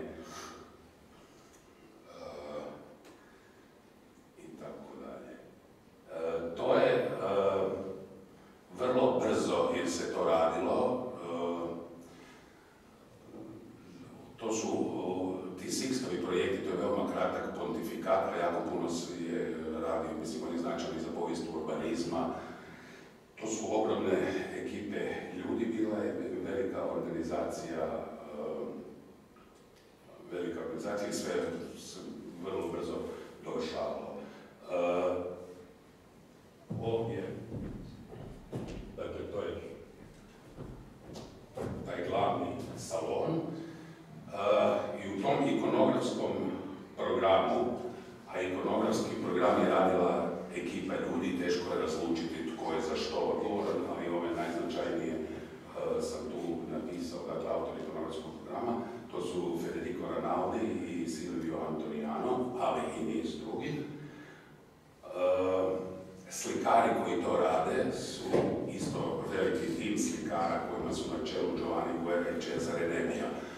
I sada, dakle, spomenemo, to je isti tim slikara koji radi unutrašnje uređenje crkve Svetog Jeronima u Rimu.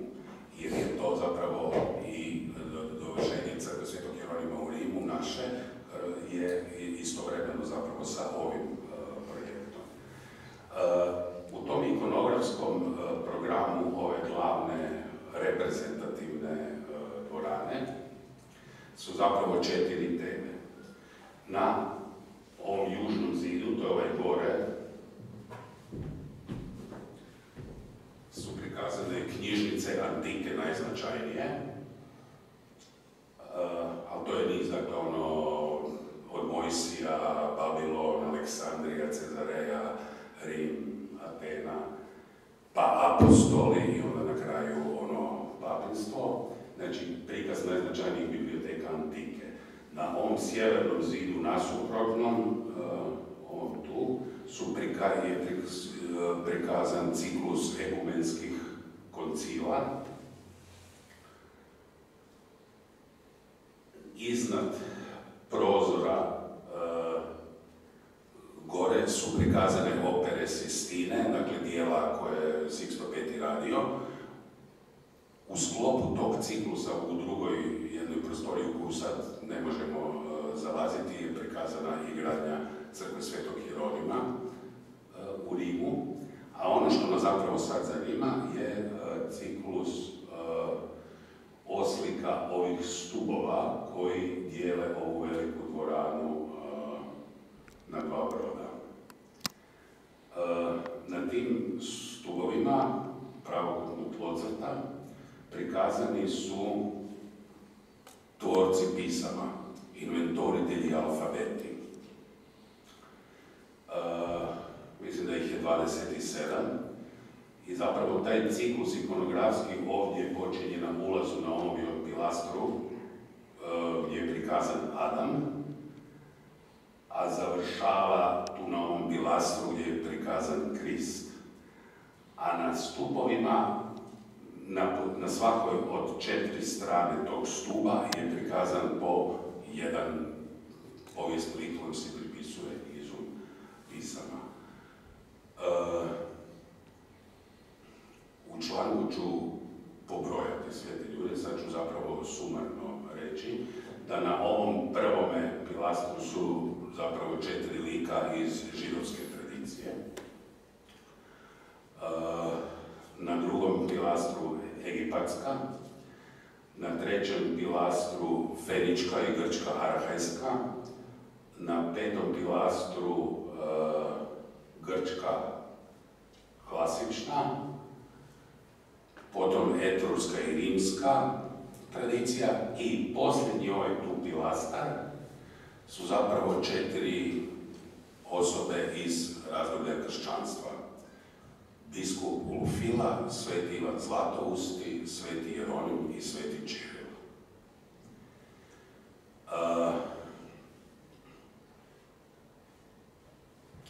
ga, tu je sveti Jeronim, samo da se sada vratim. On je prikazan na ovom posljednjem, dakle, stupu i gleda tu prema sjeveru.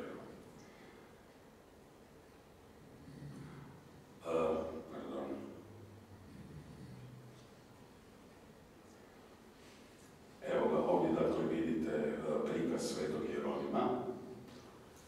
Dolje je ovaj natpis. I gore je glagoljička azbuka, ako se tako kaže, vjerojatno je pravilnije nego abeceda.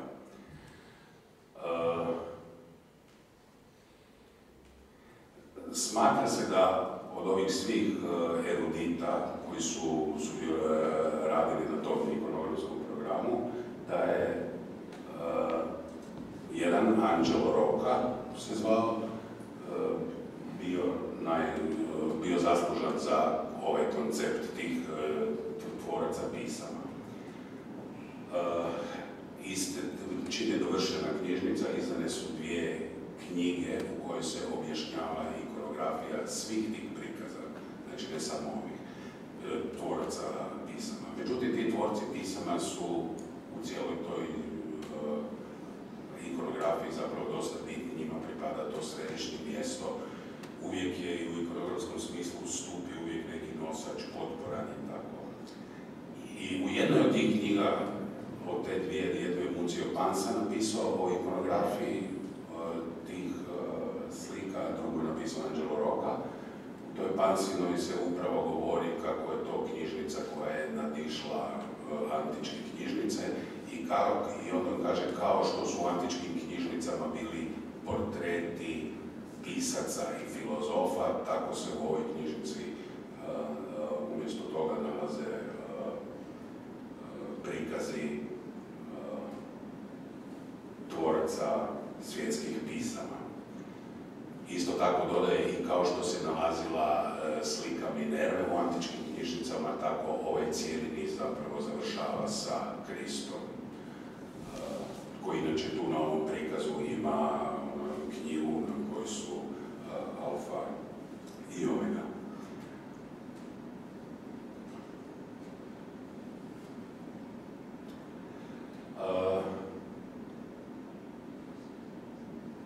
tragajući malo, dakle o, o, o, ova azbuka je e, neobiljna, pardon, ja stalno krivo, krivo stišćem.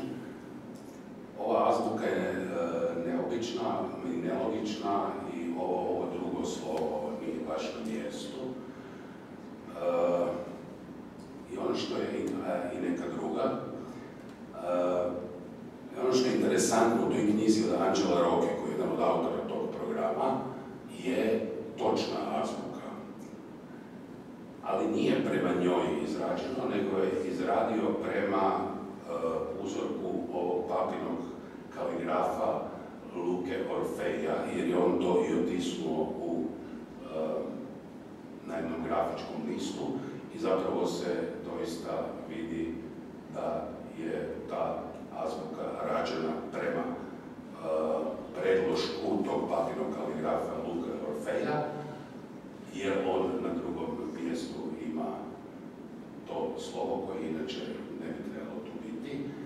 A Luka Orfej se služio uh, knjigom Guillaume Postela, Linguarum duode, duodecim caracteribus differentium alphabetum. Knjiga iz 1538. i zapravo je prva knjiga gdje se govorilo o tim značajnim zapravo orijentalnim jezicima, mislim prije svega hebrejskom, kaldejskom, sirijskom i tako dalje, ali u tom kompleksu se kroz cijelo 16. stoljeće i u čitavom nizu tih važnih europskih knjiga zapravo javlja i e, glagoljica i čirilica često. E, tu e, svetog činila za kojeg piše da je izumitelj drugog ilirskog pisma, e, njegovu sliku nisam mogao nabaviti, zapravo sam planirao ići u Rim i tako dalje, ali to sada nije bilo uh, moguće, tako da uh, kad će se moći ću uh, to napraviti. Znači, izvor ove azbuke je Luka Orfej koji se poslužio i ovom postelom.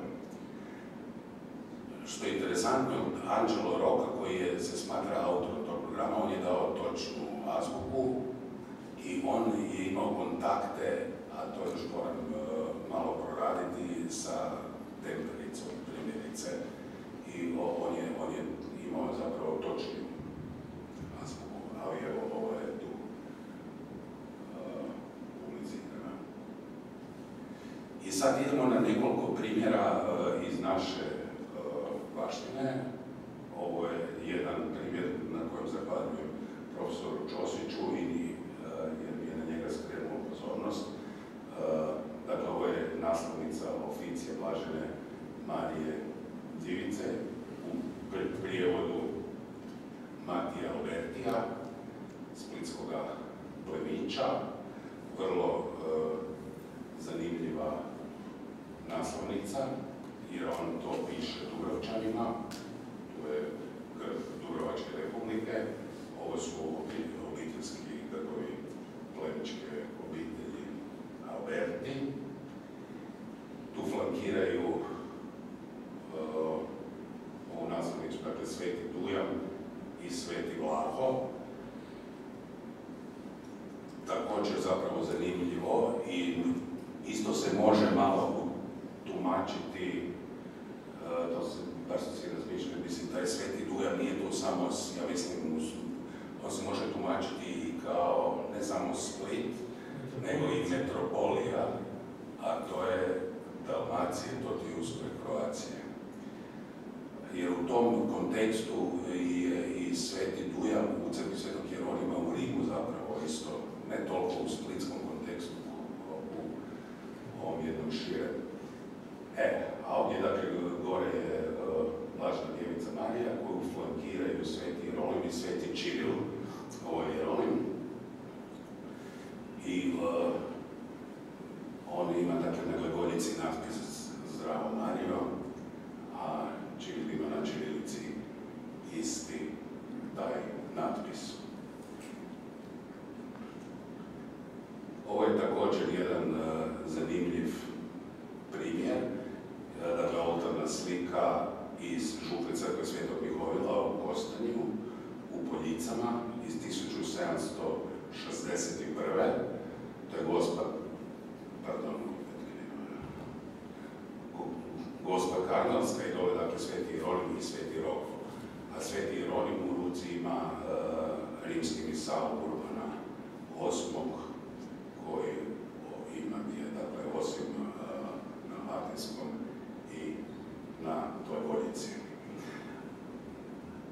Velim, ovo su dakle zanimljive stvari jer Angro i stvarno, dakle, jer oni u našim crkvama i ikonografiji, dakle, ono, svojom općom ikonografijom prikazivan, a ovo su, dakle, e, e, vrlo zanimljive stvari i koje se, recimo, u ovom kontekstu koljica mogu povezati sa uh, Ilirskim glagoljaškim u Brigu kod Omiša, koje nastaje deseta godina prije uh, ove godine, 1750-ih uh, godina. I općenito, naravno, to je uh, i, i kraj. I još jedan primjer koji imam, za koji sam isto htio malo bolje fotke nabaviti, ali zbog ove situacije to mi nije pošlo za rukom.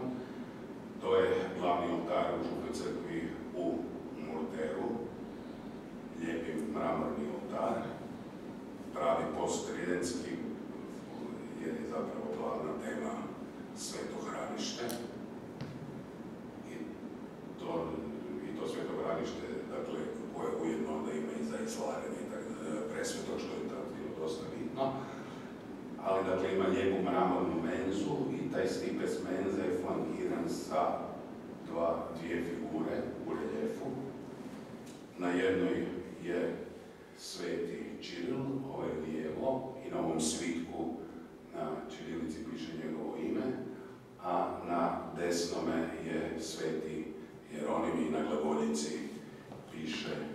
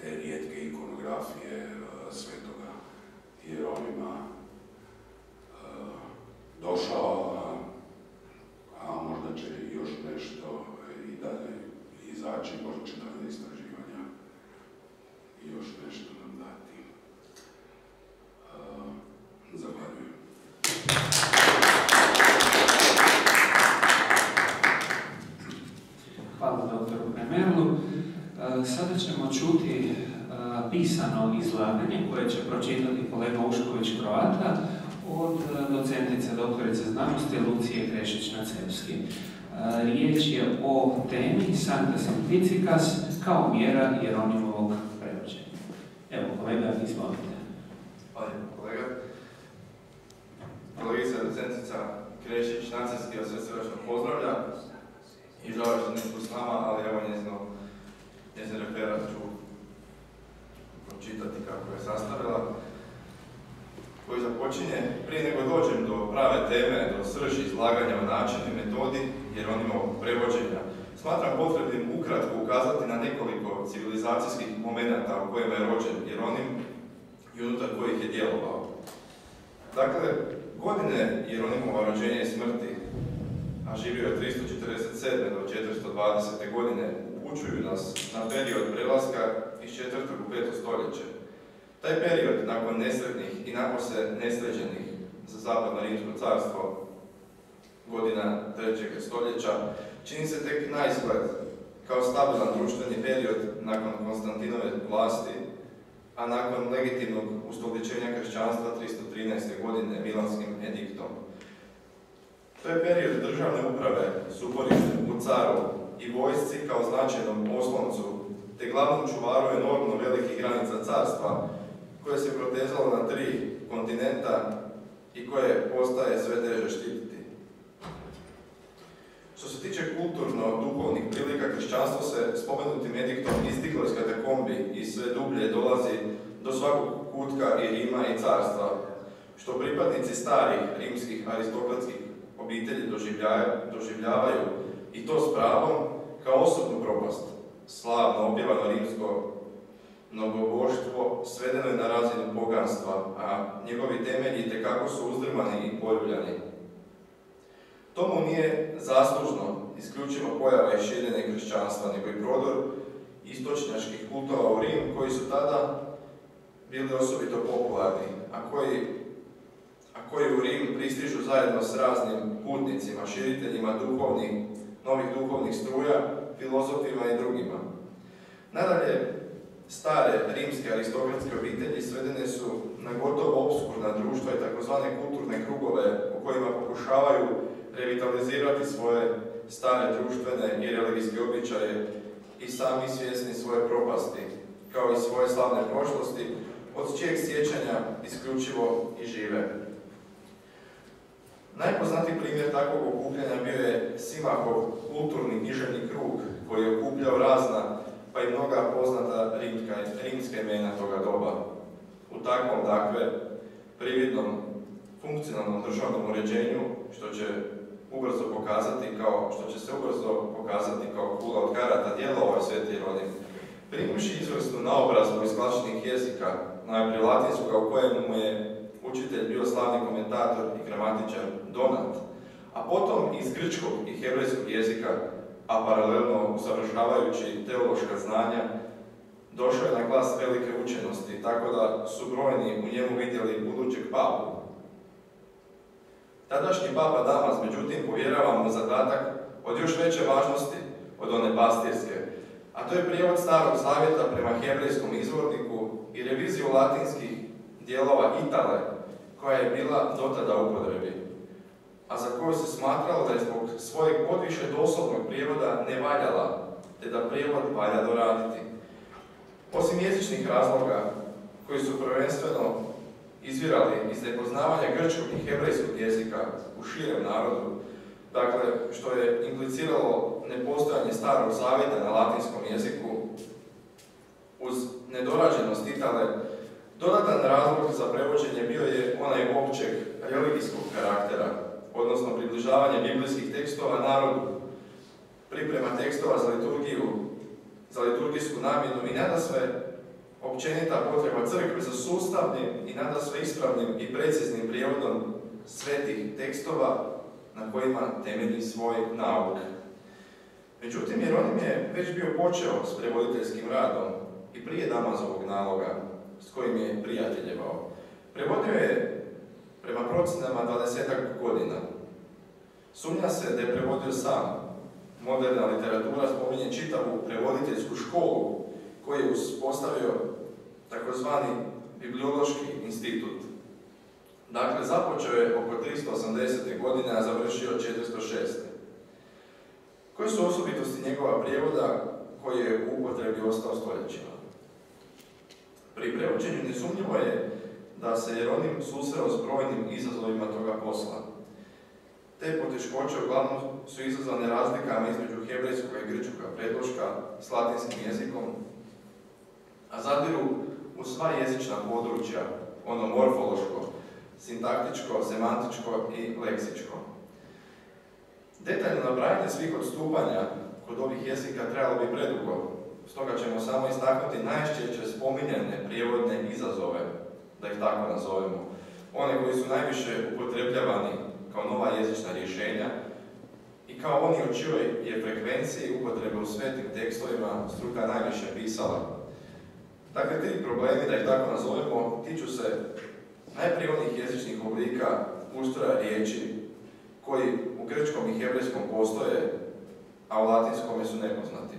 Drugo, oblici ustroje riječi koje postoje u latinskom jeziku, ali ih ova druga nemaju, no svejedno se ti oblici upotrebljavaju u prijevodu. I tri, razina neprovodivosti. Neprevodivosti. Prvi navedeni prevoditeljski izazov napravio je, možemo reći, najviše problema. To je razina na kojoj određeni jezični oblici postoje u grčkom i hebrejskom, ali ih nema u latinskom jeziku. Tako je primjerice grčki particip aurista u latinskome postao particip istovremenosti. Grčki neodređeni član preveden je latinskim unus, una unum, a određeni član sa zamjenicom is, ea, id, hik, hek, hok, ila, ila, ilu i ipsa, ipsa, ipsum, uz, ne, uz vidljivo nerazumijevanje i miješanje tih značenja. Umjesto grčke konstrukcije genitiva apsolutnog upotrebljene su druge latinske konstrukcije, poput onih participskih, ablativ apsolutni i participium conjunctum, koje su obilato korištene jedno su od obilježja jezika. Prevodnik grčkih složenica, radi čega su Jeronimu kasnije upućene brojne kritike, pri čemu nastaju latinski neologizmi, posuđenice iz grčkoga i brojni drugi primjeri. Što se tiče hebrejskog jezika, uočavamo da se između ostaloga u latinskome koriste brojne nove prijedložne fraze radi nepostojanja ekvivalenata. Pojavljuju se nove padežne uloge, primjerice genitiv, intenzifikacije, pomaknuta upotreba genitiva, kvalitativnog i upotreba tzv. nezapisnog nominativa. Uvode se posuđenice iz hebrejskoga, nastaju u latinskome nove riječi i ostalo. Što se tiče ostalih prijevodnih zamki i primjera koji nisu gore navedeni, da se publika ne zamara, njih namjeravam detaljnije obraditi i navesti u tiskanom obliku rada. Iz poslanice Pamahiju de optimo genere interpretandi, odnosno o najboljoj vrsti prevođenja iz 1995. godine, saznajemo okolnosti i reakcije koje su pratile Jeronimovo prevođenje, ne samo svetih spisa, nego njegovo prevođenje općenito. Suvremenici, a po tim se najvjerojatnije misli na Rufina, su mu zamjerali njegovu metodu prevođenja i nazvali ga falsarius. Ta je poslanica nastala s ciljem da Jeronim otkloni od sebe te sumnje i razloži svoj prevoditeljski postupak. Tako je Jeronim koji je u školskoj lektiri osobito mijenjao i rado, osobito cijenio i rado čičao Cicerona, navodi nekoliko antičkih primjera gdje se nije prevodilo doslovno, nego po smislu, kako on smatra da je radio. Navodi da je Tulije tako prevodio Platonovog Protagoru i Xenofontovu ekonomiju, a od rimskih uzora navodi najprije Terencijev postupak prerade Menandrovih dijela i Plautovo i Cecilijevo prevođenje starih komičnih pisaca. A kao najvažniju uputu koju je stekao od rimskih pisaca, citira Horacija, koji je u dijelu Ars Poetica zapisao Nec verbum verbo curabis redere, fidus interpres, što bi značilo da prevoditelja ne treba brinuti kako da prevede doslovno baš ovakvu riječ. Kao glavno objašnjenje svog postupka, jer onim navodi citat koji stoji u mojem sažetku, a napisan je u istoj poslanici. Ubi et verborum ordo est, non verbum de verbo sed sensum exprimere de sensu. Odnosno, riječi svetih tekstova po Jeronimu također su svete i kod njih treba tražiti ono skriveno i neizrečeno, koje se počesto i ne može prevesti.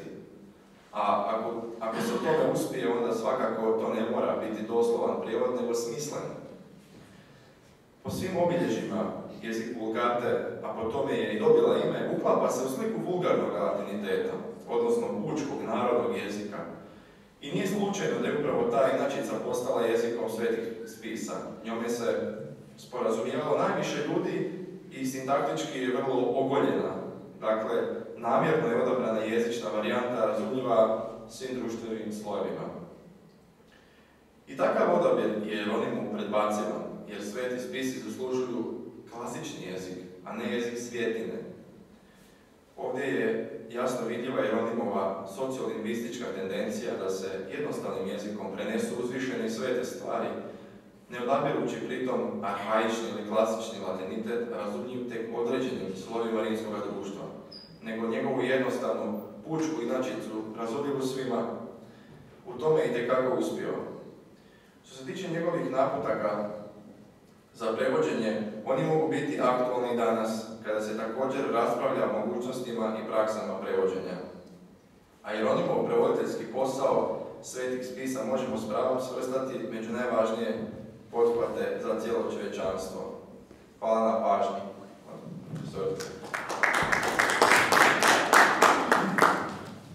Hvala. E, kolega Kroata će i ostati jer sada slijede posljednje njegovo izlaganje i reći će nam nešto više o tezama Mate Sujića o rodnom mjestu Svetoga Jeronima.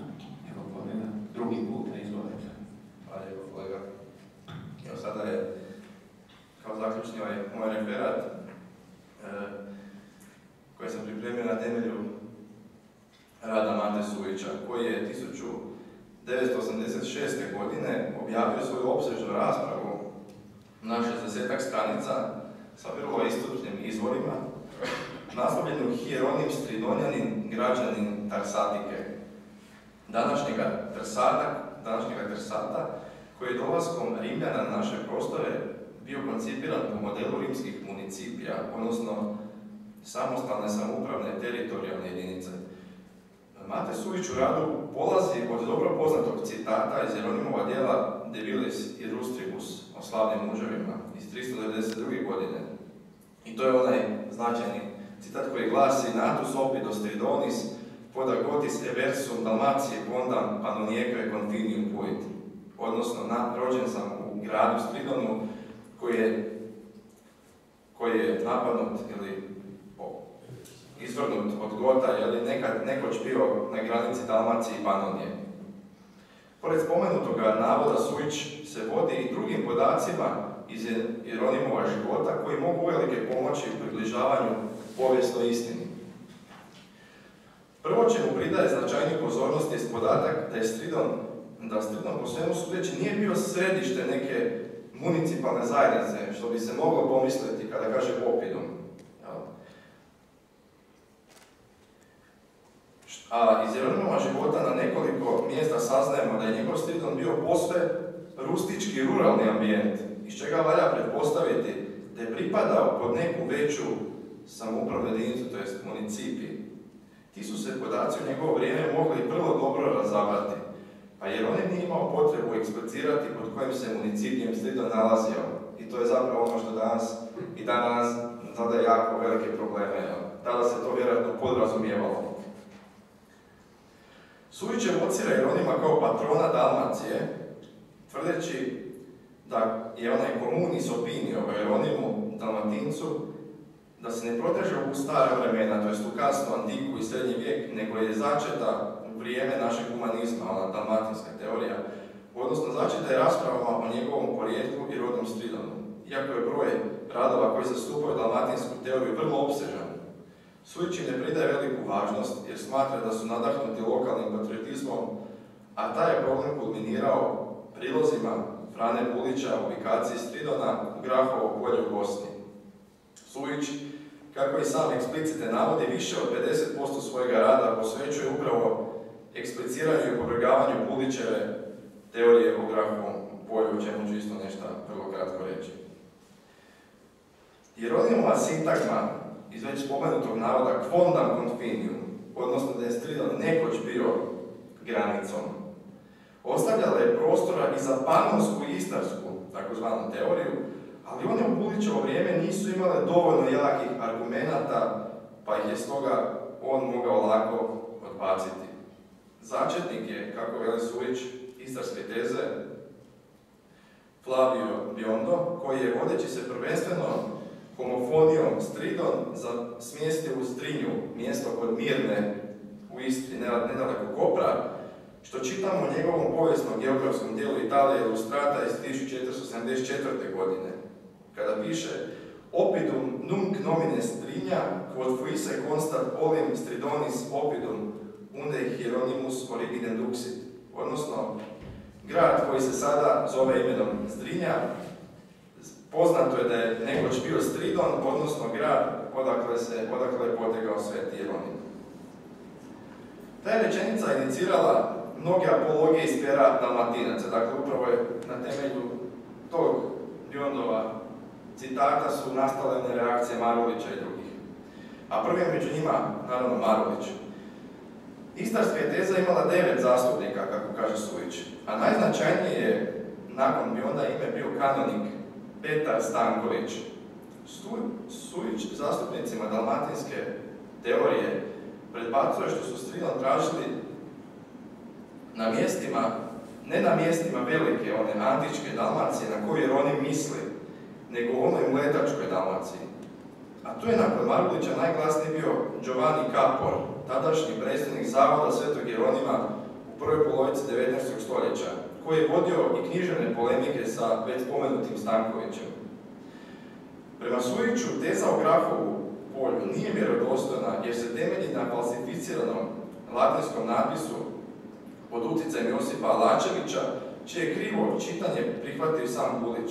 Na tome je napisu pronađen u Kninskom zaleđu, tekst pogrešno restituiran, a kasnije će to potvrditi i Theodor Mommsen, srstavljajući ga u kategoriju tituli falsi u onome, onoj velikoj zbirci e, Corpus Inscriptionum Latinarum, zbirka latinskih natpisa. Dakle, sam Theodor Mommsen koji je autoritet, taj natpis ne prihvaća.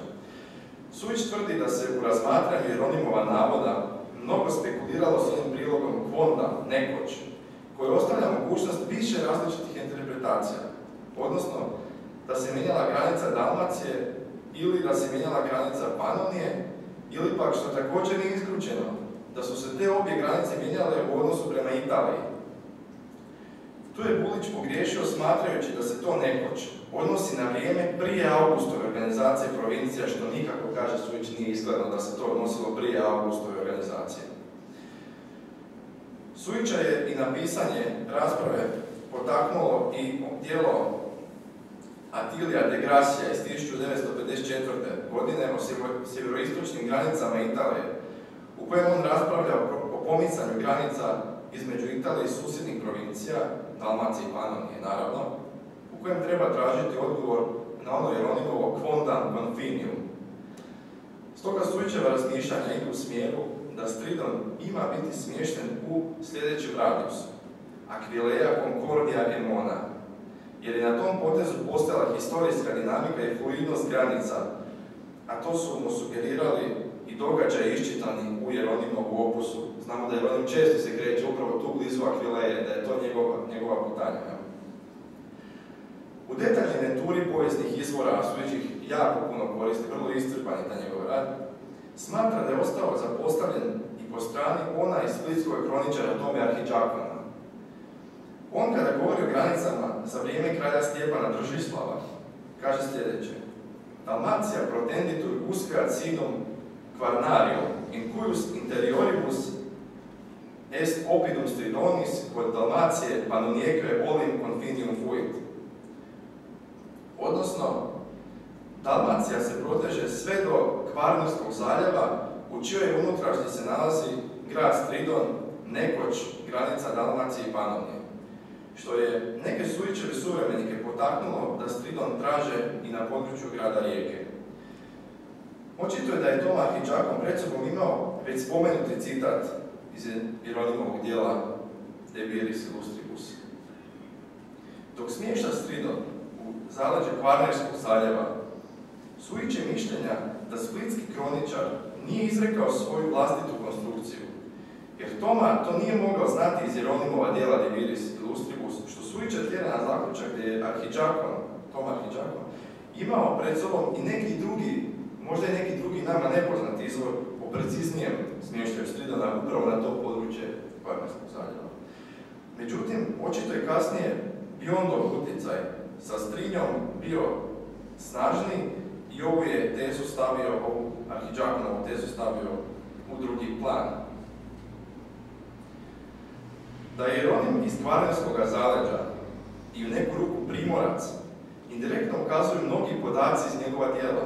On dobro poznaje sjeverni Jadran, more, otoke, djesnace, uvjete plovidbe, pa i vrste riba koje pojmenice navodi u poslanici kontra Jovijanom, protiv Jovijana, a ta se riba lovila u Kvarneru. Sujiću je indikativno i ono mjesto iz Jeronimove invektive protiv već spomenutog sad Rufina, kojeg smo spomenuli, gdje mu predbacuje da je pamflete protiv njega slao u Rim, zatim po Italiji i per insula Dalmacije, po otocima Dalmacije. Pulić je naravno tu mislio na srednje dalmatinsko otoče, ali te otoke treba tražiti ondje gdje je kršćanstvo već bilo afirmirano i gdje je on bio poznat. Na tim su otocima postojali, morali postojati gradski centri i središta municipalnih zajednica, a poznato je da su Jeronimovo vrijeme od Elafita na jugu do Kvarnera na sjeveru samo tri otoka imale takve centre, a to su Kurikta Krk s gradovima Kurikum i Fulfinu, odnosno Omišalj, zatim Apsorus, Osor i Arba, Rab. Samo se u tim ambijentima mogla naći čitalačka publika za Rufinove pamflete protiv Jeronima. Nadalje, Suvić eksplicira i drugi važan podatak iz Jeronimova života, kad Jeronim u spomenutom dijelu De Viris Illustribus navodi da je bio Stridon Agotis Ebersum, iz čega prema Sujiću logično proizlazi da su Goti u svojim kretanjima prema Italiji prošli tim krajevima. Treba spomenuti da je Jeronim za vrijeme boravi u Betlehemu, znači 1992. godine, u pismu Pamahiju spominje da mu nije poznato što se u domovini događa, ni postoje li više uopće domovina, odnosno njegov stridon. Znači, non solum vidagatur in patria, sed anipsa patria perstet ignor. Dakle, vjerojatno je već u njegovo vrijeme taj stridon bio potpuno uništen. Iz toga treba shvatiti da je Stridon, Stridon stradao već prilikom prvoga naleta Gota neposredno nakon bitke kod Hadrianopola, vjerojatno 379. godine. Sujić pozivajući se na Amijana Marcelina navodi da su Goti stigli do alpskih izdanaka preko Panonije, a u Italiju nisu prodali, ali su opljačkali to pogranično područje u kojem se prema njemu nalazio i Stridon. A to znači da su ovaj dio Dalmacije, odnosno Liburnije, prodrli iz panonsko-italskog područja. Vjerojatno onim odvojkom koji je spajao cestu Emona Akvileja s cestom Akvileja Darsatika, uz koju se protezalo, protezalo stridonsko područje prema Sujiću. Na osnovi podataka što ih pruža Jeronimovo dijelo, Sujić razmatra dva ključna problema. Granicu Dalmacije prema Panoniji i granicu Dalmacije prema Italiji.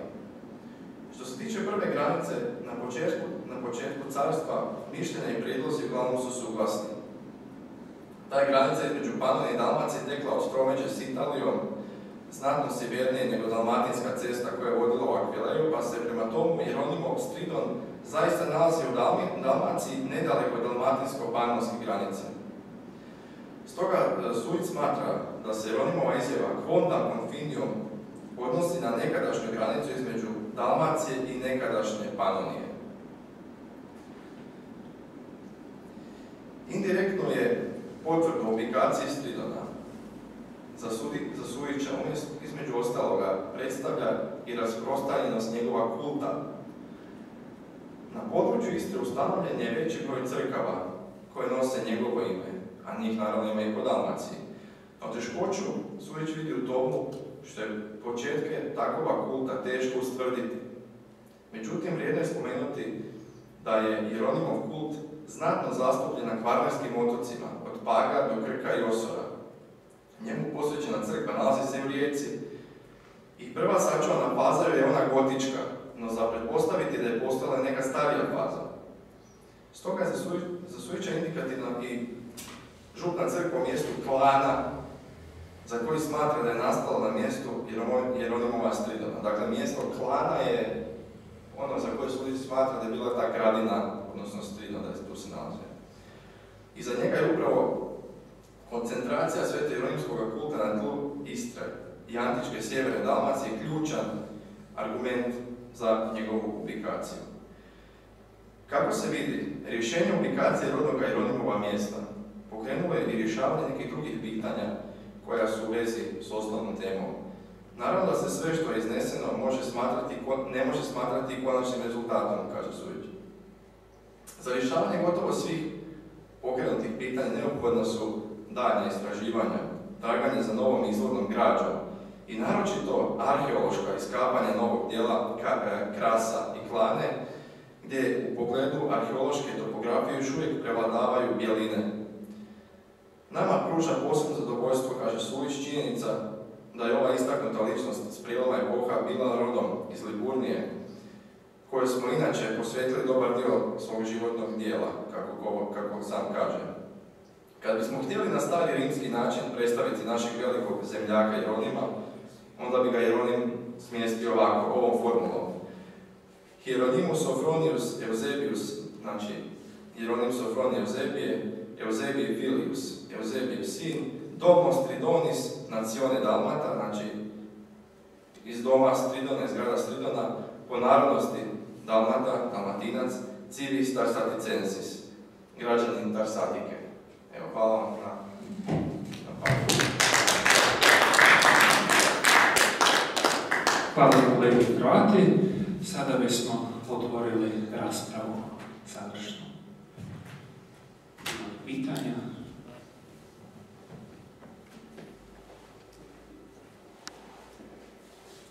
Ako nema, evo pozvao bi profesora Ćosića da nam da e, završnu riječ e, za ovaj skup i time bismo današnji susret zaključili.